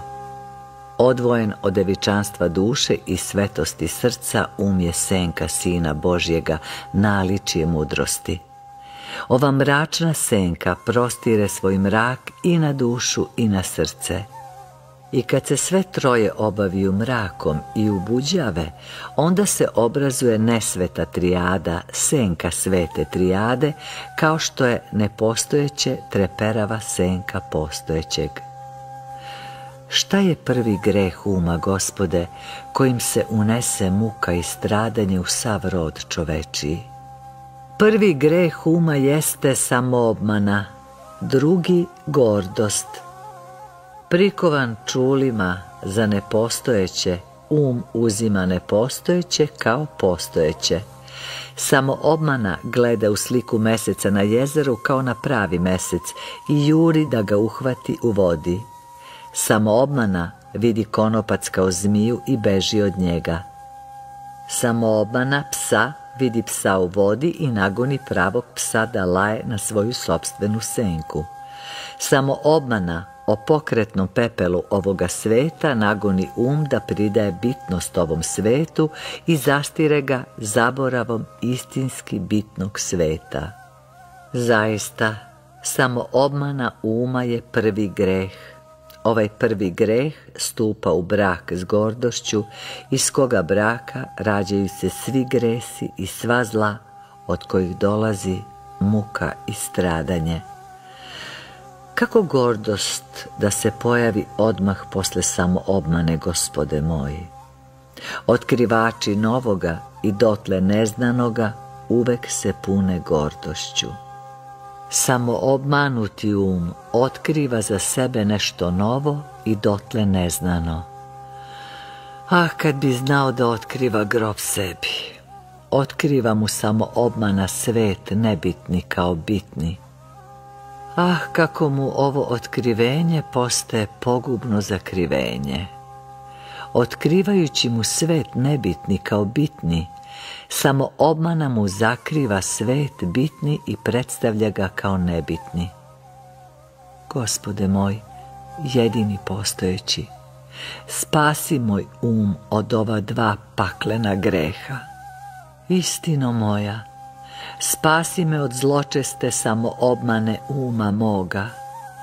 Gospodaru i darodavče svega što jesam i imam, izbavi me od gordosti pogibije bezumnih i glupih.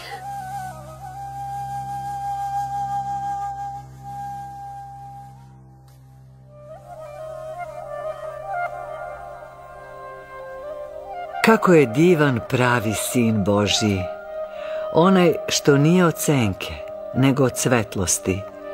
Onaj što predstavlja bitnu trijadu, a ne nebitnu. Kako je naslonio mudro svoju nablaženo devičanstvo i moćnu svetlost kao kube hrama na mermerne zidove. Gospodstva, sile i vlasti ne skidaju očiju s njega. načela, arhangeli i angeli sluge su njegove. I kao med i mleko što teku u zemlji obećanoj, tako mudrost teče sa usana njegovih. Gde je blago vaše, onda je i srce vaše. Ne pitam vas šta vi imate, nego šta vi jeste. Ako jeste deca svetlosti, tako da ni u jednom udu tela vašeg nema tame, onda je vaše imanje otac svetlosti. Blago vama ako je sve vaše imanje u ocu svetlosti. Kažem vam, i biće vaše, bit će u njemu.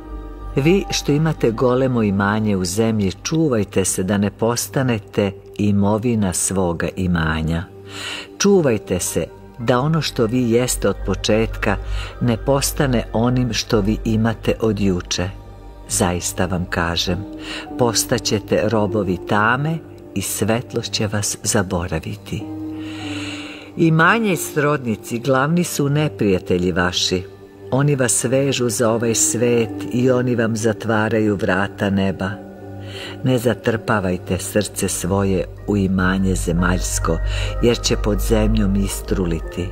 Poklonite srce svoje Bogu, dar darodavcu i vaše imanje bit će vam bezopasni rob umjesto opasnog gospodara. Ne dajte celo srce svoje srodnicima, jer ovi će ga pojesti i ostaće gladni. Nego podajte srce svoje duhu svetom i on će nahraniti srodnike vaše bogatijom hranom. Tako će srodnici vaši biti srodni vama, ne samo dokle vas krv i telo vežu, nego dokle vas duh sveti veže, a duh nema drugih veza do večnih.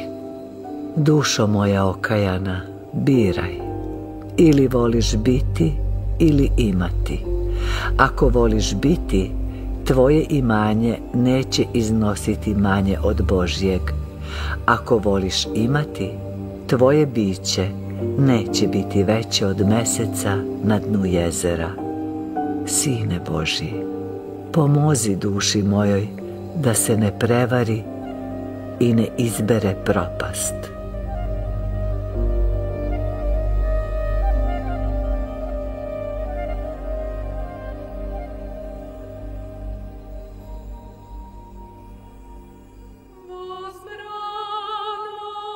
Odakle izlaze nečisti duhovi, prečista majko Božja?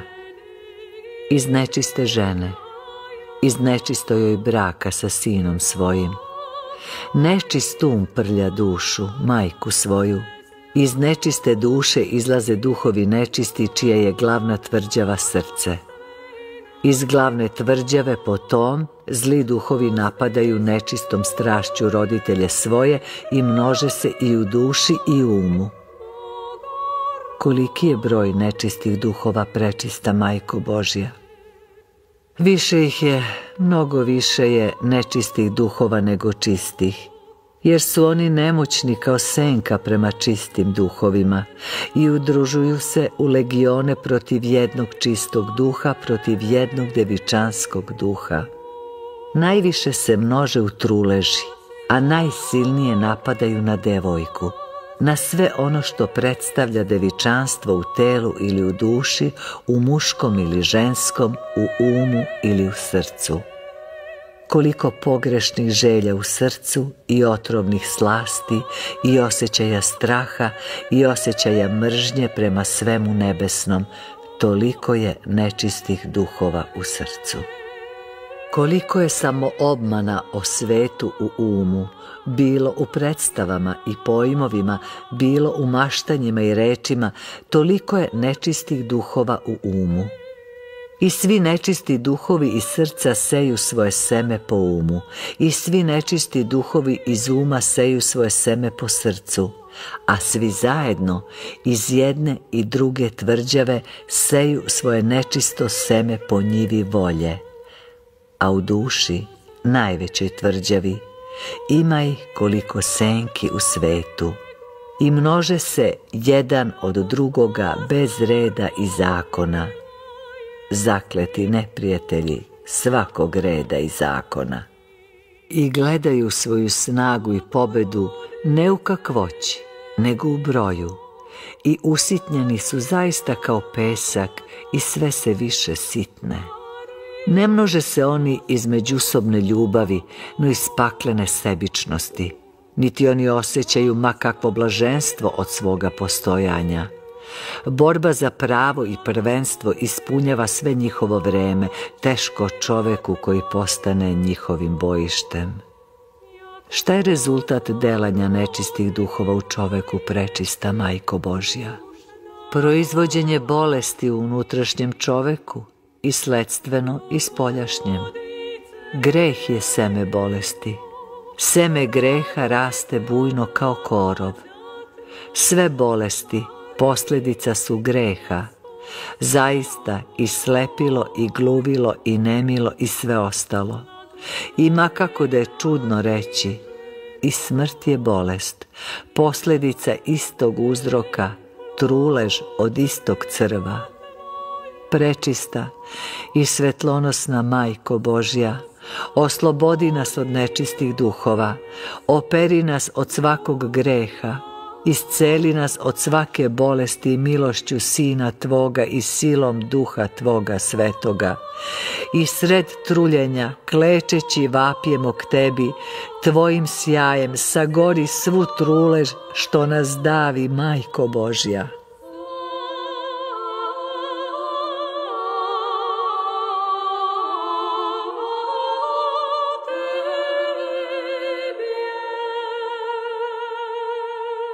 Sina devojačkog, sa svima nebesnim silama, molite se sinu devojačkom za nas koji stojimo još na bojištu.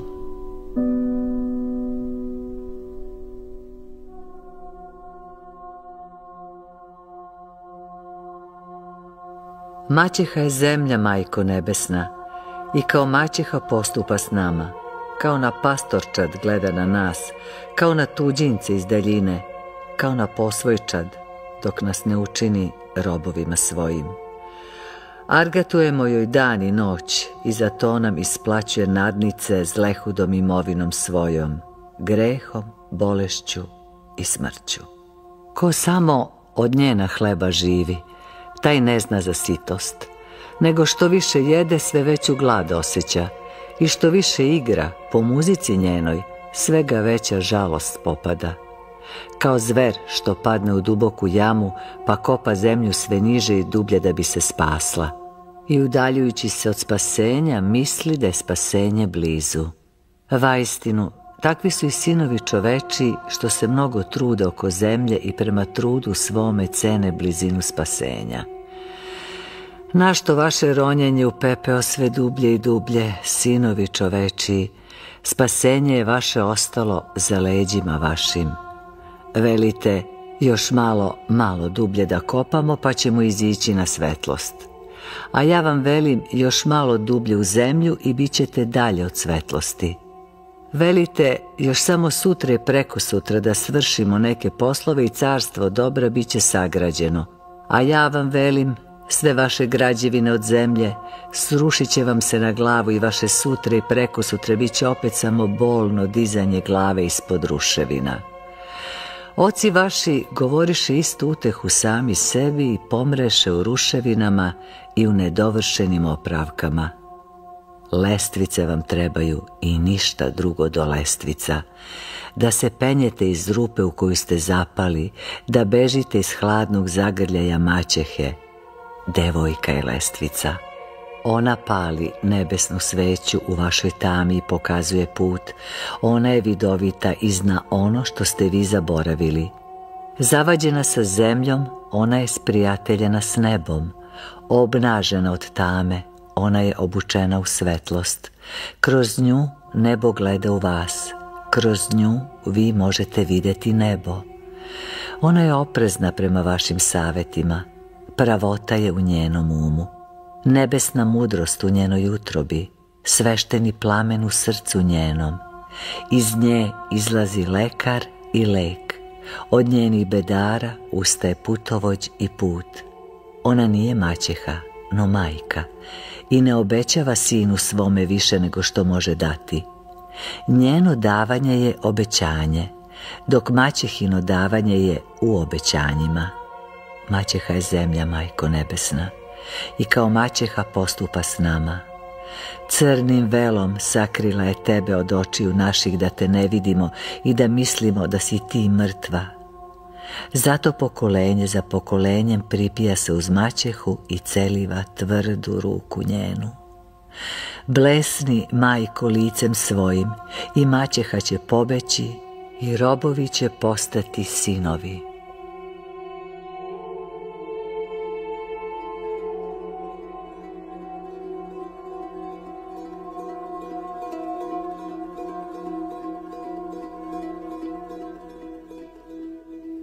Indijac proklinje karmu, musliman proklinje kismet, hrišćanin proklinje greh, svi proklinju prokletstvo svoje. Zaista, sva prokletstva jesu nesloboda. Svi proklinju neslobodu svoju, jedina blagoslovena kletva. Svi se bune protiv pepela, što ih postepeno zavije u sebe, siguran pobede svoje. Zaista igrači ne vole onoga čija je pobeda osigurana u igri s nemoćnijim.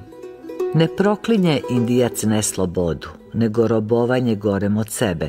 Niti hrišćanin proklinje neslobodu, nego robovanje gorem od sebe. Nijedan od njih ne buni se protiv gospodara kao gospodara, nego kao gospodara nižeg od sebe. Svet traži gospodara. Probajući gospodare, pada pod pete slugu i hraneći se pepelom pokazuje jedino buntom dostojanstvo svoje.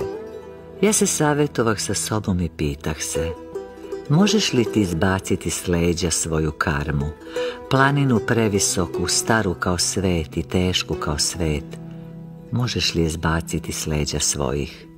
Zar ne može kap vode naći put da iziđe ispod planine na svetlost? Zar ne može oganj u srcu planine proputiti sebi put i izbiti na vrh gdje ga sunce čeka? Opet se savjetovah sa sobom i pitah sebe, možeš li ti postati kismet kismetu? Može li Kamilar spasti i sebi i Kamilu od samuma vrativši se blagovremeno s puta bez oaza? Zar ne može sin ući u očevinu svoju sa punomoći oca? Zar ne može zakonu izvršilac postati zakonodavcem? Opet se savjetovah sa sobom i pitah sebe, možeš li ti izići iz njive greha u kojoj jedno seme daje stotinu žetava? Zar ne može onaj ko nađe bolju njivu ostaviti goru? Zar ne može onaj ko u svome saputniku pozna zlotvora okrenuti se i pobeći od njega? No strah u meni odgovara. Ali ako nema druge njive, ali ako nema drugog saputnika, odgovara moje hrabrije ja. Kad govorim o brami, ne govorim li o drugoj njivi? Kad govorim o Allahu, ne govorim li o drugom saputniku? Kad govorim o Hristu, ne govorim li o spasenju? Gospodaru nebesni, primi dušu moju za svoju sluškinju. Gle jedina je sloboda moja da služim boljem od sebe.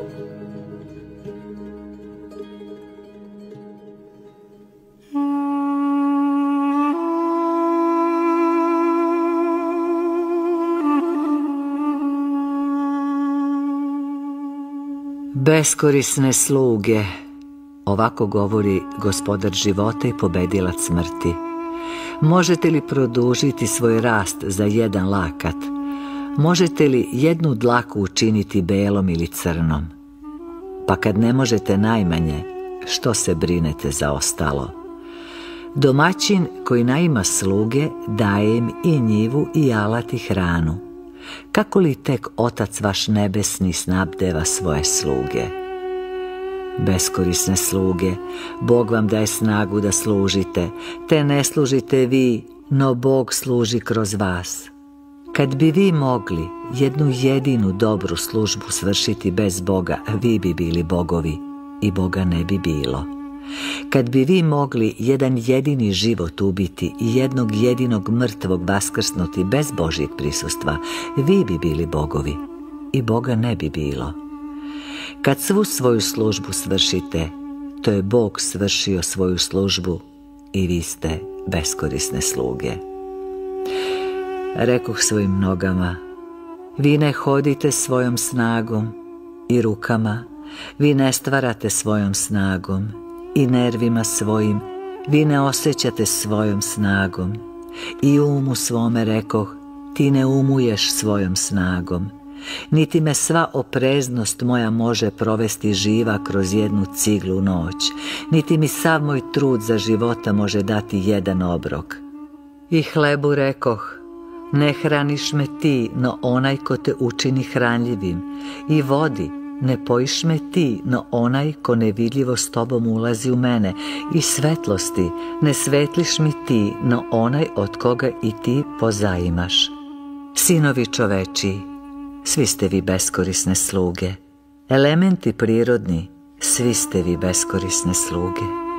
Sunca, zvezde i meseci, svi ste vi beskorisne sluge. Sva služba vaša uzaludna je, ako neko jači od vas ne služi. Sva obećanja vaša obmana su, ako ih neko bogatiji ne ispuni. Sve brige vaše kao trnje su što sete po putu svome. One ne nizvode kišu, no čine sušu još sušnijom, ne dodaju života, no gomilaju nemoći. Beskorisne sluge, obratite brige u molitve, kao što se led obraća u tekuću vodu i požnjećete neočekivanu žetvu. Molite se gospodaru žetve i razumećete onda koliko su uzaludne i ubitačne bile brige vaše. Šta vredi svirali brinuti kako će svirati? Sve njene brige neće proizvesti ni jedan zvuk dok svirač ne stavi svoja usta u nju. Smatrajte sebe za ništa, ne tražite nikakvo pravo i sve će vam se dati. I kad tako budete činili, osjetit ćete da prestajete biti beskorisne sluge i da postajete sinovi i poslanici oca. I otac će vas obući u zlato i skerlet svoje slave.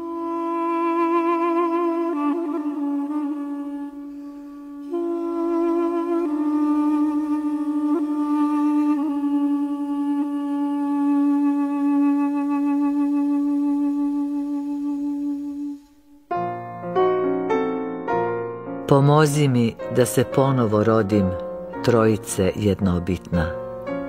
U zaluce mučim da se izbistrim u blatnjavom koritu kojim teče život moj.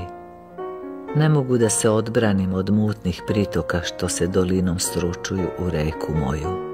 Podigni me na goru visoku i učini me ponovo bistrim izvorom. Tebi se zavetujem, Teći ću kroz suvi kamen i neću se više zamutiti. Ti ćeš ogledati lice tvoje u meni i poznaćeš ga. Angeli tvoji spuštat će se u mene i neće osjetiti spuštanje. Nijedna vrba neće baciti senku na vodu moju i nijedna zmija neće se usuditi ući u studene virove moje. Pomozi mi samo da počnem iz početka. Tebi se zavetujem, tkaću novu haljinu od novih konaca. Dosta sam se mučio sa susjedima svojim prišivajući nove zakrpe na stare haljine. Zakrpe otpadaju, stareš se osipa i naša prljava nagota udara nas stidom po licu. Mudri riši ispod Himalaja govore o novim rođenjima kojih je broj vele veći od peska u moru. No našto mi sva ta rođenja koja mi služe kao kapija iz jedne tamnice u drugu? Za jedno ti se rođenje molim, za rođenje od duha. Rođen sam od vode i kršten sam vodom i gmižem po zemlji kao mutna voda. Gle, rođenje od vode samo je proročanstvo rođenja od duha i krštenje vodom samo je proročanstvo krštenja ognjem. Vodom se regrutuju vojnici, a duhom se čine pobednici. Ne dopusti, gospode moj, da tvoj vojnik doživotno vojuje i završi vojevanje porazom. Neka se pobednik rodi u meni, koji ni za trenutak neće posumnjati da je rođen za pobedu. Voda rađa vojsku poraza, a duh rađa vojsku pobede.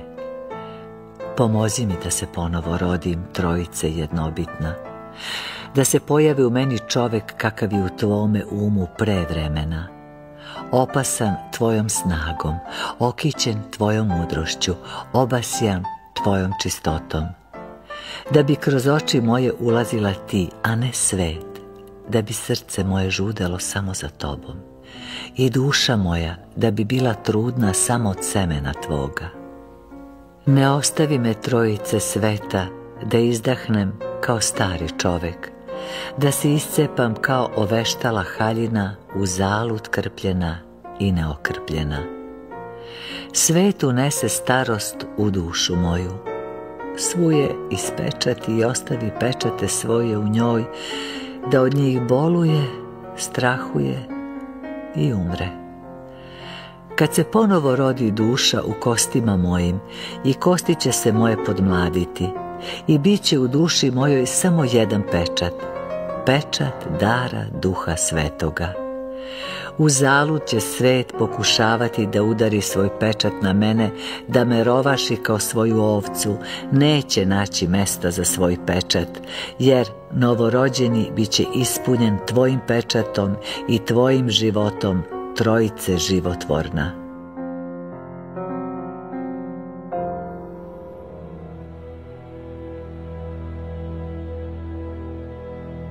Ispunio si se mirom slavo gornjih svetova i gnev svih zemalja ne može uskolebati mir tvoj. Među smrtnima je malen mir, zato se gnev osilio. U nedrima oholosti gnev svija gnezdo svoje, a u nedrima gneva ubijstvo se leže. Svi gresi vode ubistvu, no nijedan ne stanuje tako blizu ubistva kao gnev. Jednoki zakoni zemaljski ne kažnjavaju gnev, jer ne vide da gnev ubija. A vidoviti zakon tvoj, slavo gornjih svetova, imenuje gnev ubistvom. Paštim se pri suncu i na mesečini da proniknem u tajnu tvoga zakona. I otkad ovo paštenje omrša, sve moje zemaljske nade počeh osjećati kako me ubija gnev mojih suseda. Robovi su deca gneva, a sinovi su deca mira. Zato premudrost tvoja i govori ljudima i ponavlja govoreći budite sinovi, jer sin gleda u lice oca svoga i svoje lice upravlja prema licu oca svoga. I kad vidi mir na licu očevom, kako može on svoje lice nagrditi gnevom a da se ne okrene od oca svoga. U dvojicu gnev unosi nemoć, u onoga ko se gnevi i u onoga na koga se gnev izliva, a nemoć je prethodnica smrti. Čudotvorac ne čini čuda među decom gneva, jer deca gneva unose nemoć u njega. Susedi moji, Zašto se osjećate moćni među onima koji vas vole, a nemoćni među onima koje gnevi prisustvo vaše? Nije li zato što oni prvi ljubavlju dodaju životu vašem, a ovi drugi gnevom oduzimaju od života vašeg? Zato mi omile da budem stalno s tobom slavo gornjih svetova, jer samo u tvom prisustvu niti ubijam, niti me ubijaju. Kao što kap po kap vode razjeda i najtvrđu stenu, tako gnev razjeda život dvojice. Kao krvnik s nožem u zasedi, tako gnev čeka u gordome srcu. Zaista, oholost zna da je kriva, zato je i postavila gnev na vratima da je stražari. Oholost zna da je grešna, zato je našla sebi advokata u drugome grehu. smirenjem ispuni srce moje slavogornjih svetova, smirenjem angela pred prestolom Tvojim, jer smirenje nema ni konaka, ni obdanka za gnev. Daj mi sinovsko smirenje i bit će me stid gneviti se na robove i ubijati robove. Oklopi me mirom tvojim, što gnev dece gneva neće moći uskolebati.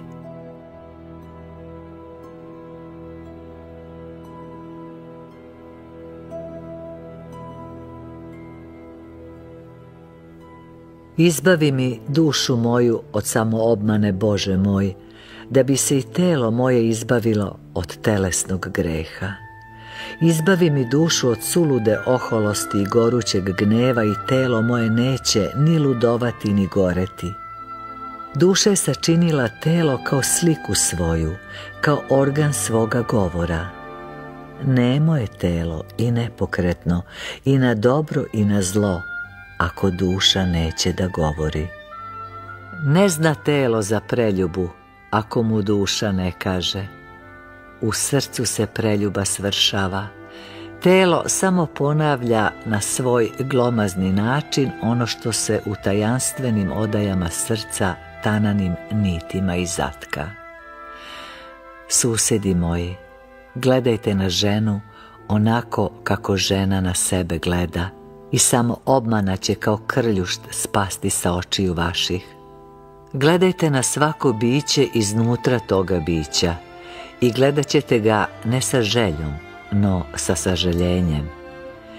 Ti si Bože osvetio brak i ti si osvetio bezbračnost. One koji imaju mudrost i moć da sav život što je u njih od tebe sišao u potrebe na službu tebi, ti si blagoslovio. I one koji nisu u stanju da sav datim život drže u sebi, ti si blagoslovio da ga mogu podeliti i preneti na nova bića kroz ženu.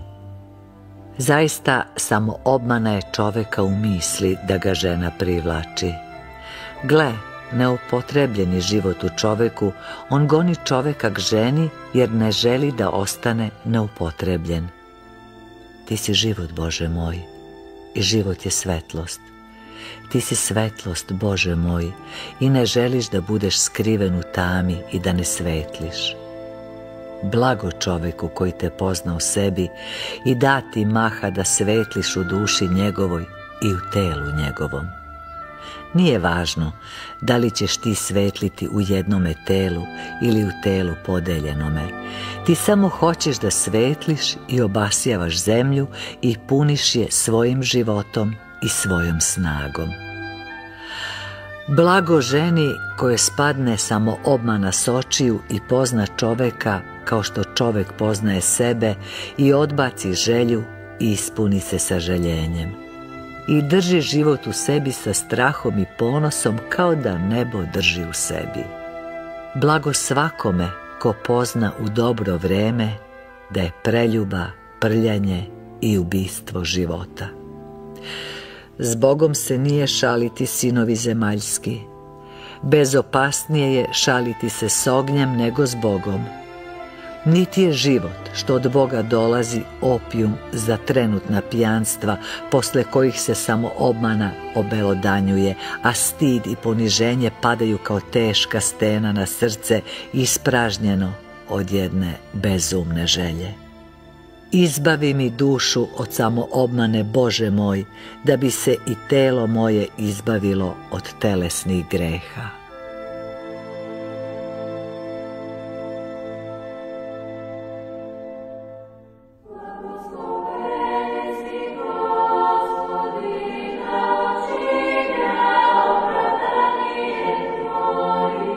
Upravi jezik moj, blažena mudrosti, da ne odstupa od istine do kraja života moga. Opomeni me prisustvom Tvojim da bih strahovao izgovoriti laž. Ohrabri ga prisustvom Tvojim da bi slobodno govorio istinu. Zakletva je sve dok laži u svetu, u carstvu istine ne zna se za zakletvu. Kao što iz duboke jame izlaze mnoga zla isparenja, tako i samoobmane proizilaze svi gresi, svaki prema svojoj boji i svome mirisu.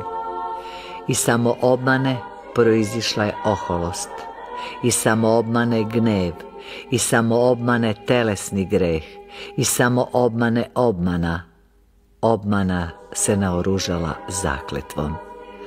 Laž se kune istinom i time priznaje istinu za bitnost, a sebe za sen.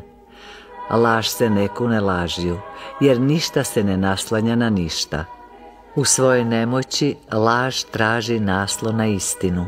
Što rasprostranjenija laž, rasprostranjenija i zakletva. Zakletva ponižava istinita muža i ubija muža lažljiva. Gde se umnoži zakletva, umnoži se i laž. Pogrešan um uvek ima spremnu zakletvu na jeziku. Lažljive oči brane se jezikom, ali se ne mogu odbraniti.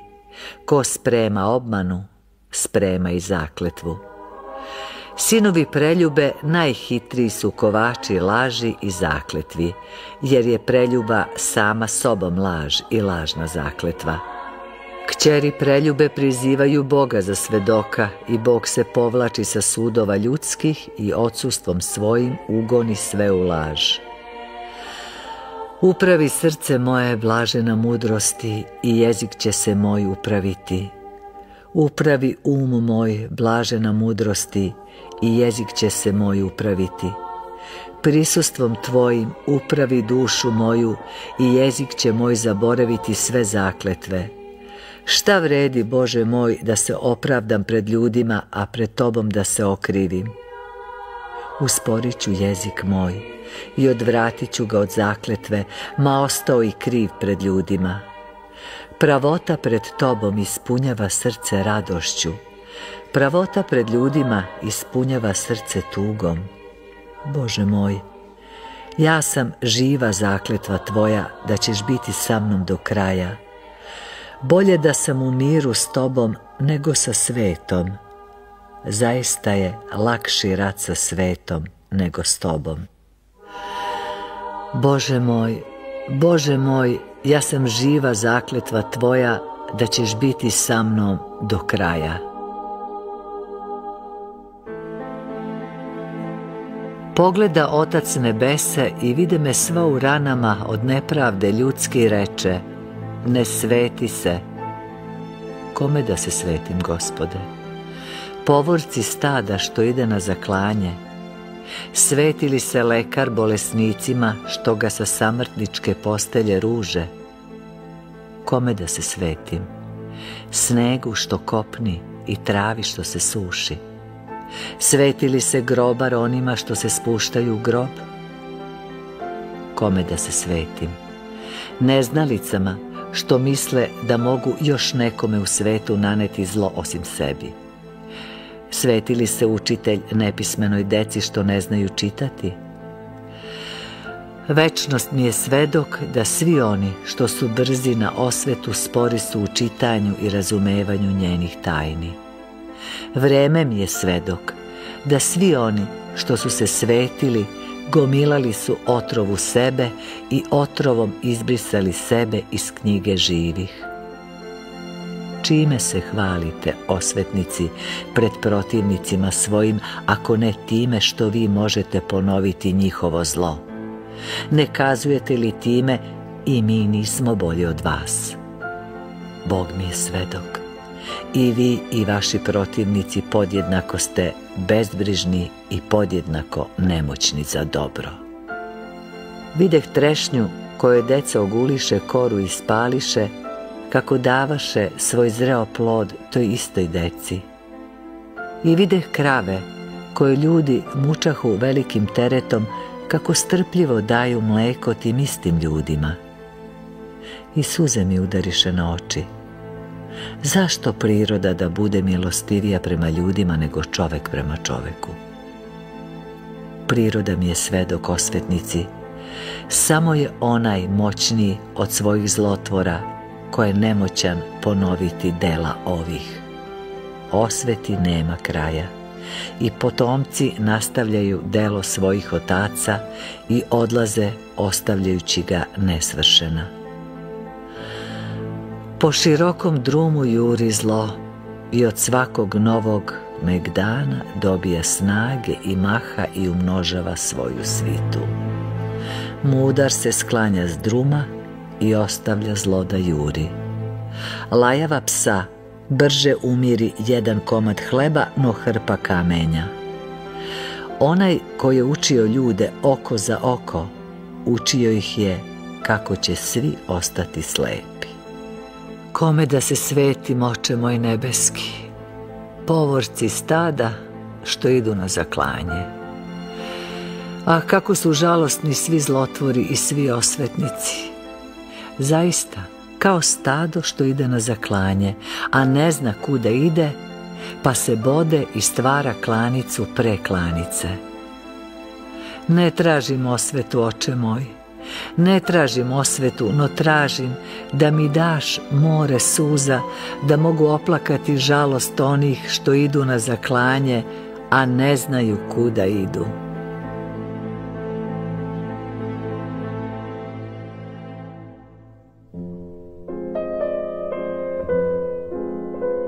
Blagoslovi neprijatelje moje gospode, i ja ih blagosiljam i ne kunem. Neprijatelji su me više gurnuli tebi u naručje nego prijatelji. Prijatelji su me vezivali za zemlju. Neprijatelji su me drešili od zemlje i rušili sva moja nadanja u zemlju. Ovi su me učinili strancem u zemaljskim carstvima i nepotrebnim stanovnikom zemlje. Kao što gonjena zver nađe sigurnije sklonište nego li negonjena, tako sam ja, gonjen neprijateljima, našao najsigurnije sklonište, sakrivši se pod tvoj šator, gde ni prijatelji ni neprijatelji ne mogu pogubiti dušu moju. Blagoslovi neprijatelje moje gospode, i ja ih blagosiljam i ne kunem. Oni su mesto mene ispovedili grehe moje pred svetom. Oni su me šibali kad sam se ja ustezao šibati sama sebe. Oni su me mučili onda kada sam ja bežao od muka. Oni su me ružili onda kada sam ja sebi laskao. Oni su me pljuvali onda kada sam se ja gordio sobom. Blagoslovi neprijatelje moje gospode i ja ih blagosiljam i ne kunem. Kad sam se ja pravio mudrim, oni su me nazivali ludim. Kada sam se pravio moćnim, oni su mi se smejali kao kepecu. Kad sam hteo voditi ljude, oni su me gurali u pozadinu. Kad sam žurio da se obogatim, oni su me stukali gvozdenom rukom. Kada sam mislio mirno spavati, oni su me budili sna. Kad sam zidao dom za dug i spokojan život, oni su ga rušili i izgonili me van. Zaista, neprijatelji su me odrešili od sveta i produžili ruke moje do tvoga skuta. Blagoslovi neprijatelje moje gospode, i ja ih blagosiljam i ne kunem. Blagoslovi ih i umnoži ih, umnoži ih i još više ih ogorči protiv mene, da bi moje bekstvo k tebi bilo bespovratno, da bi se nada u ljude iskidala sva kao paučina, da bi se smirenje potpuno zacarilo u duši mojoj, da bi srce moje postalo grobom moja dva zla blizanca, gordosti i gneva, da bi sve svoje blago sabrao na nebu, ah da bi se jednom oslobodio samo obmane koja me je izaplela u strašnu mrežu varljiva života. Neprijatelji su me naučili da znam, što malo ko zna, da čovek nema neprijatelja u svetu izvan sebe. Samo onaj mrzi neprijatelje ko ne zna da neprijatelji nisu neprijatelji, no surovi prijatelji zaista. Teško mi je reći ko mi je učinio više dobra i ko više zla u ovome svetu, prijatelji ili neprijatelji. Zato blagoslovi gospode i prijatelje i neprijatelje moje. Rob kune neprijatelje jer ne zna, a sin ih blagosilja jer zna. Jer zna sin da mu se neprijatelji ne mogu dotaći života. Zato slobodno korača između njih i moli se Bogu za njih. Blagoslovi neprijatelje moje gospode i ja ih blagosiljam i ne kunem.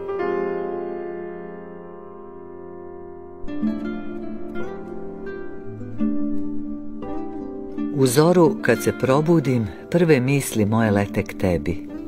Prvi pokreti duše pružaju se tvome osmejku. Prvi mi je šapat tvoje ime. Prvo iznenađenje ti kraj mene. Kao mladenac posle strašnoga sna što grli majku svoju i raduje se što ga san nije razdvojio od majke, tako i ja, budeći se grlim tebe i radujem se što putovanje u snu nije me udaljilo od tvoje ruke. Kako sam neljubazan prema tebi, ljubavi moja. Stid me jede što sam tako neljubazan prema tebi. Dok se ti od mene ni za trenut ne odvajaš, ja se od tebe u snu odvajam po čitave sate. Zato proklinjem san i spavanje moje i divim se nebesnim silama što pogled svoj ne skidaju s tebe ni danju ni noću. San me zamara, a ti me odmaraš. Nema odmora umornome bez gledanja u tebe, ni naslade ogorčenome bez razgovora s tobom, čistome bez kupanja u tvojoj svetlosti. Hitam hramu tvojemu kroz puste ulice, Hitam i ne sretam nikoga u pustim ulicama. Svi spavaju i u snovima svojim muče se u dalekosti od tebe. A ti sediš na svakoj postelji i čekaš povratak duše iz daljine.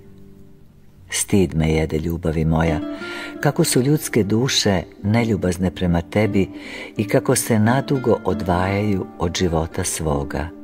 I zverovi gorski probudili su se u zoru i ti stojiš kraj njih i čobanuješ. O hrani misle zverovi gorski, o hrani misle rano izjutra kao i ja. Gle, i ja mislim zorom o hrani svojoj i znam da se samo tobom glad moja može utoliti. Kroz puste ulice hitam slavu moja, da tražim slavu tvoju, i čujem mu jezina gde viče na kuli i čujem zvono gde zove crkvi. I dižem se u mislima svojim i razgledam sva mesta na zemlji da vidim koliko se sinova ljudskih rastalo od svog bezumnog putovanja u snu i sastalo sa onim koji jeste i koji je daleko od bezumnosti sna. Ustali su sveti isposnici po pešterima i kelijama i odavno već razgovaraju s tobom. Ustali su oni čija duša nikad i ne leže, no kao sveća upravo gori pred tobom dan i noć. Blagoslovi gospode sve te isposnike i molitvenike koji životom svojim kao tamjanom kade uspavanu zemlju. Hiljade i hiljade duša rastaju se od tela u zoru i kad se sunce rodi goreće ono kao posmrtna sveća nad hiljadama mrtvih. I gledam tebe, ljubavi moja, kako bdiš kraj mnogih hiljada umirućih i čekaš da prizovu ime tvoje. I gle neke od njih, kaju se za sav san života i vapiju k tebi za pomoć. Blagoslovi gospode sve pokajnike na smrti i odazovi se njihovom vapaju kroz puste ulice hitam, slavo moja, i ulazim u hram da pevam i veličam slavu tvoju. I sam stojim u hramu, prepunim tebe i angela tvojih, i padam na kolena i molim ti se sa suzama. Probudi k sebi sve uspavane duše, gospode nebodržni, sve uspavane duše, braće moje i naroda moga, Otežale su i omlitavele duše grešnika i spustile se do blizu ada. večito budna ljubavi, probudi ih pre nego što ih smrt gurne jedan još korak dublje u san, u večiti san, u san strašni kraj koga ti ne bdiš.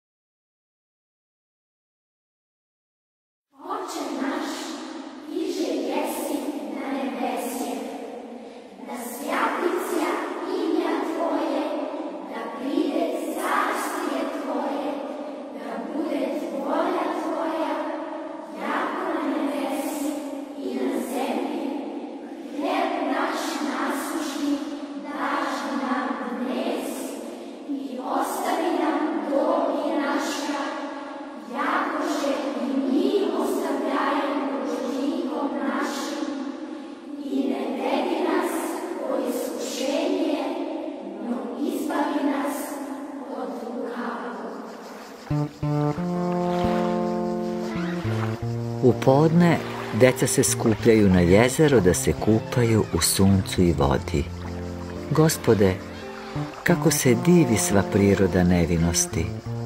Mučni i namučeni argati u prisustvu grešnika, jezero i sunce preobražavaju se u prisustvo dece kako veličanstven hram gospodnji postaje jezero kada su deca na njemu i kako uzbuđen prvosveštenik sunce kad se zraci njegovi ukrste sa zracima duše detinje.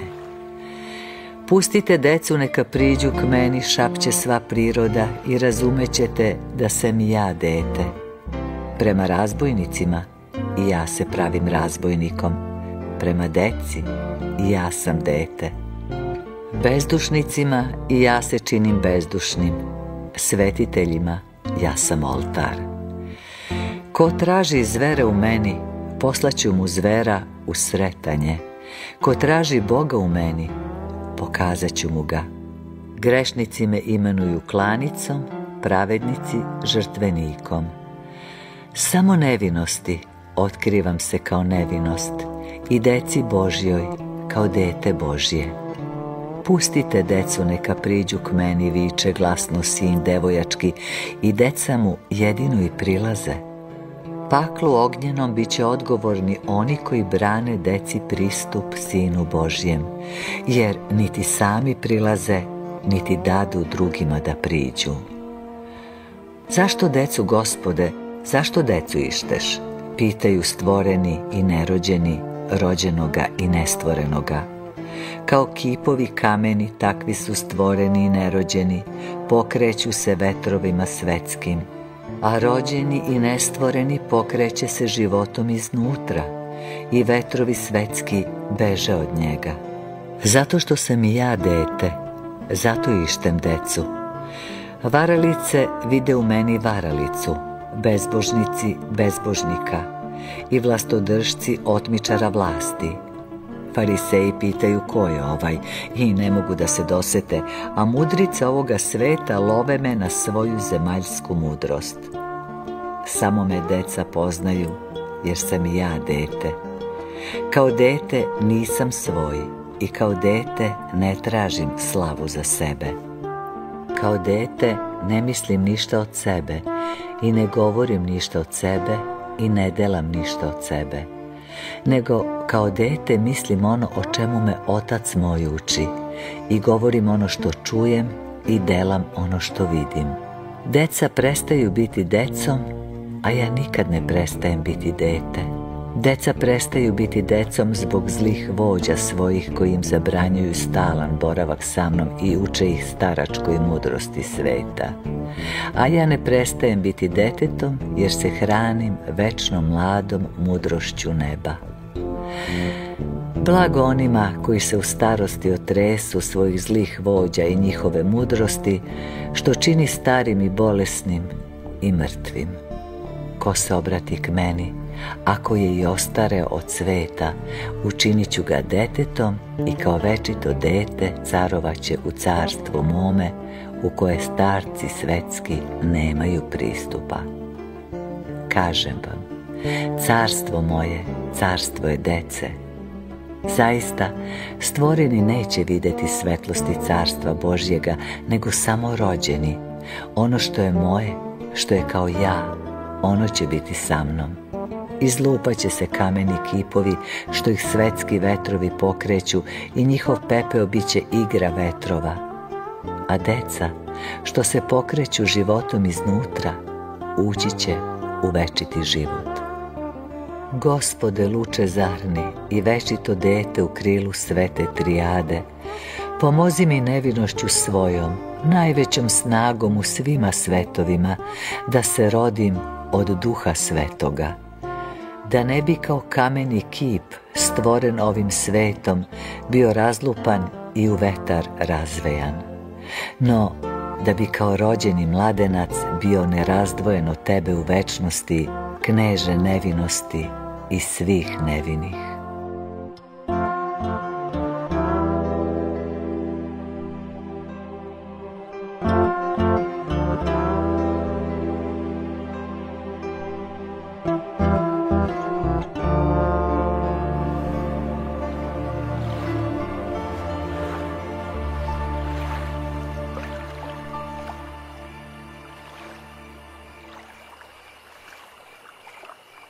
Uveče se zasija zvezdana prašina nad glavom mojom i ja osjećam ponor nad kojim visi život moj.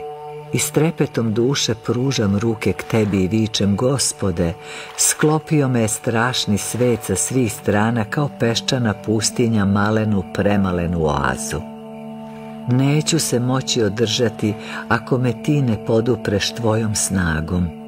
Potavanit će pesak zelenu livadu moju, zagušit će izvor u livadi i povrh palmi dizaće se peščana brda.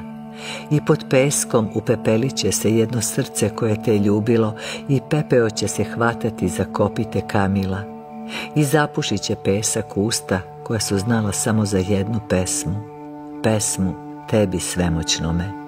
Iz milion godina života bit će zbrisan jedan deo života kao da ga nikad nije ni bilo. I teška kola vasione luparaće i dalje, ne želeći što su jedan dan života pretvorila u jedno zrno peska. No ti si moćniji od sveta, gospode Bože moj, i pozajmit ćeš slugi svome heruvimski mač od plamena, kojim ću odbijati navalu sveta na život moj. Neću se spasti, ako sam čak i ravnomoćan sa svetom, i još manje ako sam nemoćniji od sveta. Ravan svetu ne odoleva svetu, niti ga se svet boji, a nemoćnijega od sebe svet od malena uči da sprema sebi grob.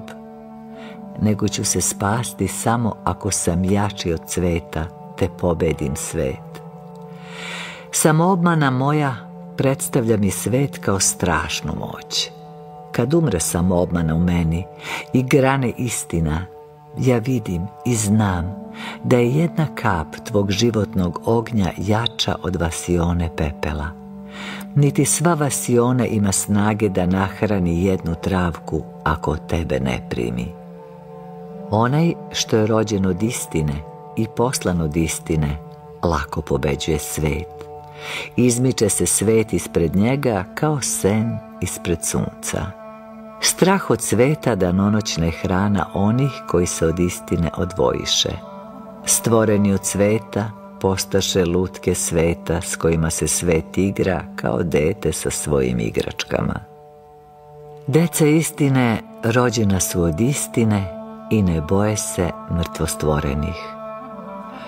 Pomozi mi, Bože moj, da pobedim svet u meni i lako ću pobediti svet izvan mene. Neću se pogorditi pobedom nad svetom, jer Tvoja je pobeda, a ne moja. Pustit ću Tebe da rasteš, a ja ću se smanjivati i kao dete držat ću se skuta Tvoga. Pustit ću tvoju reč da se useli u telo moje i proteraću ću iz sebe sve nemoćne reči naučene od sveta. Tvoja reč je nevinost i mudrost i sila.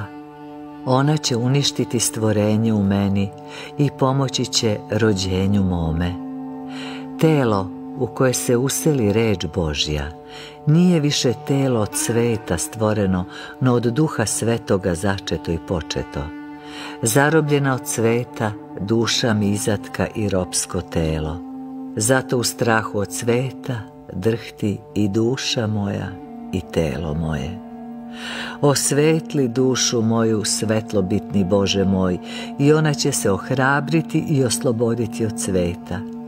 I bit će sinovska duša koja će umeti zatkati sinovsko telo, hram Sina Božjega kad zasija zvezdana prašina nad glavom mojom, ja prizivam Tebe u pomoć, presveti Bože moj, i ne bojim se sviju svetova, kao što se sin ne boji slugu u domu oca svojega.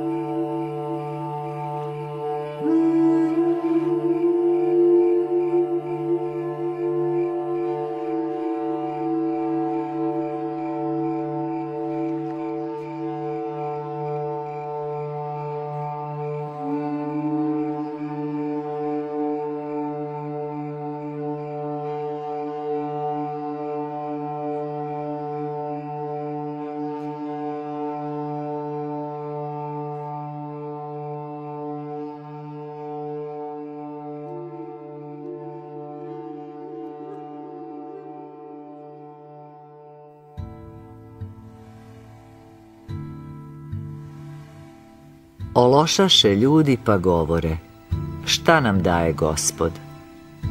Gospod daje život svakom telu, gospod daje lice svakoj stvari. Kao dete milostiv je gospod i sebičnost je njemu nepoznata kao i tama. Gospod daje svakom ono što ko od njega traži. Svoju večnost gospod ispunjava davanjem, a vi velite šta nam daje gospod ne bi mogli ni to pitanje postaviti da vam gospod ne daje snage za to. Gospod kupi suze žalosnih u svoje ruke. Gospod posećuje sužnje. Gospod sedi na postelji bolesničkoj. Gospod bdi na opasnim putevima i nad dubinama morskim stražari, a vi velite šta nam čini gospod. Ono što tražite od gospoda, ono vam i daje. No, zato što ste počeli više tražiti od sveta nego od gospoda, zato se osjećate obmanuti u nadama svojim te govorite šta nam čini gospod. Kao dobar domaćin, gospod je postavio trpezu i čeka goste. Pažljiv je gospod na kucanje i brz da otvori vrata svakom gostu. Na njegovoj trpezi nagomilani su nesanjani darovi. Za njegovom trpezom mnogo je sedišta. Ko pogodi njegova vrata i zakuca, neće biti vraćen. A vi velite, zašto nam gospode ne otvori kad kuca smo? zato što sumnjom kucaste u vrata gospodnja, a verom u vrata sveta. Na vratima vaše duše stoji gospod sa metlom, gotov da na poziv počisti vam dušu od silne nečistoće i sa kandilima i mirisima da je počišćenu namiriše i sa devojačkim nakitom da je ukrasi. Stoji gospod i čeka na poziv vaš. I na ivici srca vašeg stoji gospod sa svećom velikom što gori bez dima i isparenja. Stoji gospod i čeka na poziv vaš da unese sveću u srce vaše i osvetli ga.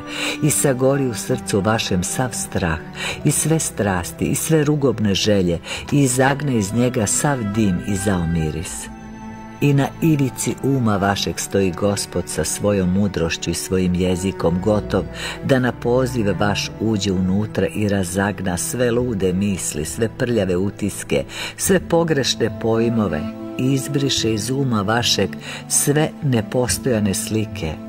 Stoji gospod i čeka da unese svoj razum i svoje pečate i svoje reči. A vi velite gde je gospod? Na ivici vašeg života. Zato vam je život pogrbljen. Da je gospod u sredini, gdje je on bio u početku i gdje mu je mesto, život vaš, bio bi uspravan i vi bi vidjeli gospoda i ne bi pitali gdje je gospod. O loša ste, zato pitate gdje je gospod. Predobar je gospod, zato ga loši ne poznaju. Preprozračan je gospod, zato ga prašljivi ne vide. Presvet je gospod, zato ga nesveti ne osjećaju. Ako nema dovoljno ljudi koji će ispovedati ime gospoda, gospod će se pokazati kroz stvari. Ako li zvezde nebesne zaborave ime gospodnje, neće ga zaboraviti bezbrojne vojske nebesnih angela što slabija ispovest imena gospodnjeg u jednom carstvu, to jača u drugom. Niti se može smanjiti brujanje imena Božjega, niti se može povećati. Ako jedan potok presuši, drugi će nadoći. I tako, more se drži na istoj visini.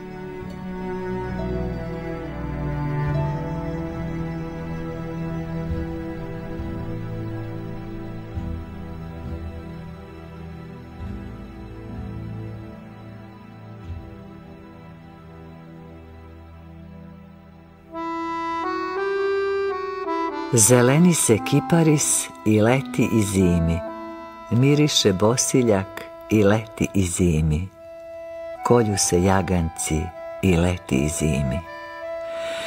Čuvajte se od vukova kad vas napadaju jedan s lica, drugi s leđa, no više se čuvajte od dva greha, od straha od grešnika i prezrenja grešnika, jer će zelenilo vaše iščeznuti kao zelenilo vrbe i miris vaš pretvorit će se u nemiris i smirenost vaša postaće gordost i grešnici će vas nazvati imenjacima.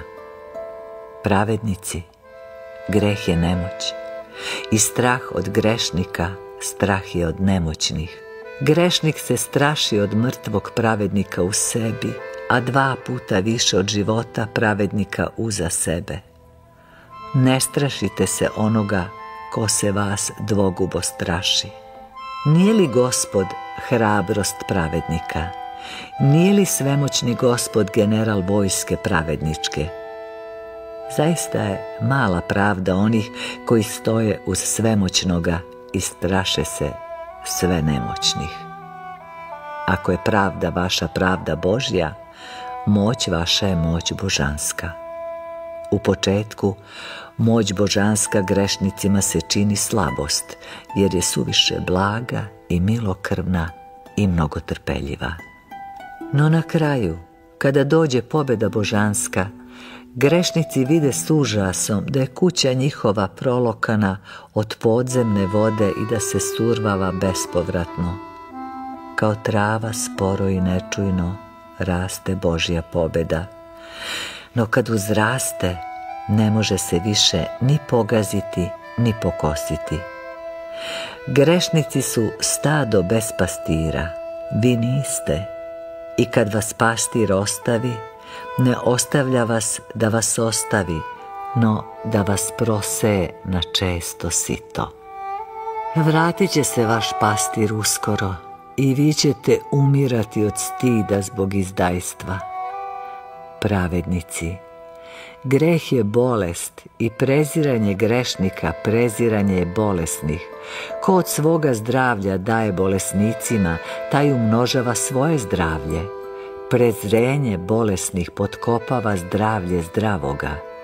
Greh sedi za trpezom onih koji se boje sesti za trpezu grešničku.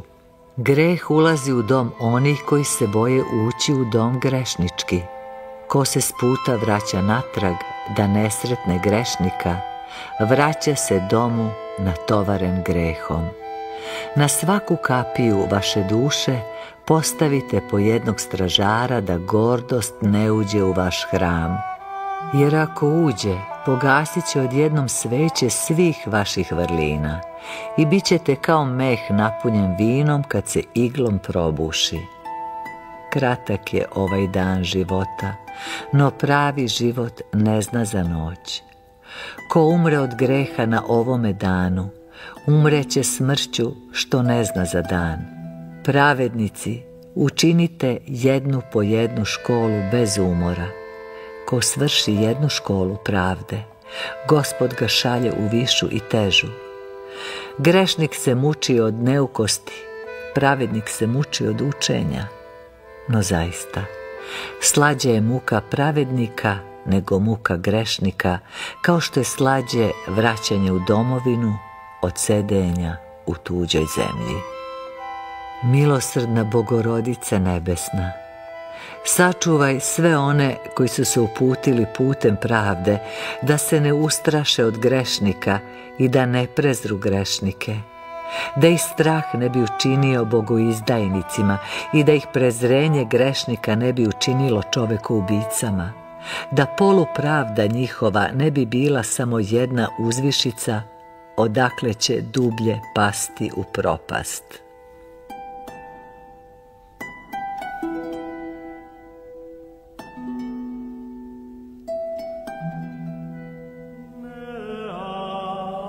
Beh pastir ovcama i time uzdiže za pastira ljudima.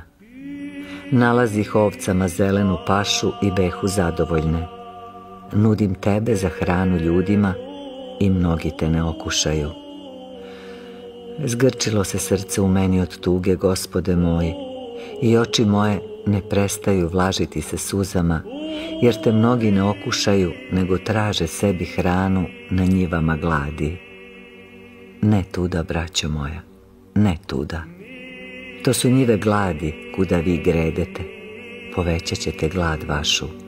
I u besomučnoj gladi jurnućete jedan na drugog i ješćete se uzajamno. I glad nećete utoliti. Ovce se hrane onim što je od Boga, a vi ste zato ljudi da se hranite Bogom.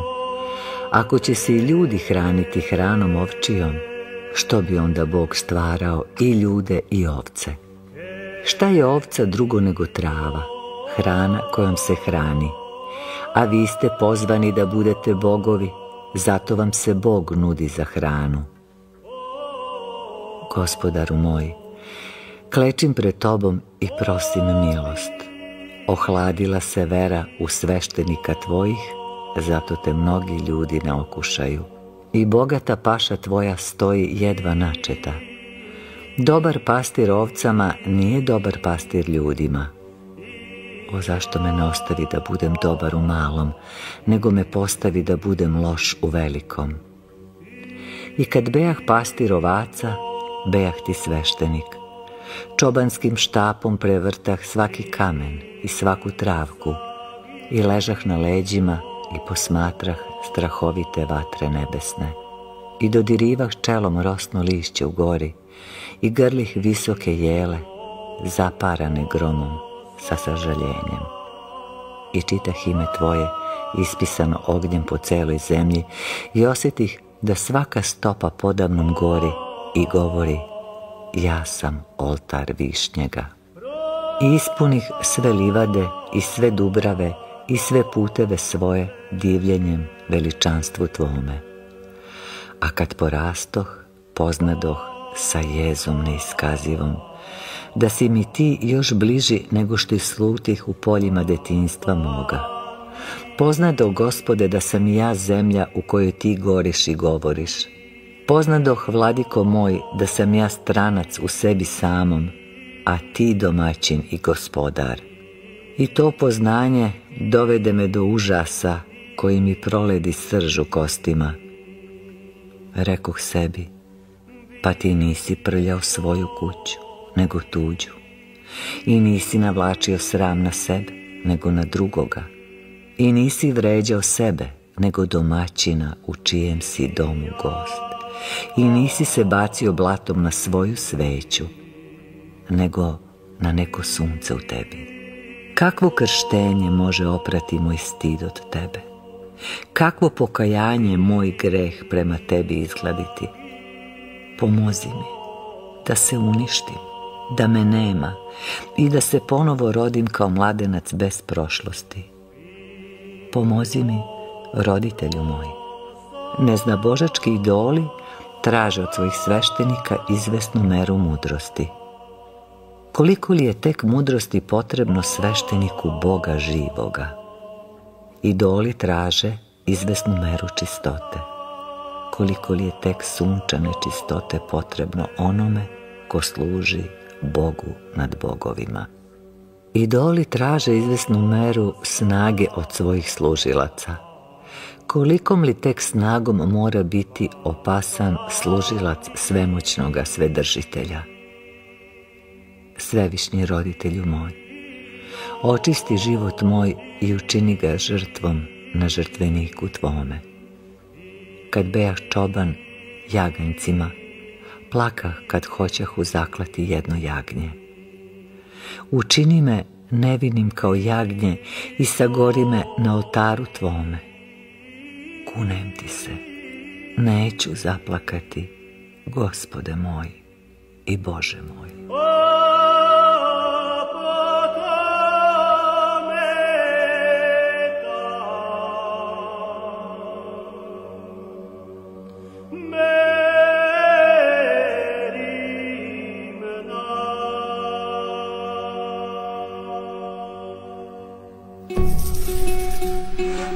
Podigoše nevernici rat protiv gospoda neba i zemlje, suho lišće protiv vetra planinskog.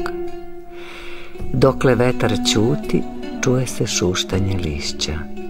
No kad se vetar zahukti, razvejaće se lišće po ritovima i drumovima i ostavljeni list po list izgubit će avaz i slepit će se s blatom jer nevernik se u gomili osjeća jak i odaje glas. U samoći ga jede i strah i nemoć.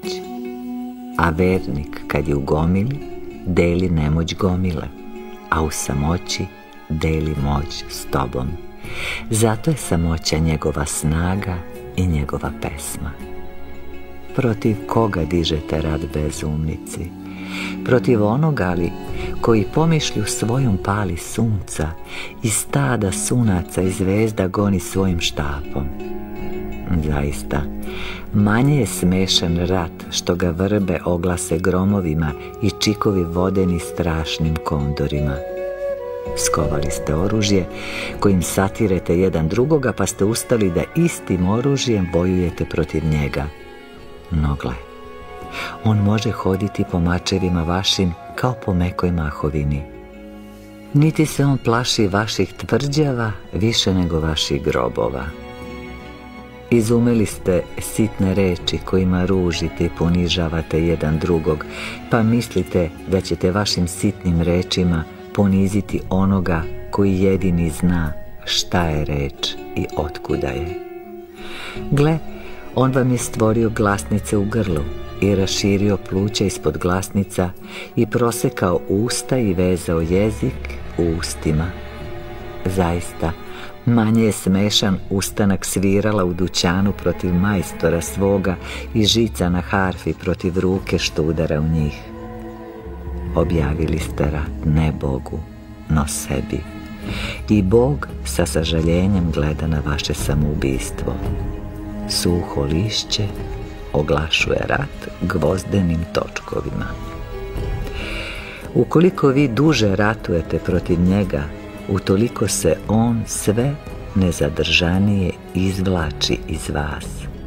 Izvlači gospod svoju snagu iz vas, svoju krasotu, svoje zdravlje, svoju mudrost i svoje blaženstvo. To je način ratovanja gospoda Višnjega sa svojim protivnicima. Šta ostaje od vas, ubojiti borci, kad gospod izvuče iz vas ono što je njegovo? Ne ostaje li nemoć i rugoba i bolest i bezumlje i nesreća? Ništa vam gospod neće oduzeti od onoga što je vaše, a vaša je nemoć. I kad on uzme svoju moć koju vi zloupotrebljavate, ostaće vam vaša grobna nemoć koja nije ni za upotrebu, niti za zloupotrebu. Trgnut će gospod svoju krasotu iz vas i žabe će bežati strmoglav od vaše rugobe. Trgnut će gospod svoje zdravlje iz vas i krv će se vaša u gnoj pretvoriti i bit ćete miris ugodan za crve, miris od koga će gradovi zatvarati svoje kapije. Vratit će gospod svoju mudrost k sebi i vi ćete u bezumlju svome juriti po dubravama i svađati se sa pešterama. Blaženstvo svoje i mir svoj opodvaće gospod k sebi, od vašeg nemira uplašit će se izvori i pobeći će i od nesreće vaše usahnuće loza u brdu i zemlje u polju vratit će svoj plod natrag zemlji. E takav je način ratovanja gospoda svevišnjega sa svojim protivnicima. Kao dete, on je nemoćan da učini zlo, i ne vraća zlo zlom, jer je presiromašan u zlu. No samo sabira svoje dobre darove i odhodi s njima od onoga ko škrguće zubima nanj i ostavlja gospod nevernike samima sebi. I oni se raspadaju kao drvo crvotočno, iz koga je izišla sirovina i po čijoj gnjilosti crvi tumaraju za hranom, kao po napuštenom domu. Tako biva i s narodom koji objavi rat životodavcu. Rekoh svome narodu, zapamti, takva je pobeda životodavca i takav je poraz bezbožnika.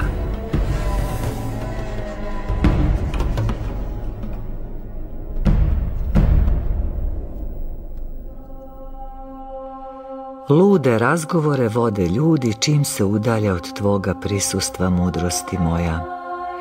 Bezvernici govore o delima, a bezdelnici govore o veri. I svak poništava ono što nema, a ono što ima telali po pazaru. Dokle ti, gospode, puniš dom moj svojim dahom životvornim, ja uvek zaboravim da pitam šta je pretežnije, vera ili dela. Čim te uvredim i osjetim se ostavljen od tebe, ja sa gnevom ulazim u razgovore ljudi i podržavam ovu stranu ili onu. Jer bez tebe sam kao vetrukaz na dimnjaku što čekrta prema vetru. Kad se digne vetar vere u duši mojoj, ja stojim s onima koji ostaviše dela i staše za veru. Kad se digne vetar delatnosti u duši mojoj, je držim stranu s onima što ostaviše veru i staše za dela. No u tvome sveumirujućem prisustvu nema vetra, nema kolebanja i nema delanja stvari. Ne osjećam ni veru, niti vidim dela, no samo tebe živoga osjećam i vidim. Zaista, ti nisi moja vera, no moje viđenje. I ti nisi moje delanje, no ja sam tvoje delanje.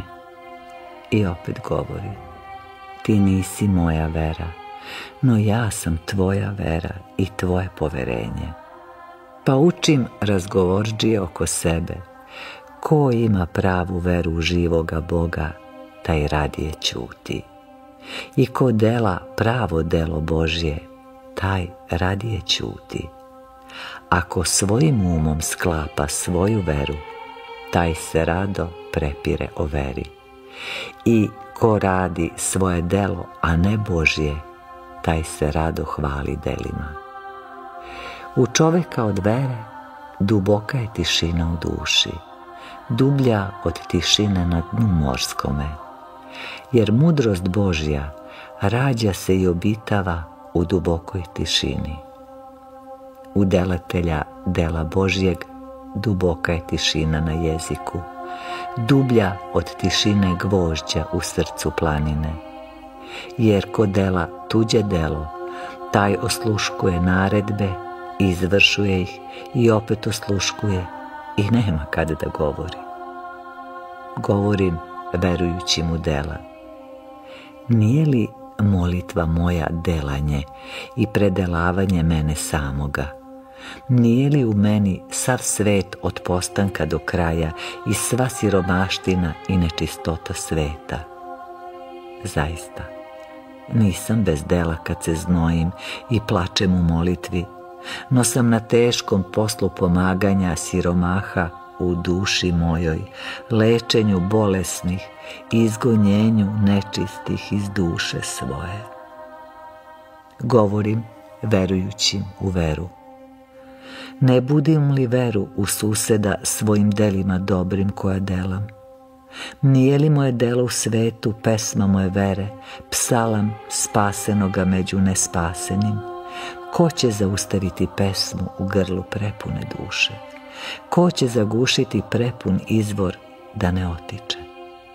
Prepiru li se vile što čuvaju izvor sa vilama u potoku izvorskom oko toga koja je voda korisnija? Zaista, da nije izvora, ne bi bilo ni potoka.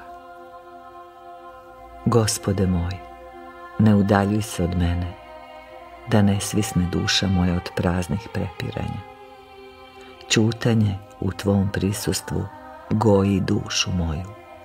Razgovori u Tvome odsustvu mršave je i troše je u pozder. Oslušnuh i posljednji put prepiranja ljudi i mahnuh rukama i udaljih se.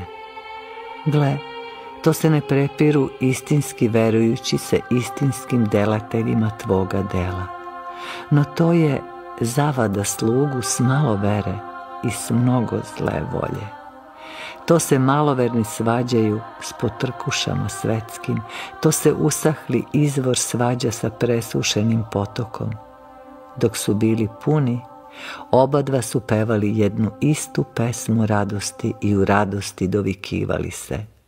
To se zlovernik svađa sa zlodelaocem. Kakva je moja zajednica s njima? Šta me veže za njih osim sažaljenja što utekoše od Tvoga sijanja? Ispuni dom duše moje, životvorni duše, da bih oslepio i ne video gnevna lica prepirača i da bih ogluvio za njihove lude razgovore. Utekli su od tebe radosti moja, zato vode lude razgovore.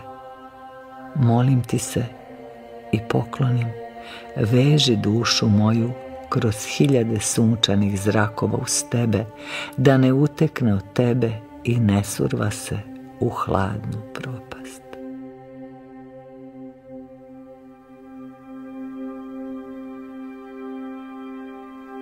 Oni što prosvećuju, ne prosvećuju, nego zaslepljuju. Šta ćeš činiti s njima, gospode? Oni odvraćaju decu tvoju od tebe i brane joj da priđu k tvojoj mudrosti jer govore Gospod je jedna stara reč vaših mrtvih džedova. To je stara majlija koju džedovi vaši nosiše sobom i pomreše. Mi ćemo vas naučiti kako se rije zemlja i goji telo i kuje zlato što jače sija od mrtvog gospoda. Šta ćeš činiti sa sablaznateljima dece tvoje gospode? Ništa im ja neću učiniti, jer oni su učinili sve za prokletstvo svoga semena i plemena. Zaista, goru su sudbu spremili sebi svome narodu nego književnici saduke iz Judeje, jer ima doše primjer ovih i ne naučiše se. U starosti svojoj slušat će klepet mačeva na pragu svome i umiraće od gladi ćelavi i drljavi i neće smeti izviriti se kroz vrata da opomenu učenike svoje. Čime će ih opomenuti kad je ime moje izbačeno iz hajdučkog srca njihovog? Što će ih i opominjati? Kad su ih oni na to spremali po bezdanoj gluposti svoj koja prati svakoga koga ja ne pratim. Šta će im biti, gospode? Biće im gore nego Vavilonjanima kada se u sili svojoj klanjahu krvi i zlatu i decu svoju učiše da se tome klanjaju. Prvo će doći glad kakvu ni Vavilon nije zapamtio pa rat radi pljačke hleba iz koga će se vratiti pobeđeni, pa međusobno klanje i paljenje gradova i sela, pa bolesti do kojih se ruka lekara neće smeti dohvatiti. I učitelji će biti šibani bičevima i gonjeni da budu grobari svojih učenika, od kojih će svi drumovi smrdeti. Oni koji vode narod, ne vode, nego ga zavode. Šta ćeš činiti s njima, gospode moji? Zavađaju narod radi svoje koristi i kad se narod zbuni i uzbuni, oni se izmiču sa vlasti i u miru jedu izlaganu dobit. Krive svoje protivnike, a idu stazama njihovim. Od njihove galame mudrac ne dolazi do reči laskaju glupaku i nasilniku samo da dođu do prvih mesta. Posve dnevno pišu knjige i objavljuju zlo svojih srodnika da bi skrili svoje zlo. Ne uče narod istini, nego ga hrane lažiju okruglu godinu. Nemoćni su da učine pravdu narodu, nego ga zastrašuju plašeći ga gorom nepravdom prošlih vremena. Haraju za sebe i za prijatelje svoje jer znaju da neće dugo. Šta ćeš činiti s njima, pravedni gospode? Učinili su oni sve i ja nemam šta da činim, nego da ih ostavim sebi. Zaista neće jesti svoju dobit u miru, nego će potrošiti za daće svojih rođaka. Osiromašit će, i miševi će im proletati kroz prodrtu košulju. Snevaće bune prevarenih i poharanih i dizaće se u ponoći prestrašeni i oznojni, bit će im dug život da bi im kazna bila duža. Doživeće da vide svoj dom u zgarištu i bežaće iz svoje zemlje gladni i bolesni i neće smeti izgovoriti svoje ime ni pred kim. Gledat će tuđince u svojoj zemlji i prosit će komad hleba od njih. Gore će biti državi njihovoj nego rimskoj, jer ima doše Rim za primer i ne poučiše se. Gore će biti narodu njihovom kojih je rodio nego narodu jevrejskom, jer ima doše primjer naroda jevrejskog i ne poučiše se. Slušat će kletve svoga imena i neće smeti proviriti na prozor. Gledat će svoj narod gde ga vezane u povorkama vode i bojaće se za sebe, i slušat će i u snu i na javi proklinjanja svoga imena i drhtaće, drhtaće, a neće moći umreti. Gospode veliki i strašni, svi su tvoji putevi milost i istina. Šta ćeš činiti sa zaslepljenim, zavedenim, slaganim i poharanim? Ako se ko seti imena moga, Setit ću se i ja njega i spašću ga. Čekam da me ko vikne i odazvaću se. Dokle ima vikanja na zemlji, imaće i eha na nebu. Ja sam onaj koji je najbliži svima i svemu. Dajem se onome kome želi. Povlačim se od onoga kome ne poznaje. Bez mene svet je puhor pepela. I bez mene ljudi su nemoćniji od puhora.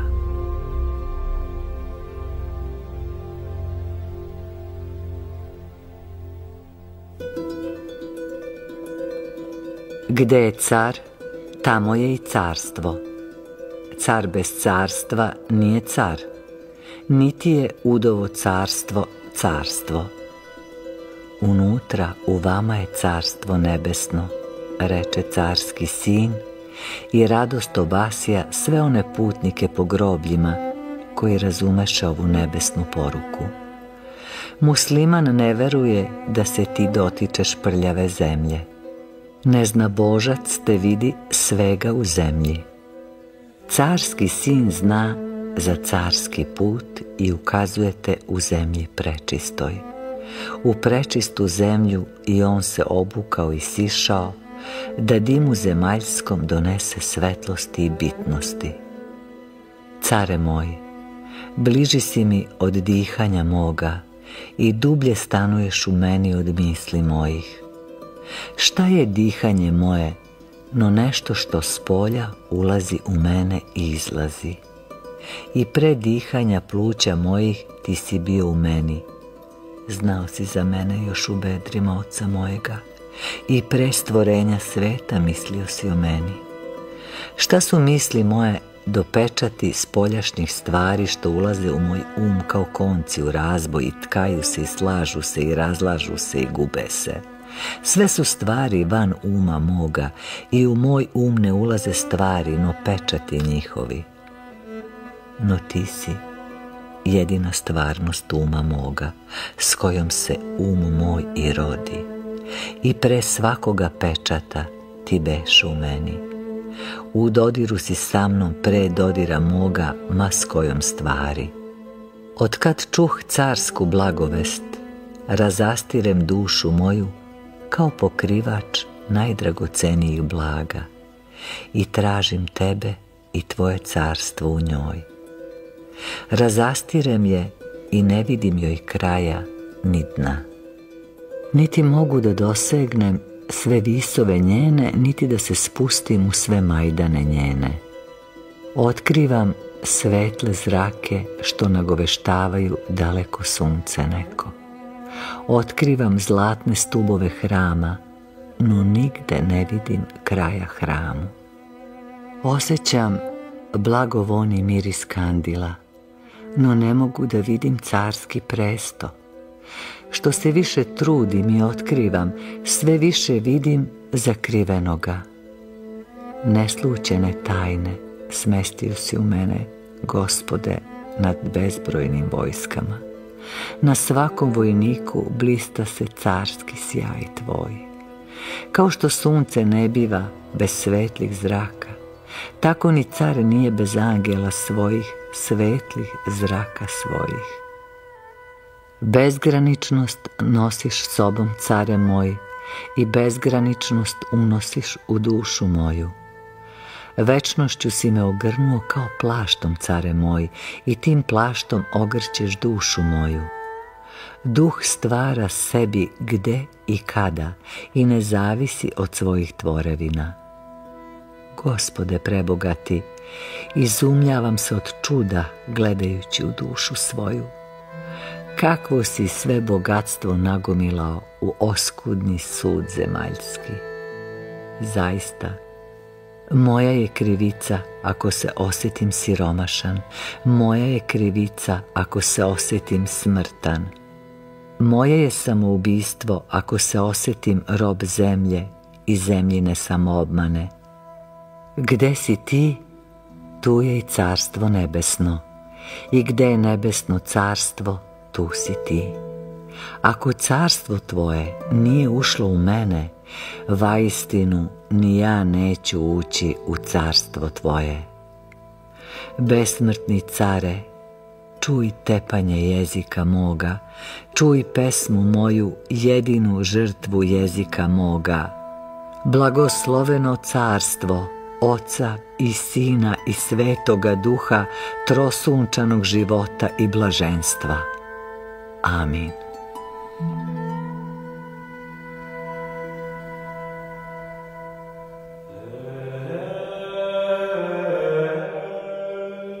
Dobro će biti s pravednikom. Ko ikad traži grob nepravednika, na što će mu? A grob pravednikov svi traže i ograđuju ga i podižu spomenik. Na što će im? To je ispovest sveta da pravednik živi i posle smrti, a nepravednik da se gubi kao brazda na morskoj vodi. Ti si pravda pravednika, živi Bože. Njegova pravda nije u zakonima ljudskim, koje ljudi hitro pišu i leno ispunjavaju. Tvoje prisustvo, njegova je pravda i svaki tvoj dah, njegov novi zakon. Veliki pravednik nema starih zakona, niti mari za zakone pisane na papiru. Jutros od zore, on osjeća da ti pišeš po njegovom srcu i umu i čita. Stotine nasilnika i trči laža dižu se protiv pravednika i raduju se kad mu stegnu grlo da ne govori.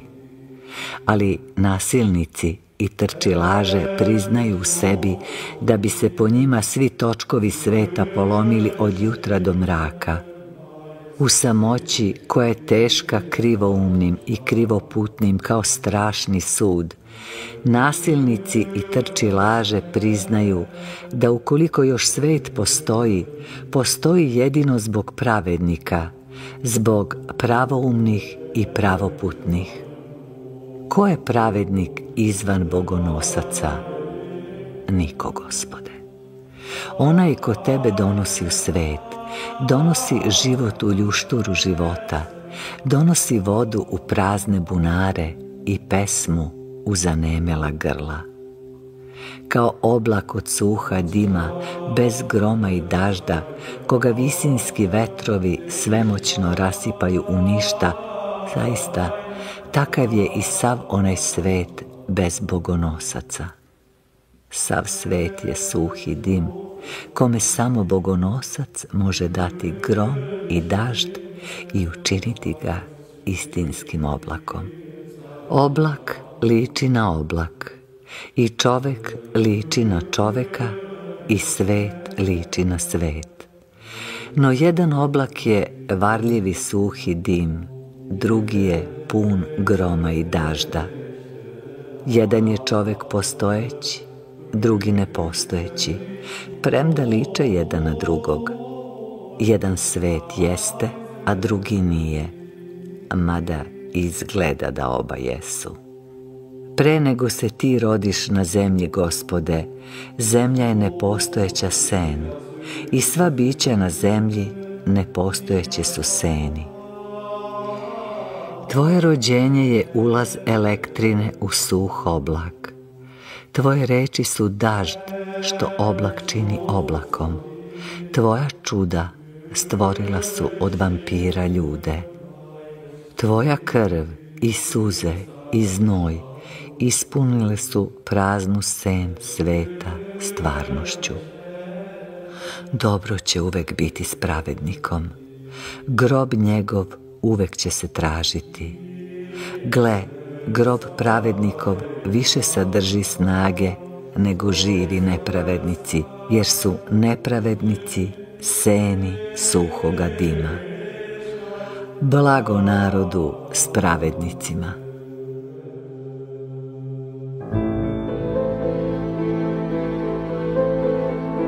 Bogonosci, vi ste so zemlji i svetlo svetu. Ako i vi obljutavite i potamnite, svet će biti ljuštura života, svlak što zmija ostavi u trnju. Vi držite nebesni oganj u pepelu.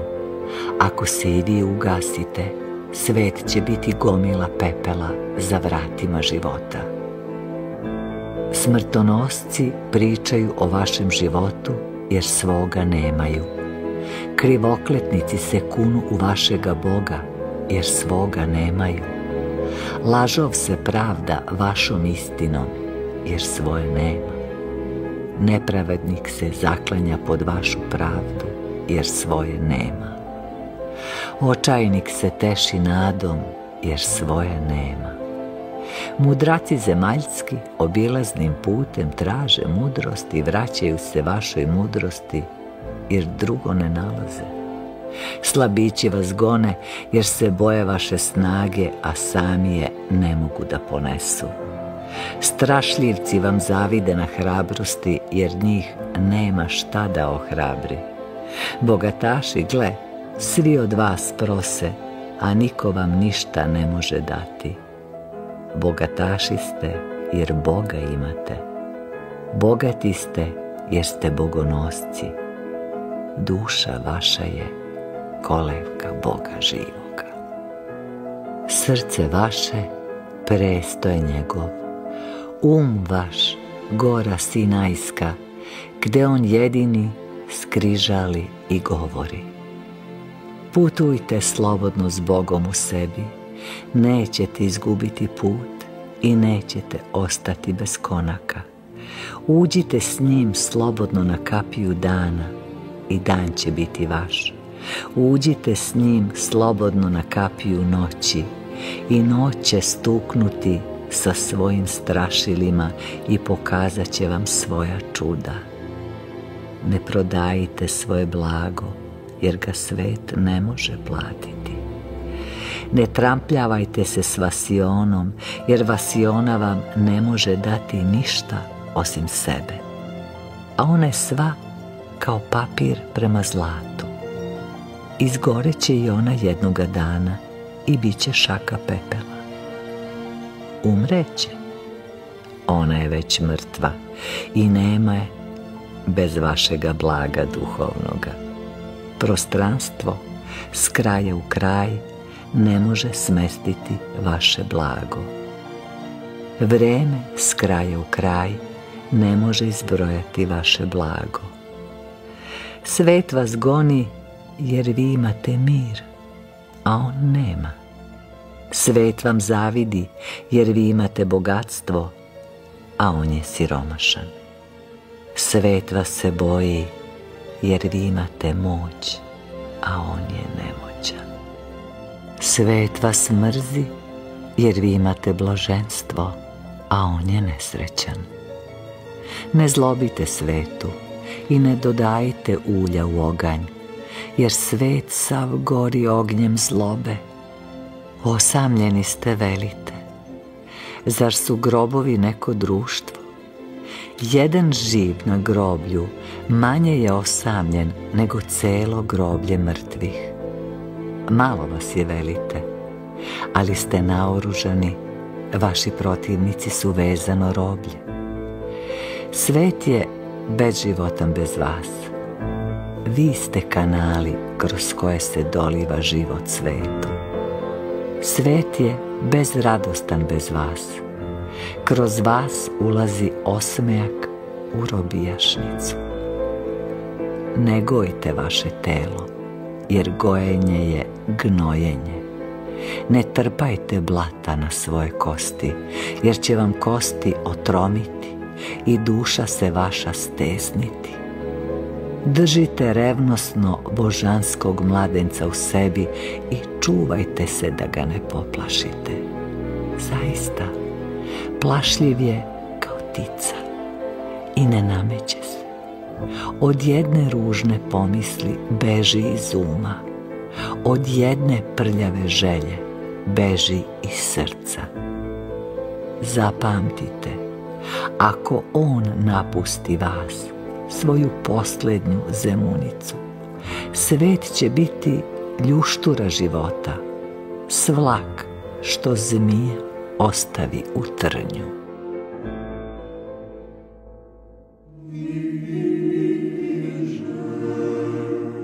Dižem ruke k tebi, pastiru moj, no ruke moje ne dosežu daleko.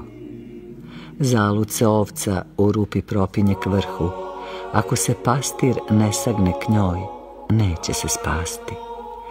Blagodat tvoja doseže dalje od sunčanih zraka. Dohvati se ruke moje, izvedi me iz tamnice. Samo jedan zrak tvoje blagodati i diću se na krila orlovska. Pod kamenom muči se travka da uzraste pogrbljena od traženja svetlosti, bledolika bez svetlosti. Velika je radost meni smrtnom kada dignem kamen i gledam travku kako se uspravlja i zazeleni. Nije li tvoja radost još veća besmrtni kada digneš kamen navaljen od cveta na dušu moju, pogrbljenu i bledoliku? Za ludu ja sabiram drva na gomilu da ogrejem dušu moju ako ti ne pustiš nebesni oganj. Za ludu ja trčim ako sam pogrešio put, u zaludno je trčanje moje. Sav trud moj i znoj moj žrtva je tebi. Ako je ti ne blagovoliš primiti, bit ću kao penjač uz planinu zatrpan snegom na vrh planine. Jer ne gledaš na množinu trudova, nego na žudnju srca. Za čim imaš da žudiš srce moje? Kuda oko pogleda, vidi smrt. Čega god se ruka dohvati, osjeća grob. Što god obreteš, obreteš i strah da to ne izgubiš.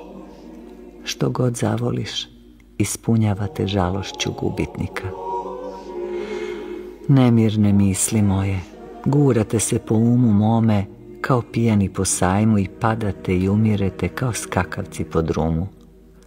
Umreće sve ono što vas je poslalo u mene i nijedno od vas neće se spasti iz moga groba, osim one što se vezala za bezgrobnog neumirućeg. Zaista. Ušle ste u grob, ušavši u mene i kao grobari spremate meni grob. Ali kad zatrubi truba, mnogocevna i mnogoglasna truba u duši mojoj i objavi dolazak Sina Božjega, tada će se sve smrtne žudnje srca moga i sve smrtne misli moje izdvojiti na levo i očistit će polje srca i uma. I Sin Boži ući će u svoje polje i zaravnit će sve grobove što ste mi spremali kao krtičnjake. I umit me i okupat će me Sin Boži i namirisati mirom, ne za smrt no za život. Sam sam se zazidao, gospod, od tvoje blagodati i ne smem da provirim van jer si kao strašan vetar. Sazidao sam kućerke i kolibice u duši svojoj, pa se bojim da ih ne razoriš. A ti razoravaš ne da bi me ostavio beskućna, nego da bi me uveo u palatu, širu i zračniju od zvezdane vasione. Odbaciše ljudi tvoj ugolni kamen, jer im je suviše prevelik za njihove kućerke i kolibe. Odbaciše ga bezumni zidari jer ne znaju šta da počnu zidati na njemu. Ne mogu da se dosete zaboravni da si ti zidar i da je sav posao njihov da tebi ne smetaju u radu. Suviše je velik tvoj krajeugolnik i divovi se plaše da mu se primaknu. Govore, ako počnemo na njemu, kad ćemo dovršiti? Sirotani, kako ih smrt plaši od svakog dobrog početka. Kako ih vreme primorava na jednodnevne građevine. Pruži mi blagodat tvoju, dužu od sunčanih zraka, bogatašu moj, i ja ću se osmiliti da stanem kraj odbačenog kamena. Gle, ti si blagodat, spusti se i digni me. Odagnaj smrti vreme od mene i ja ću zidati s tobom ono što zemaljski divovi ne smeju.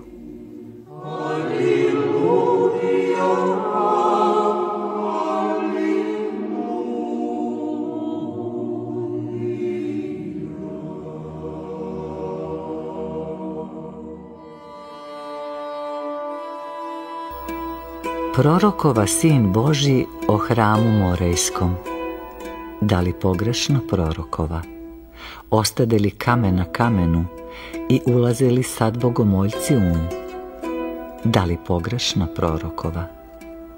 Sruči narod svu svoju dušu u zidine jednog hrama i ostade prazan i bez duše.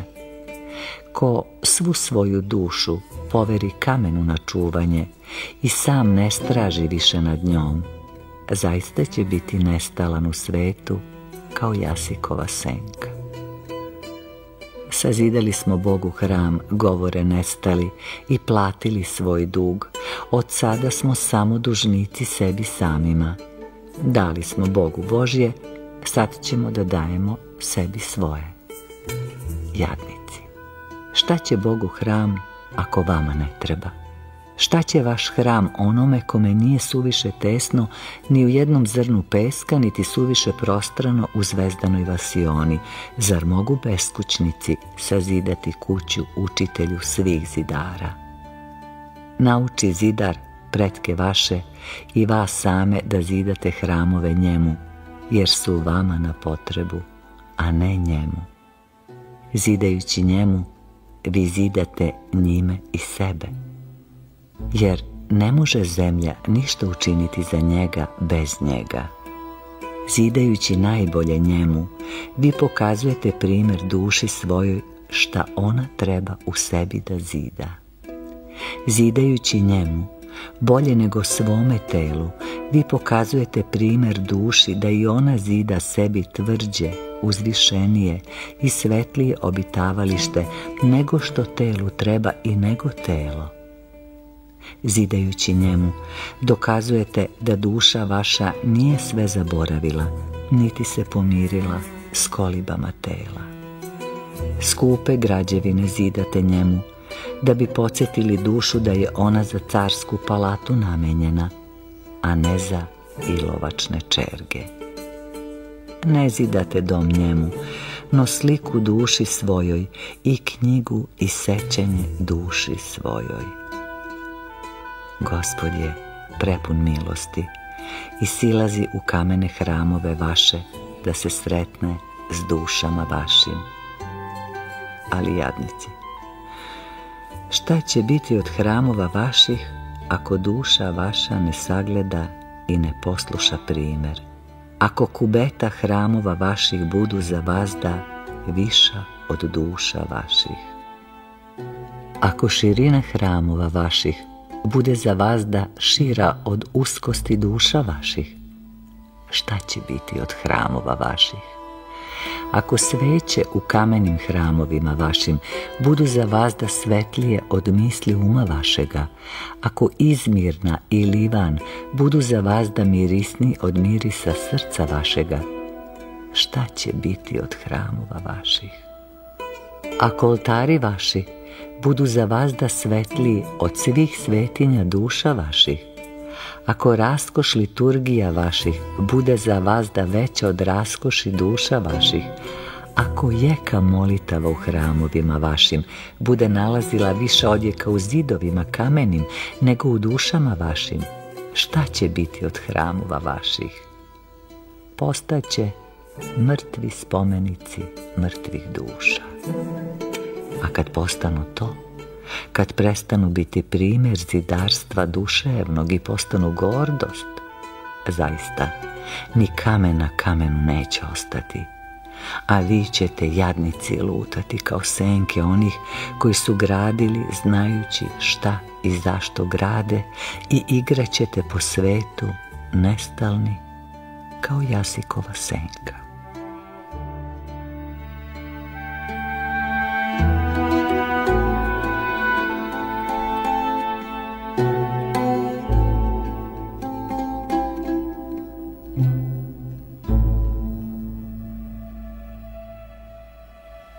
Posrnuće mnogi u svetu i pašće zbog sina Tvoga, Gospode, duži od vremena i blagosloveniji od vremenih pokolenja. Knezovi narodni udružit će se s hajducima protiv Hrista presvetoga, sveštenici s lažnim svedocima i mudraci s bezumnima. O kako je on veličanstven u svojoj osamljenosti i u čistoti svoga puta. Zakonici što su proveli vek u tumačenju zakona Božjega, ustali su sad svi složno ne da sude, nego da ubiju čoveka. Prvaci narodni, što niz nedra i na pojasima i na zaušnicama nose napisani zakon sa Sinaja, zaboravili su nekoliko hiljada godina svoga vežbanja u pravdi i kao gladni vuci jurnuli su za čovekom mira i dobra da ga rastrgnu. Trgovci su zatvorili svoje dućane i potrgli svoje noževe da ubijaju. Starci, urešeni s polja mnogobrojnim spomenicima Božih čuda na njihovom narodu, no bez jedne unutra, izvlače se ispod svojih ođaka da pomognu ubiti. Mladići koji se vesele kad ih stariji ohrabre na zločin, izišli su s motkama i kamenjem da izvrše ubistvo pre nego sednu za pashu i počnu slaviti Boga. Digle su se i žene na krv i povele su decu svoju, da i deca pomognu u jednom narodnom delu. Krvnici i nasilnici koji se drugih dana sa strahom provlače kroz mrak i teskobu, sada su postali vođe vođama i knezovi knezovima. Zločincima u tamnici došao je dan slobode, jer oni su postali potrebni narodu da ga nauče svome poslu, da ga nauče kako se ubija čovek. Svi posetioci što su došli u grad za praznik da se poklone nebu i potraže Boga, okrenuli su leđa hramu i sa svojim domaćinima i konakđijama pojurili su da traže krv pravednikovu. Sveštenici su zaboravili hram i nagnuli sa žrtvenim noževima da narod spasavaju od Boga. Hromi i kljasti pružaju svoje štake, a slepi svoje slepačke čanke, svoje jedino oružje da se pomogne ubiti iscelitelj. Tako jedan narod grešnika ustaje jednodušno kao trava da ubije Boga i omače mu se nož, zamahnut protiv Boga, te udari sam sebe u srce. Ne daj mi da padnem, gospode, premil. Otvori mi oči duše, da vidim i naučim se od sudbe grešnika, da ne pođe noga moja nizakim ko ide protiv tebe, da kako ne dignem kamen na tebe i ne ubijem sebe za navek. Ne daj mi da padnem, gospode premil.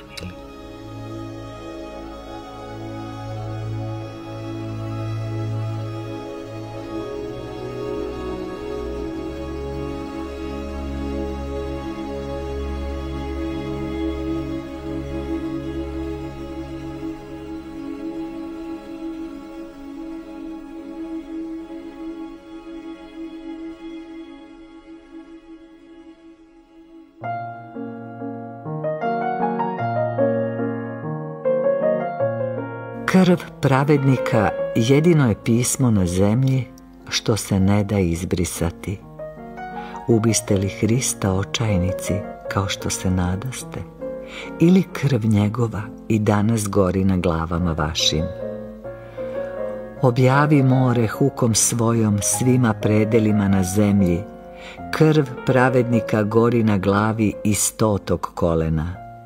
Izukrštajte se gromovi od istoka do zapada i napišite jasno iza slepce, nikakvo zlo ljudi ne mogu učiniti pravedniku, a da se to zlo ne sruči dvostruko na glavu njihovu. Jer kamen bačen na pravednika, bačen je u visinu i padajući sa visine dobija u težini kamenje Jerusalimsko, što stojiš danas razbacano, zaviči i reci rodu ljudskom, rodu zaboravnom, šta se desi sa ubijenim pravednikom i šta sa onima što ga ubiše. Videh psa gdje se oprži jednom na vreloj kaši i ne dođe više ni na hladnu.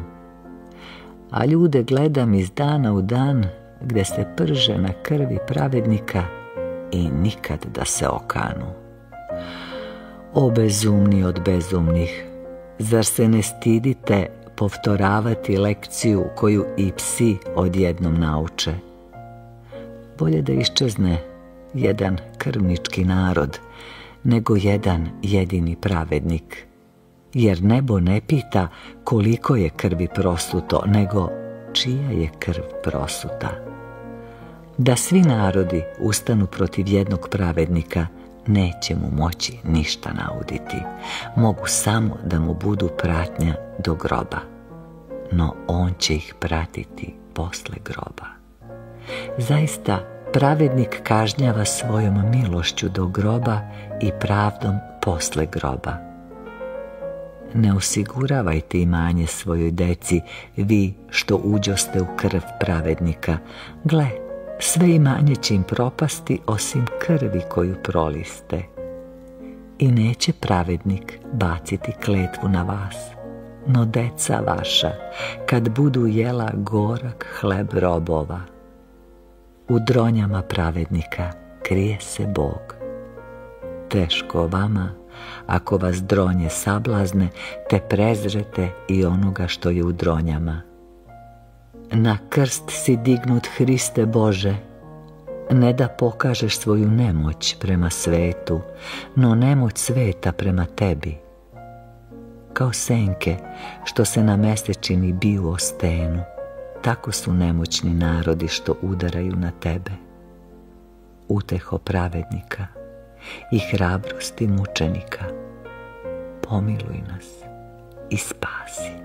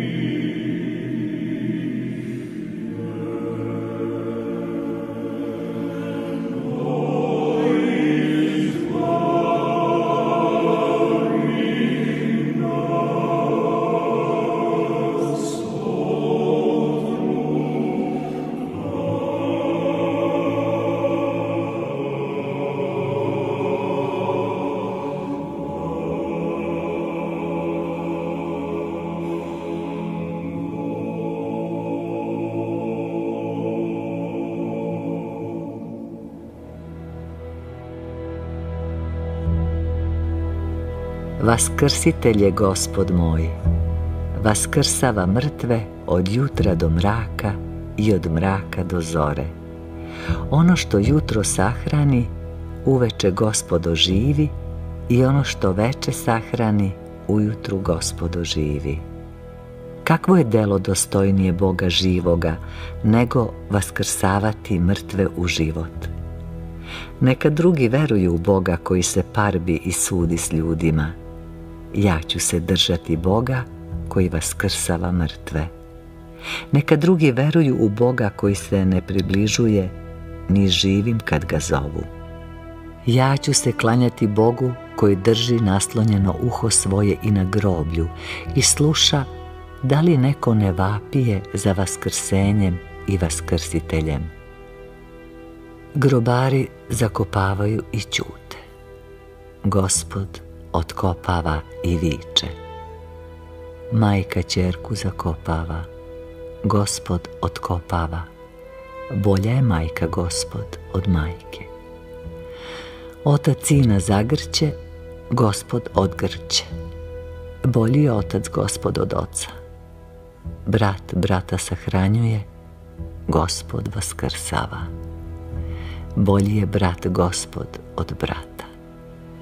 Gospod nema ni suza ni osmejka za mrtve, njegovo je sve srce za živima. Svet kuka za svojim u groblju, gospod pesmom traži svoje i budi ih. Vaskrsni gospode duh moj, da bi vaskrslo i telo moje, nastani se u duhu mome i telo moje bit će hram tvoj. Govore susedi moji u brizi, da li će ovo naše telo vaskrsnuti? Ako ste se jednom odrekli sebe i ne živite više sebi, onda je vaše telo kao vaskrslo. Ako je telo vaše hram Boga Svevišnjega, onda je vaskrsitelj u vama i vaskrsenje se vaše dovršuje. Telo se vaše menja, mnoga smo tela do sad zvali svojim. Koje će od njih vaskrsnuti? Možda ni jedno. No sigurno ono, ako ste ga imali, koje izražava jasno reč Božiju. Vaskrsitelju moj, smrt ne vaskrsava, jer smrt nikad nije ni bila živa.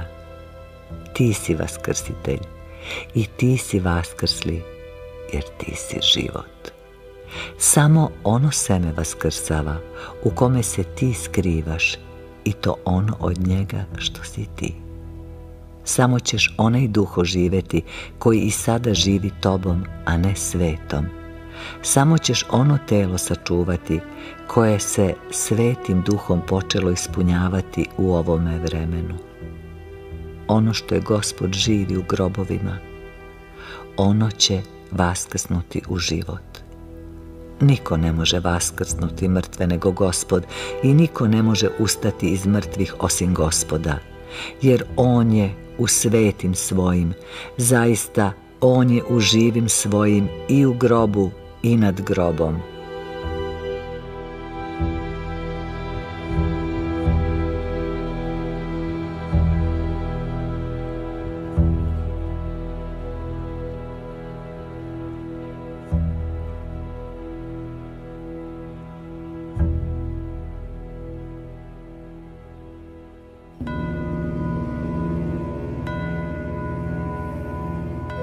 Željeni je dolazio i doći će opet.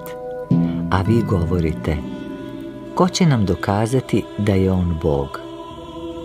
Pitam vas tamna braćo i odgovorite mi što vas pitam. Kad bi vi poručili Bogu da dođe na zemlju, kakvog bi vi željeli da ga vidite? Kao čoveka željeli bi ga videti, lepšeg od svih sinova čovečih moćnijeg od svih sinova čovečih na reči i moćnijeg od svih sinova čovečih na delu. Želili bi ga vidjeti prekrasna kao carevića, ne ohola, nego smirena kao jagnje, koji bi ulazio pod naše krovove i s nama jeo i pio i delio s nama sve sem nemoći naše i greha. onda vam kažem, vi ste sami dokazali da je Bog bio među nama. Želili bi ga vidjeti kao čoveka, premda se on može pojaviti u svakom telu. Kad govori, da govori moćno, kako nikad čovek nije govorio.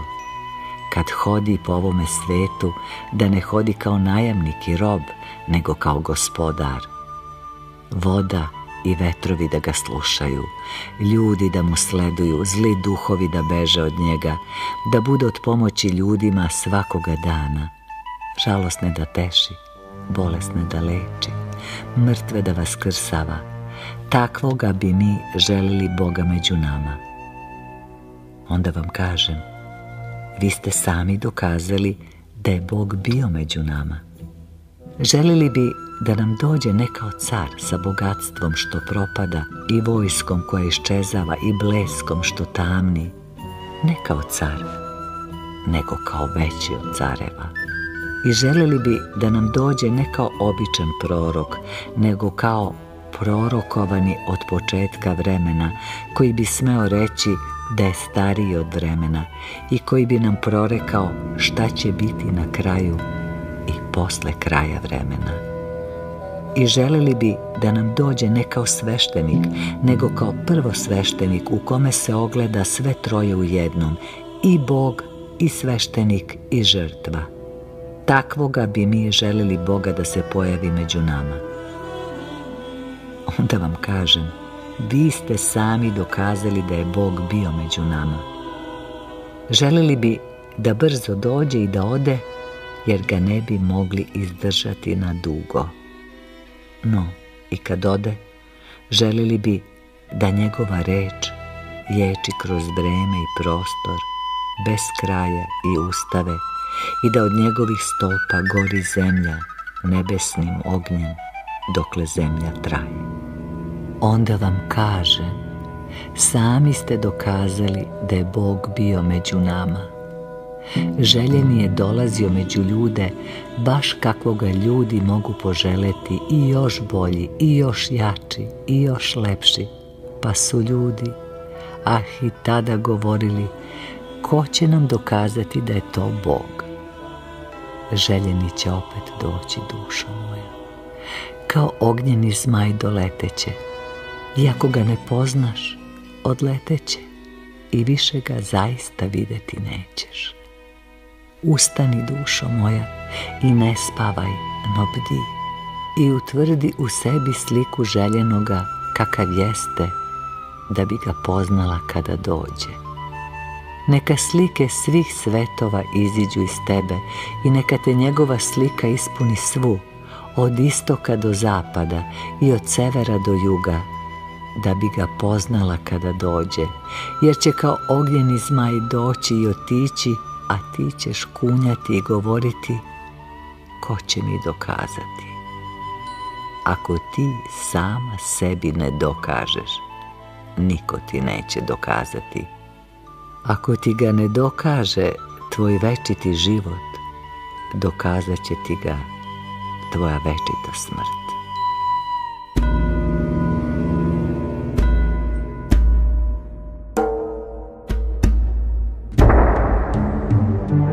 U dolini plačevnoj oživeo si mrtve kosti, sine božanski. Neka se raduje prorok, jer si obistinio reči njegove. Sva snaga i lepota i mudrost za kojom celo čovečanstvo od početka žudi, u tebi je sve čoveče. Sva hrana života i sve piće života kojom živi žive od kraja do kraja vremena, u tebi je sve čoveče. Kroz tebe se trosunčani zrak usudio baciti u tamu smrtnu i sen nebića. Milost je bila u tom zraku i kao svaka milostinja zloupotrebljena. Zato se zrak povukao i tama smrtna i sen nebića preovladala je. Sada si došao s novim zrakom i novom milošću i oni koji te primiše zasiješe kao novozapaljena sunca. Ako i te ne primiše, ostaše i nadalje mrtve kosti u dolini. Otvorio si hlebarnicu za gladne i pivnicu za žedne i prizivaš sve gladne i žedne da jedu i piju i živi budu. Ko želi života, životom se mora hraniti. Ko se smrti preda, smrću se hrani i nema ga među živima. Donese nam Boga u dolu mučevnu, donese nam Boga ne kao sliku da ga pokažeš, igranje slika pojede nam dušu, nego kao hleb, da ga jedemo i oživimo. Slikama se hranismo i pomresmo. Zaista sve stvari što smrtni jedu i piju, slike su koje ne hrane i ne poje i ne daju života ako Bog u njih ne uđe. Neka duša moja jede Boga i venčat će se večnim životom. Neka um moj jede Boga i venčat će se večnom mudrošću. Neka srce moje jede Boga i venčat će se večnom radošću. Neka telo moje jede Boga i vaskrsnuće iz mrtvih. Neka svi ljudi jedu Boga i vratit će se domu, vratit će se u sve čoveka. Tvoga groba nema među nama. Zemlja drži samo zemlju. Grobovi se sahranjuju u grobove i ostaju u njima.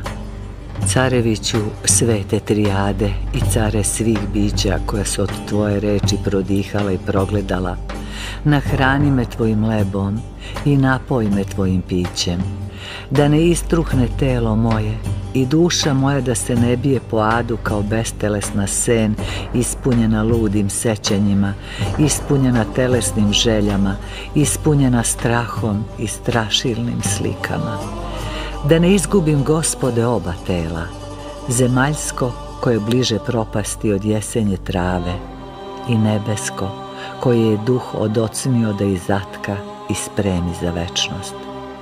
Da ne izgubim gospode oba duha, zemaljski koji se obrekao na smrt venčanjem sa zemljom i nebeski koga nisam primao u sebe da unese svoju večnost u mene. Da ne izgubim gospode oba života, zemaljski koji se čini životom i nebeski koji jeste život.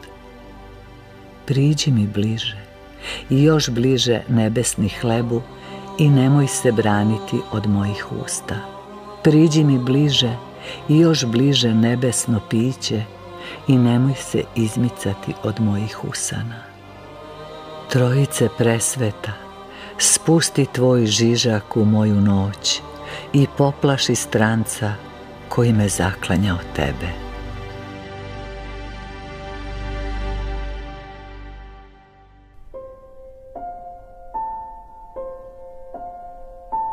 Deca i svetitelji držete gospode, ostali se buntuju protiv tebe. Deca i svetitelji granica su između carstva bića i seni nebića. Staraoci se nazivaju roditeljima i bacaju tvoju decu s visoke stene u ponor. Staraoci uobražavaju da su oni roditelji, da upravljaju decom tvojom kao sa svojom imovinom, zaista ne upravljaju, nego krive i lome. Tuđa su deca staraoci koju ste prisvojili i odgovarat ćete za krađu i razbojništvo. Nije vaš život ni onaj što je u vama, niti onaj kome ste vi poslužili kao kanal. Tuđe je sve osim zla u vama i odgovarat ćete za krađu i razbojništvo. Odgovarat ćete za krađu jer ste tuđe nazvali svojim i za razbojništvo jer ste tuđe osakatili i porušili. Nema roditelja na zemlji, roditelj je na nebu. Na zemlji su samo staraoci, oni što sebe nazivaju roditeljima na zemlji, lopovi su i razbojnici. Na zemlji su samo staraoci, i to je prevelika čast. Dato vam je na staranje najdragocenije blago što Bog ima i to je prevelika čast. Blaženiji je onaj ko se nikad nije rodio i kome nikad ništa nije povereno u staranje, nego vi ako je vaše staranje sablazan i umrtenje duša. Zašto se radujete, deci, ako ne mislite bditi nad njima kao nad angelima nebesnim? Zašto kukate za njima kad vas rano ostave i pobegnu k angelima? Tuđemu ste se radovali i za tuđim kukate. Ne starajte se samo o osiguranju tela vaše dece, jer to i lisice čine sa lisičićima, nego se starajte o Bogu u deci vašoj. Sastarani Bog postarat će se za sve ostalo. I ono što s mukom sabirate deci svojoj, on će im bez muke sabrati brzo i lako. Ne izgonite Boga iz dece vaše, jer ćete im oterati mir i sreću i zdravlje i blagostanje. Iako svu zemlju ostavite ostavljenim od Boga, ostavili ste pregladnim, koji će sve pojesti i pomreti od gladi. Ne osiguravajte deci svojoj komad hleba, no komad duše i savesti, i bit će deca vaša osigurana, a vi blagosloveni u dva sveta. Starajte se o tuđoj imovini bolje nego o svojoj i nagrada vaša bit će neizmerna. Carska deca data su vam na staranje. Zaista, car neće dati malu nagradu onima koji mu sačuvaju careviće i ne izbrišu ime roditelja iz pameti njihove. Kroz decu gleda car začuđeno u vas i čeka vaše odgovore. Ako odgovori budu smrtonosni, car će se povući iz dece vaše i vi ćete se starati o leševima. Dece i svetitelji, držete gospode moji, ostali se buntuju protiv tebe. Dece i svetitelji su tvoje kušanje sveta. Pazi, dušo moja, pazi i ne pogreši.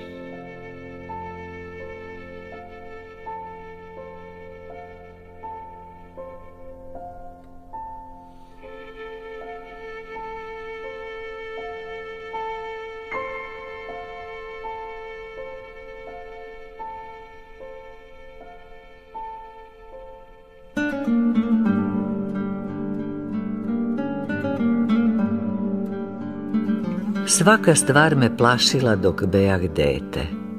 Svaku stvar sažaljevam od kad odrastoh. Svaka stvar činila mi se snažnije od mene dok bejah dete. Sad se osjećam snažnije od svega i sažaljevam sve.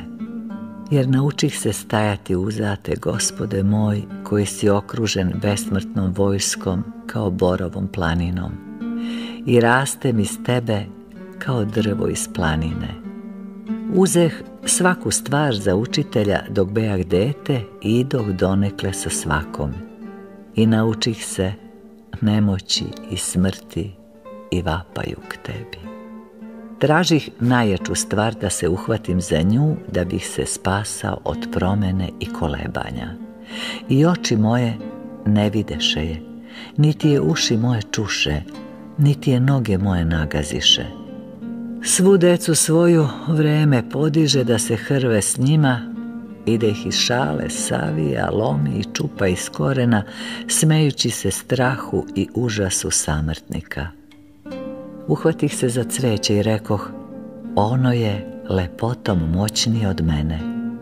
No, kad dođe jesen, cveće umiraše na moje oči i ja mu ne mogoh pomoći no sa suzama okretoh se i uhvatih se za visoko drveće. No kad dođe rok, izvali se drveće iz korena i poleže po zemlji kao pobeđena vojska i ja se okretoh sa suzama i uhvatih se za kamen.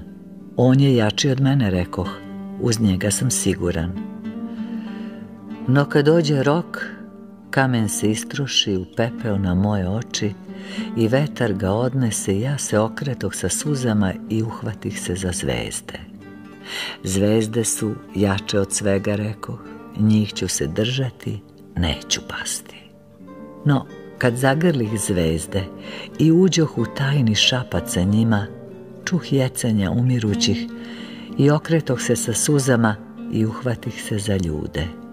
Ljudi uspravno i slobodno koračaju, rekoh, u njih je snaga, njih ću se držati da ne padnem. No kad dođe rok, videh i najsnažnije među ljudima gde se bespomoćno klizaju niz led vremena u bezglasni ponor i ostavljaju me sama. Obazreh se u znoju po celoj vasioni i rekoh, ti si jača od svega, tebe ću se držati, sačuvaj me od klizanja u bezglasni ponor. I dobih odgovor, doveče i ja tonem u bezglasni ponor i sutra će biti druga vasiona mesto mene. U zalud se vežeš za mene, nemoćnog saputnika svoga. Opet se okretoh ljudima, najmudriji među sinovima ljudskim i upitak za savet. No oni se zavadiš, dajući mi odgovore dok smrt ne mahnu rukom i ne unese tišinu među prepirače. Opet se okretoh ljudima, najveseliji među sinovima ljudskim i upitak za mišljenje. Kao da mi mogu dati neko mišljenje oni koji mesom misle. Oni me uzeše za šalu i za veselje svoje, dok smrt ne diže svoj štap i ne prevuče buđom jezik njihov. Opet se okretoh ljudima, onima koji me rodiše i doneše među stvari i upitah njih. Njihova smežurana lica pozeleneše, oči im zavodniše i oni promucaše. U neznanju se rodismo i mi, u neznanju rodismo tebe i neznanje svoje podeli smo s tobom. Opet se okretoh ljudima, prijateljima svojim i rekoh, prijatelji moji, šta mislite vi? A oni očutaše dugo, dok stidljivo ne podigoše oči i prozboriše. Mi se odavno spremamo da pitamo tebe šta misliš ti. I kad zakucah i na posljednja vrata da pitam, vrata se otvoriše i videh mrtvaca gde iznose. Kad ne bejaše više vrata da kucam, nestade i suza i suhi strah, zabode svoje kanđe u kosti moje. Još jedna suza nađe se i skotrlja se u dno duše moje. I gle, neka nepoznata vrata u koje udari posljednja suza, otvoriše se i ti se pojavi care moj i oče moj, sav okružen besmrtnim vojskama kao borovom planinom u neopalnom plamenu. I svetlost zaigra kao mnogoglasna harfa i ja čuh gde govori ja sam onaj koga tražiš, drži se mene, ime mi je Jesam.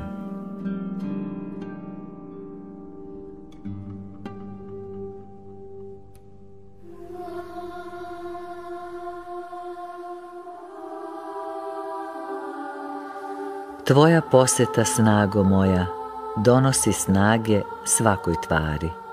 Kao prazne lampe naleva šulja u svaku od njih i počinju goreti. Blago onom ko tebe primi u svoju prazninu, napunit će se i goreće. Kad ulja nema, onda fitilj gori sa dimom i rđavim mirisom. Gorili su ljudi i pre tvoje posete, no to nisi goreo ti, no fitilj sa dimom i rđavim mirisom.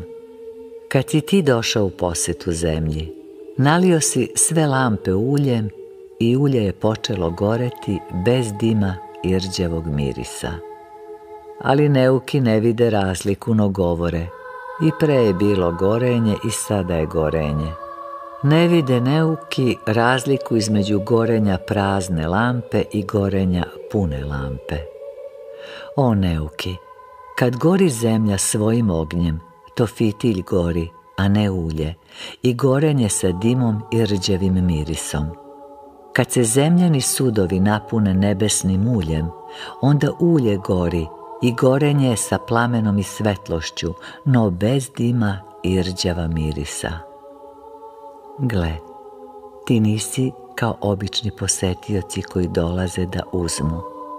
Došao si ne da dođeš i odeš kao obični posetioci i ne da dođeš i uzmeš, nego si došao da ostaviš. istinu, da napuniš i sve puno ostaviš. Svaka stvar se puni silom i snagom, gospode, prepuni dobara kada ti dođeš u posetu. Voda, što je samo mogla da pere telo, dobila je silu da krštava dušu. U tvoje ime, gospode. Hleb, što je samo mogao gomilati u čoveku pepeo na pepeo, dobio je silu da tvojim životom hrani život. U tvoje ime, gospode. Izvori su se nalili snagom i trave poljske najedrale životom. U tvoje ime, gospode. Reči su postale lekom i znaci su postali odbranom. U tvoje ime, gospode. Mrtvi su počeli uzimati nemoći živih na sebe i živi se počeli razgovarati s mrtvima kao sa živima. U tvoje ime, gospode. Grobovi iz kojih je samo smrad tekao, počeli su izlivati miro i zverske peštere postale su pokajnicama. U Tvoje ime, Gospode.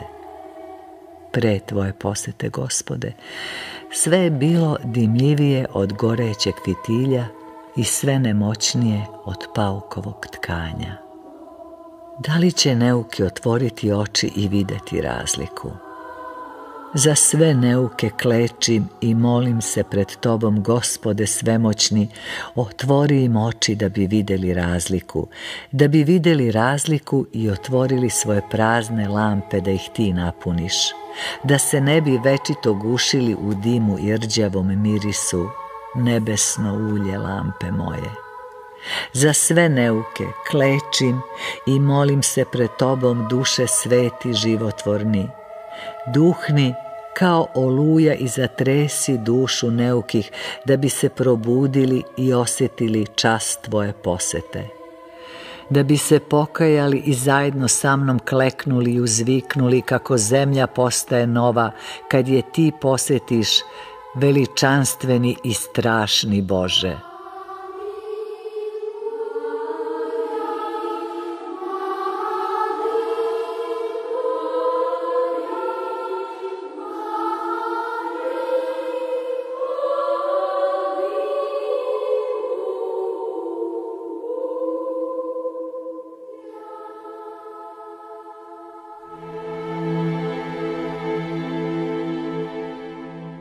Knjiga sam ispisana iz polja iznutra i zapečaćena sa sedam pečata. Sriču komšije moje i ne mogu ime da mi sreknu. Komšije moje, kako ćete onda pročitati ime gospoda koji me od blata ispere kad moje ime ne možete da sreknete? Tvoja sam knjiga, gospode care moj, tvoje sam pismo iz polja i iznutra. Samo svet me zamrlja svojom nepismenom rukom te postah nejasan i nečitljiv. Tvoja sam knjiga, gospode, care moj, i tvoji su pečati kojima si me zapečatio kao svetinju svoju. Pod svakim pečatom skriva se po jedan dar duha svetoga, po jedan dar besmrtnog života nebesne trijade. Ko će otpečatiti ono što je Bog zapečatio? Ko može drugi osim Boga jedinog? Govore mi komšije moje, ti si knjiga sveta i sav si ispisan rukom sveta i svi darovi u tebi darovi su sveta. Tako me čitaju nepismeni i ja osjećam da mi ne znaju imena. Zaista, svet je mnogo ispisao nezgrapnom rukom po srcu mome. Mnoge i netražene darove utrpao je svet u srce moje. Nogle, i kad izbrišem sve pisanje svetsko iz srca moga, izbacim sve darove svetske iz srca moga, ne izbacujem srce svoje iz sebe i ne ostavljam ga praznim. I gle, kad izbrišem sve pisanje sveta po umu mome i sve darove svetske izbacim iz uma moga, ne izbacujem svoj um iz mene, niti ga ostavljam praznim. I znam da je po telu mome pisao duh moj i po duhu mome telo moje. Gle, kad izbrišem sve pisanje duha mog po telu mome i tela moga po duhu mome, ipak ne ostajem knjiga neispisana. Kada izbacim sav svet iz sebe, opet vidim u sebi knjigu zapečaćenu sa sedam pečata. To je tvoja knjiga, gospode. To je pisanje gospoda moga. Ko može otpečatiti knjigu Božiju osim Boga jedinog? Ko tebe prizna za oca, priznaješ i ti njega za sina i sinu otvaraš knjigu i čitaš tajne. Pečat po pečat lomiš i čitaš mu tajne. U zalud me čitaju ljudi, neće me pročitati. Pročitat će samo ono što je svet napisao po meni i u meni. Noći njihove ne mogu čitati pod pečatima.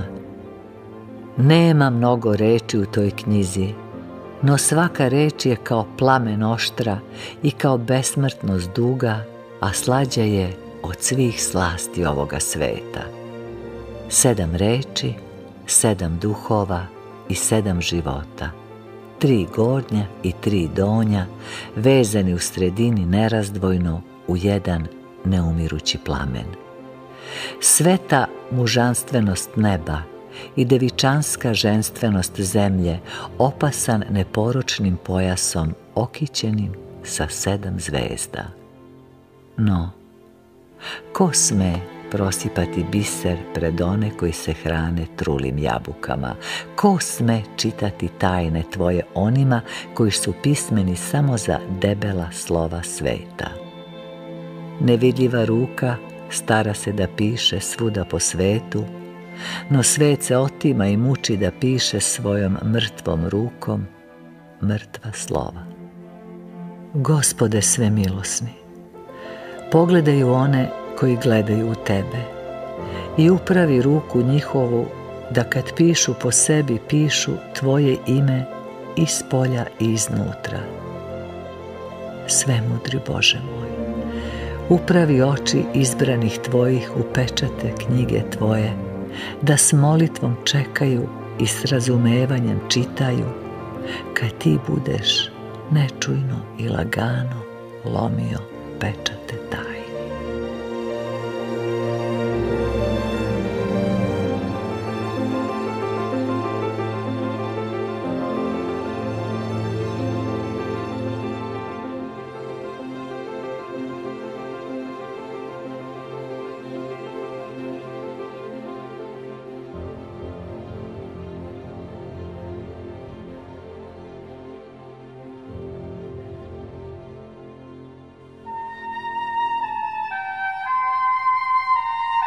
Malo je poslušnih gospode, a verujućih ima. Malo je onih koji netremice gledaju gospoda svoga i idu za njegovim pogledom. Tražim poslušne gospode moji i delim radost njima. Kazujem njima o putevima tvojim i mudrosti tvojoj i oni potvrđuju moje kazivanje. I radost tvoju množimo i delimo. Slušam priču poslušnih kako si uklonio spoticanja ispred nogu njihovih i dodajem svoju priču i soba se naša ispunjava nebom.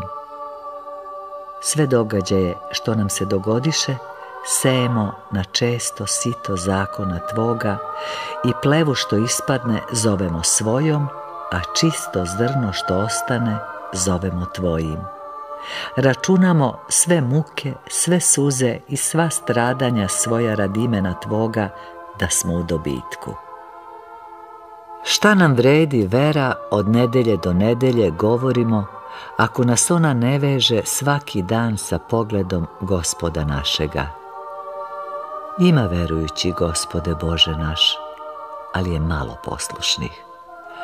Kome ću biti poslušan ako neću najmoćnijem? Zar će me zavaljeni dići i samrtnici zar će me ukrepiti? Kome ću biti poslušan ako neću najmudrijem? Zar će me neuki naučiti i neznalice? Zar će mi kazati istinu? Kome ću biti poslušan ako neću najsvetijem? Zar će me grešnici sačuvati i krvnici, zar će mi dušu spasti? Kako bi se nazvao zalutali čovek koji bi spazio oganj u tamnoj noći i ne bi sračunao svoje puteve prema tom ognju? I lađar, kako bi se nazvao onaj koji bi video svetlost u pristaništu i okrenuo lađu u stranu? Istim imenom mogli bi se nazvati i verujući, a neposlušni. Osjetio si žalku neposlušnosti moje, ljubavi moja, oprosti. Otkad me rani ljubav tvoja, stid me ispeče od sećanja nebrižljivosti moje. Zakitio sam se bio verom u tebe kao cvećem, hodio sam svojim putevima, ne osjećajući kako me ljubav tvoja u zasto prati. Sada su mi se otvorile oči za ljubav tvoju, ranio si me ljuto i rana me peče kao oganj. Kome da ispovedim greh mojno tebi, kome i sagreših? Što da se ispovedam neposlušnima koji će reći nisi mnogo zgrešio jer i mi tako činismo. Svojim grehom pravda će moj greh i neće mi dati utehe. Učinit će svoj greh merilom pravde između mene i tebe i dosudit će pravdu grešniku. Ranio si me ljuto ljubavlju tvojom i rana me peče kao oganj. Opet je milost tvoja bezmerna, te mi otvori oči pre nego umreh. Oprosti, gospode, i zapovedaj slugi tvome. Kako i sad krotko gledaš i zapovedaš, kao da ti nigda ne sagreših. Zapovedaj gospodaru i šibaj bičem i pomozi savesti mojoj šibati me. Ranio si me ljuto i rana me peče kao oganj. Neka, neka me peče kao tri ognja, dok se ne navikne biti poslušan kao angel nebesni dok mi poslušnost Tvojoj volji, Gospode, ne postane jedina slast mojih dana i noći do kraja veka.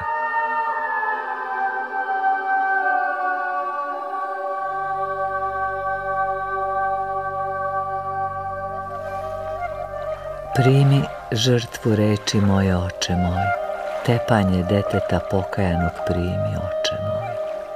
Ispravi reč moju istinom Tvojom i primi je na podnožju nogu Tvojih. Okadi žrtvu moju blagomirom svetiteljske molitve i ne odbaci je trosunčani vladiko svetova. Rečitiju ti žrtvu prinose angelski krugovi, no njihova reč struji k njima od tebe i vraća se k tebi nepomešana s nemilom tame i nezagrcnuta u grlu grehom. Ubog sam i ništa drugo nemam da iznesem na žrtvenik tvoj, osim reči ove.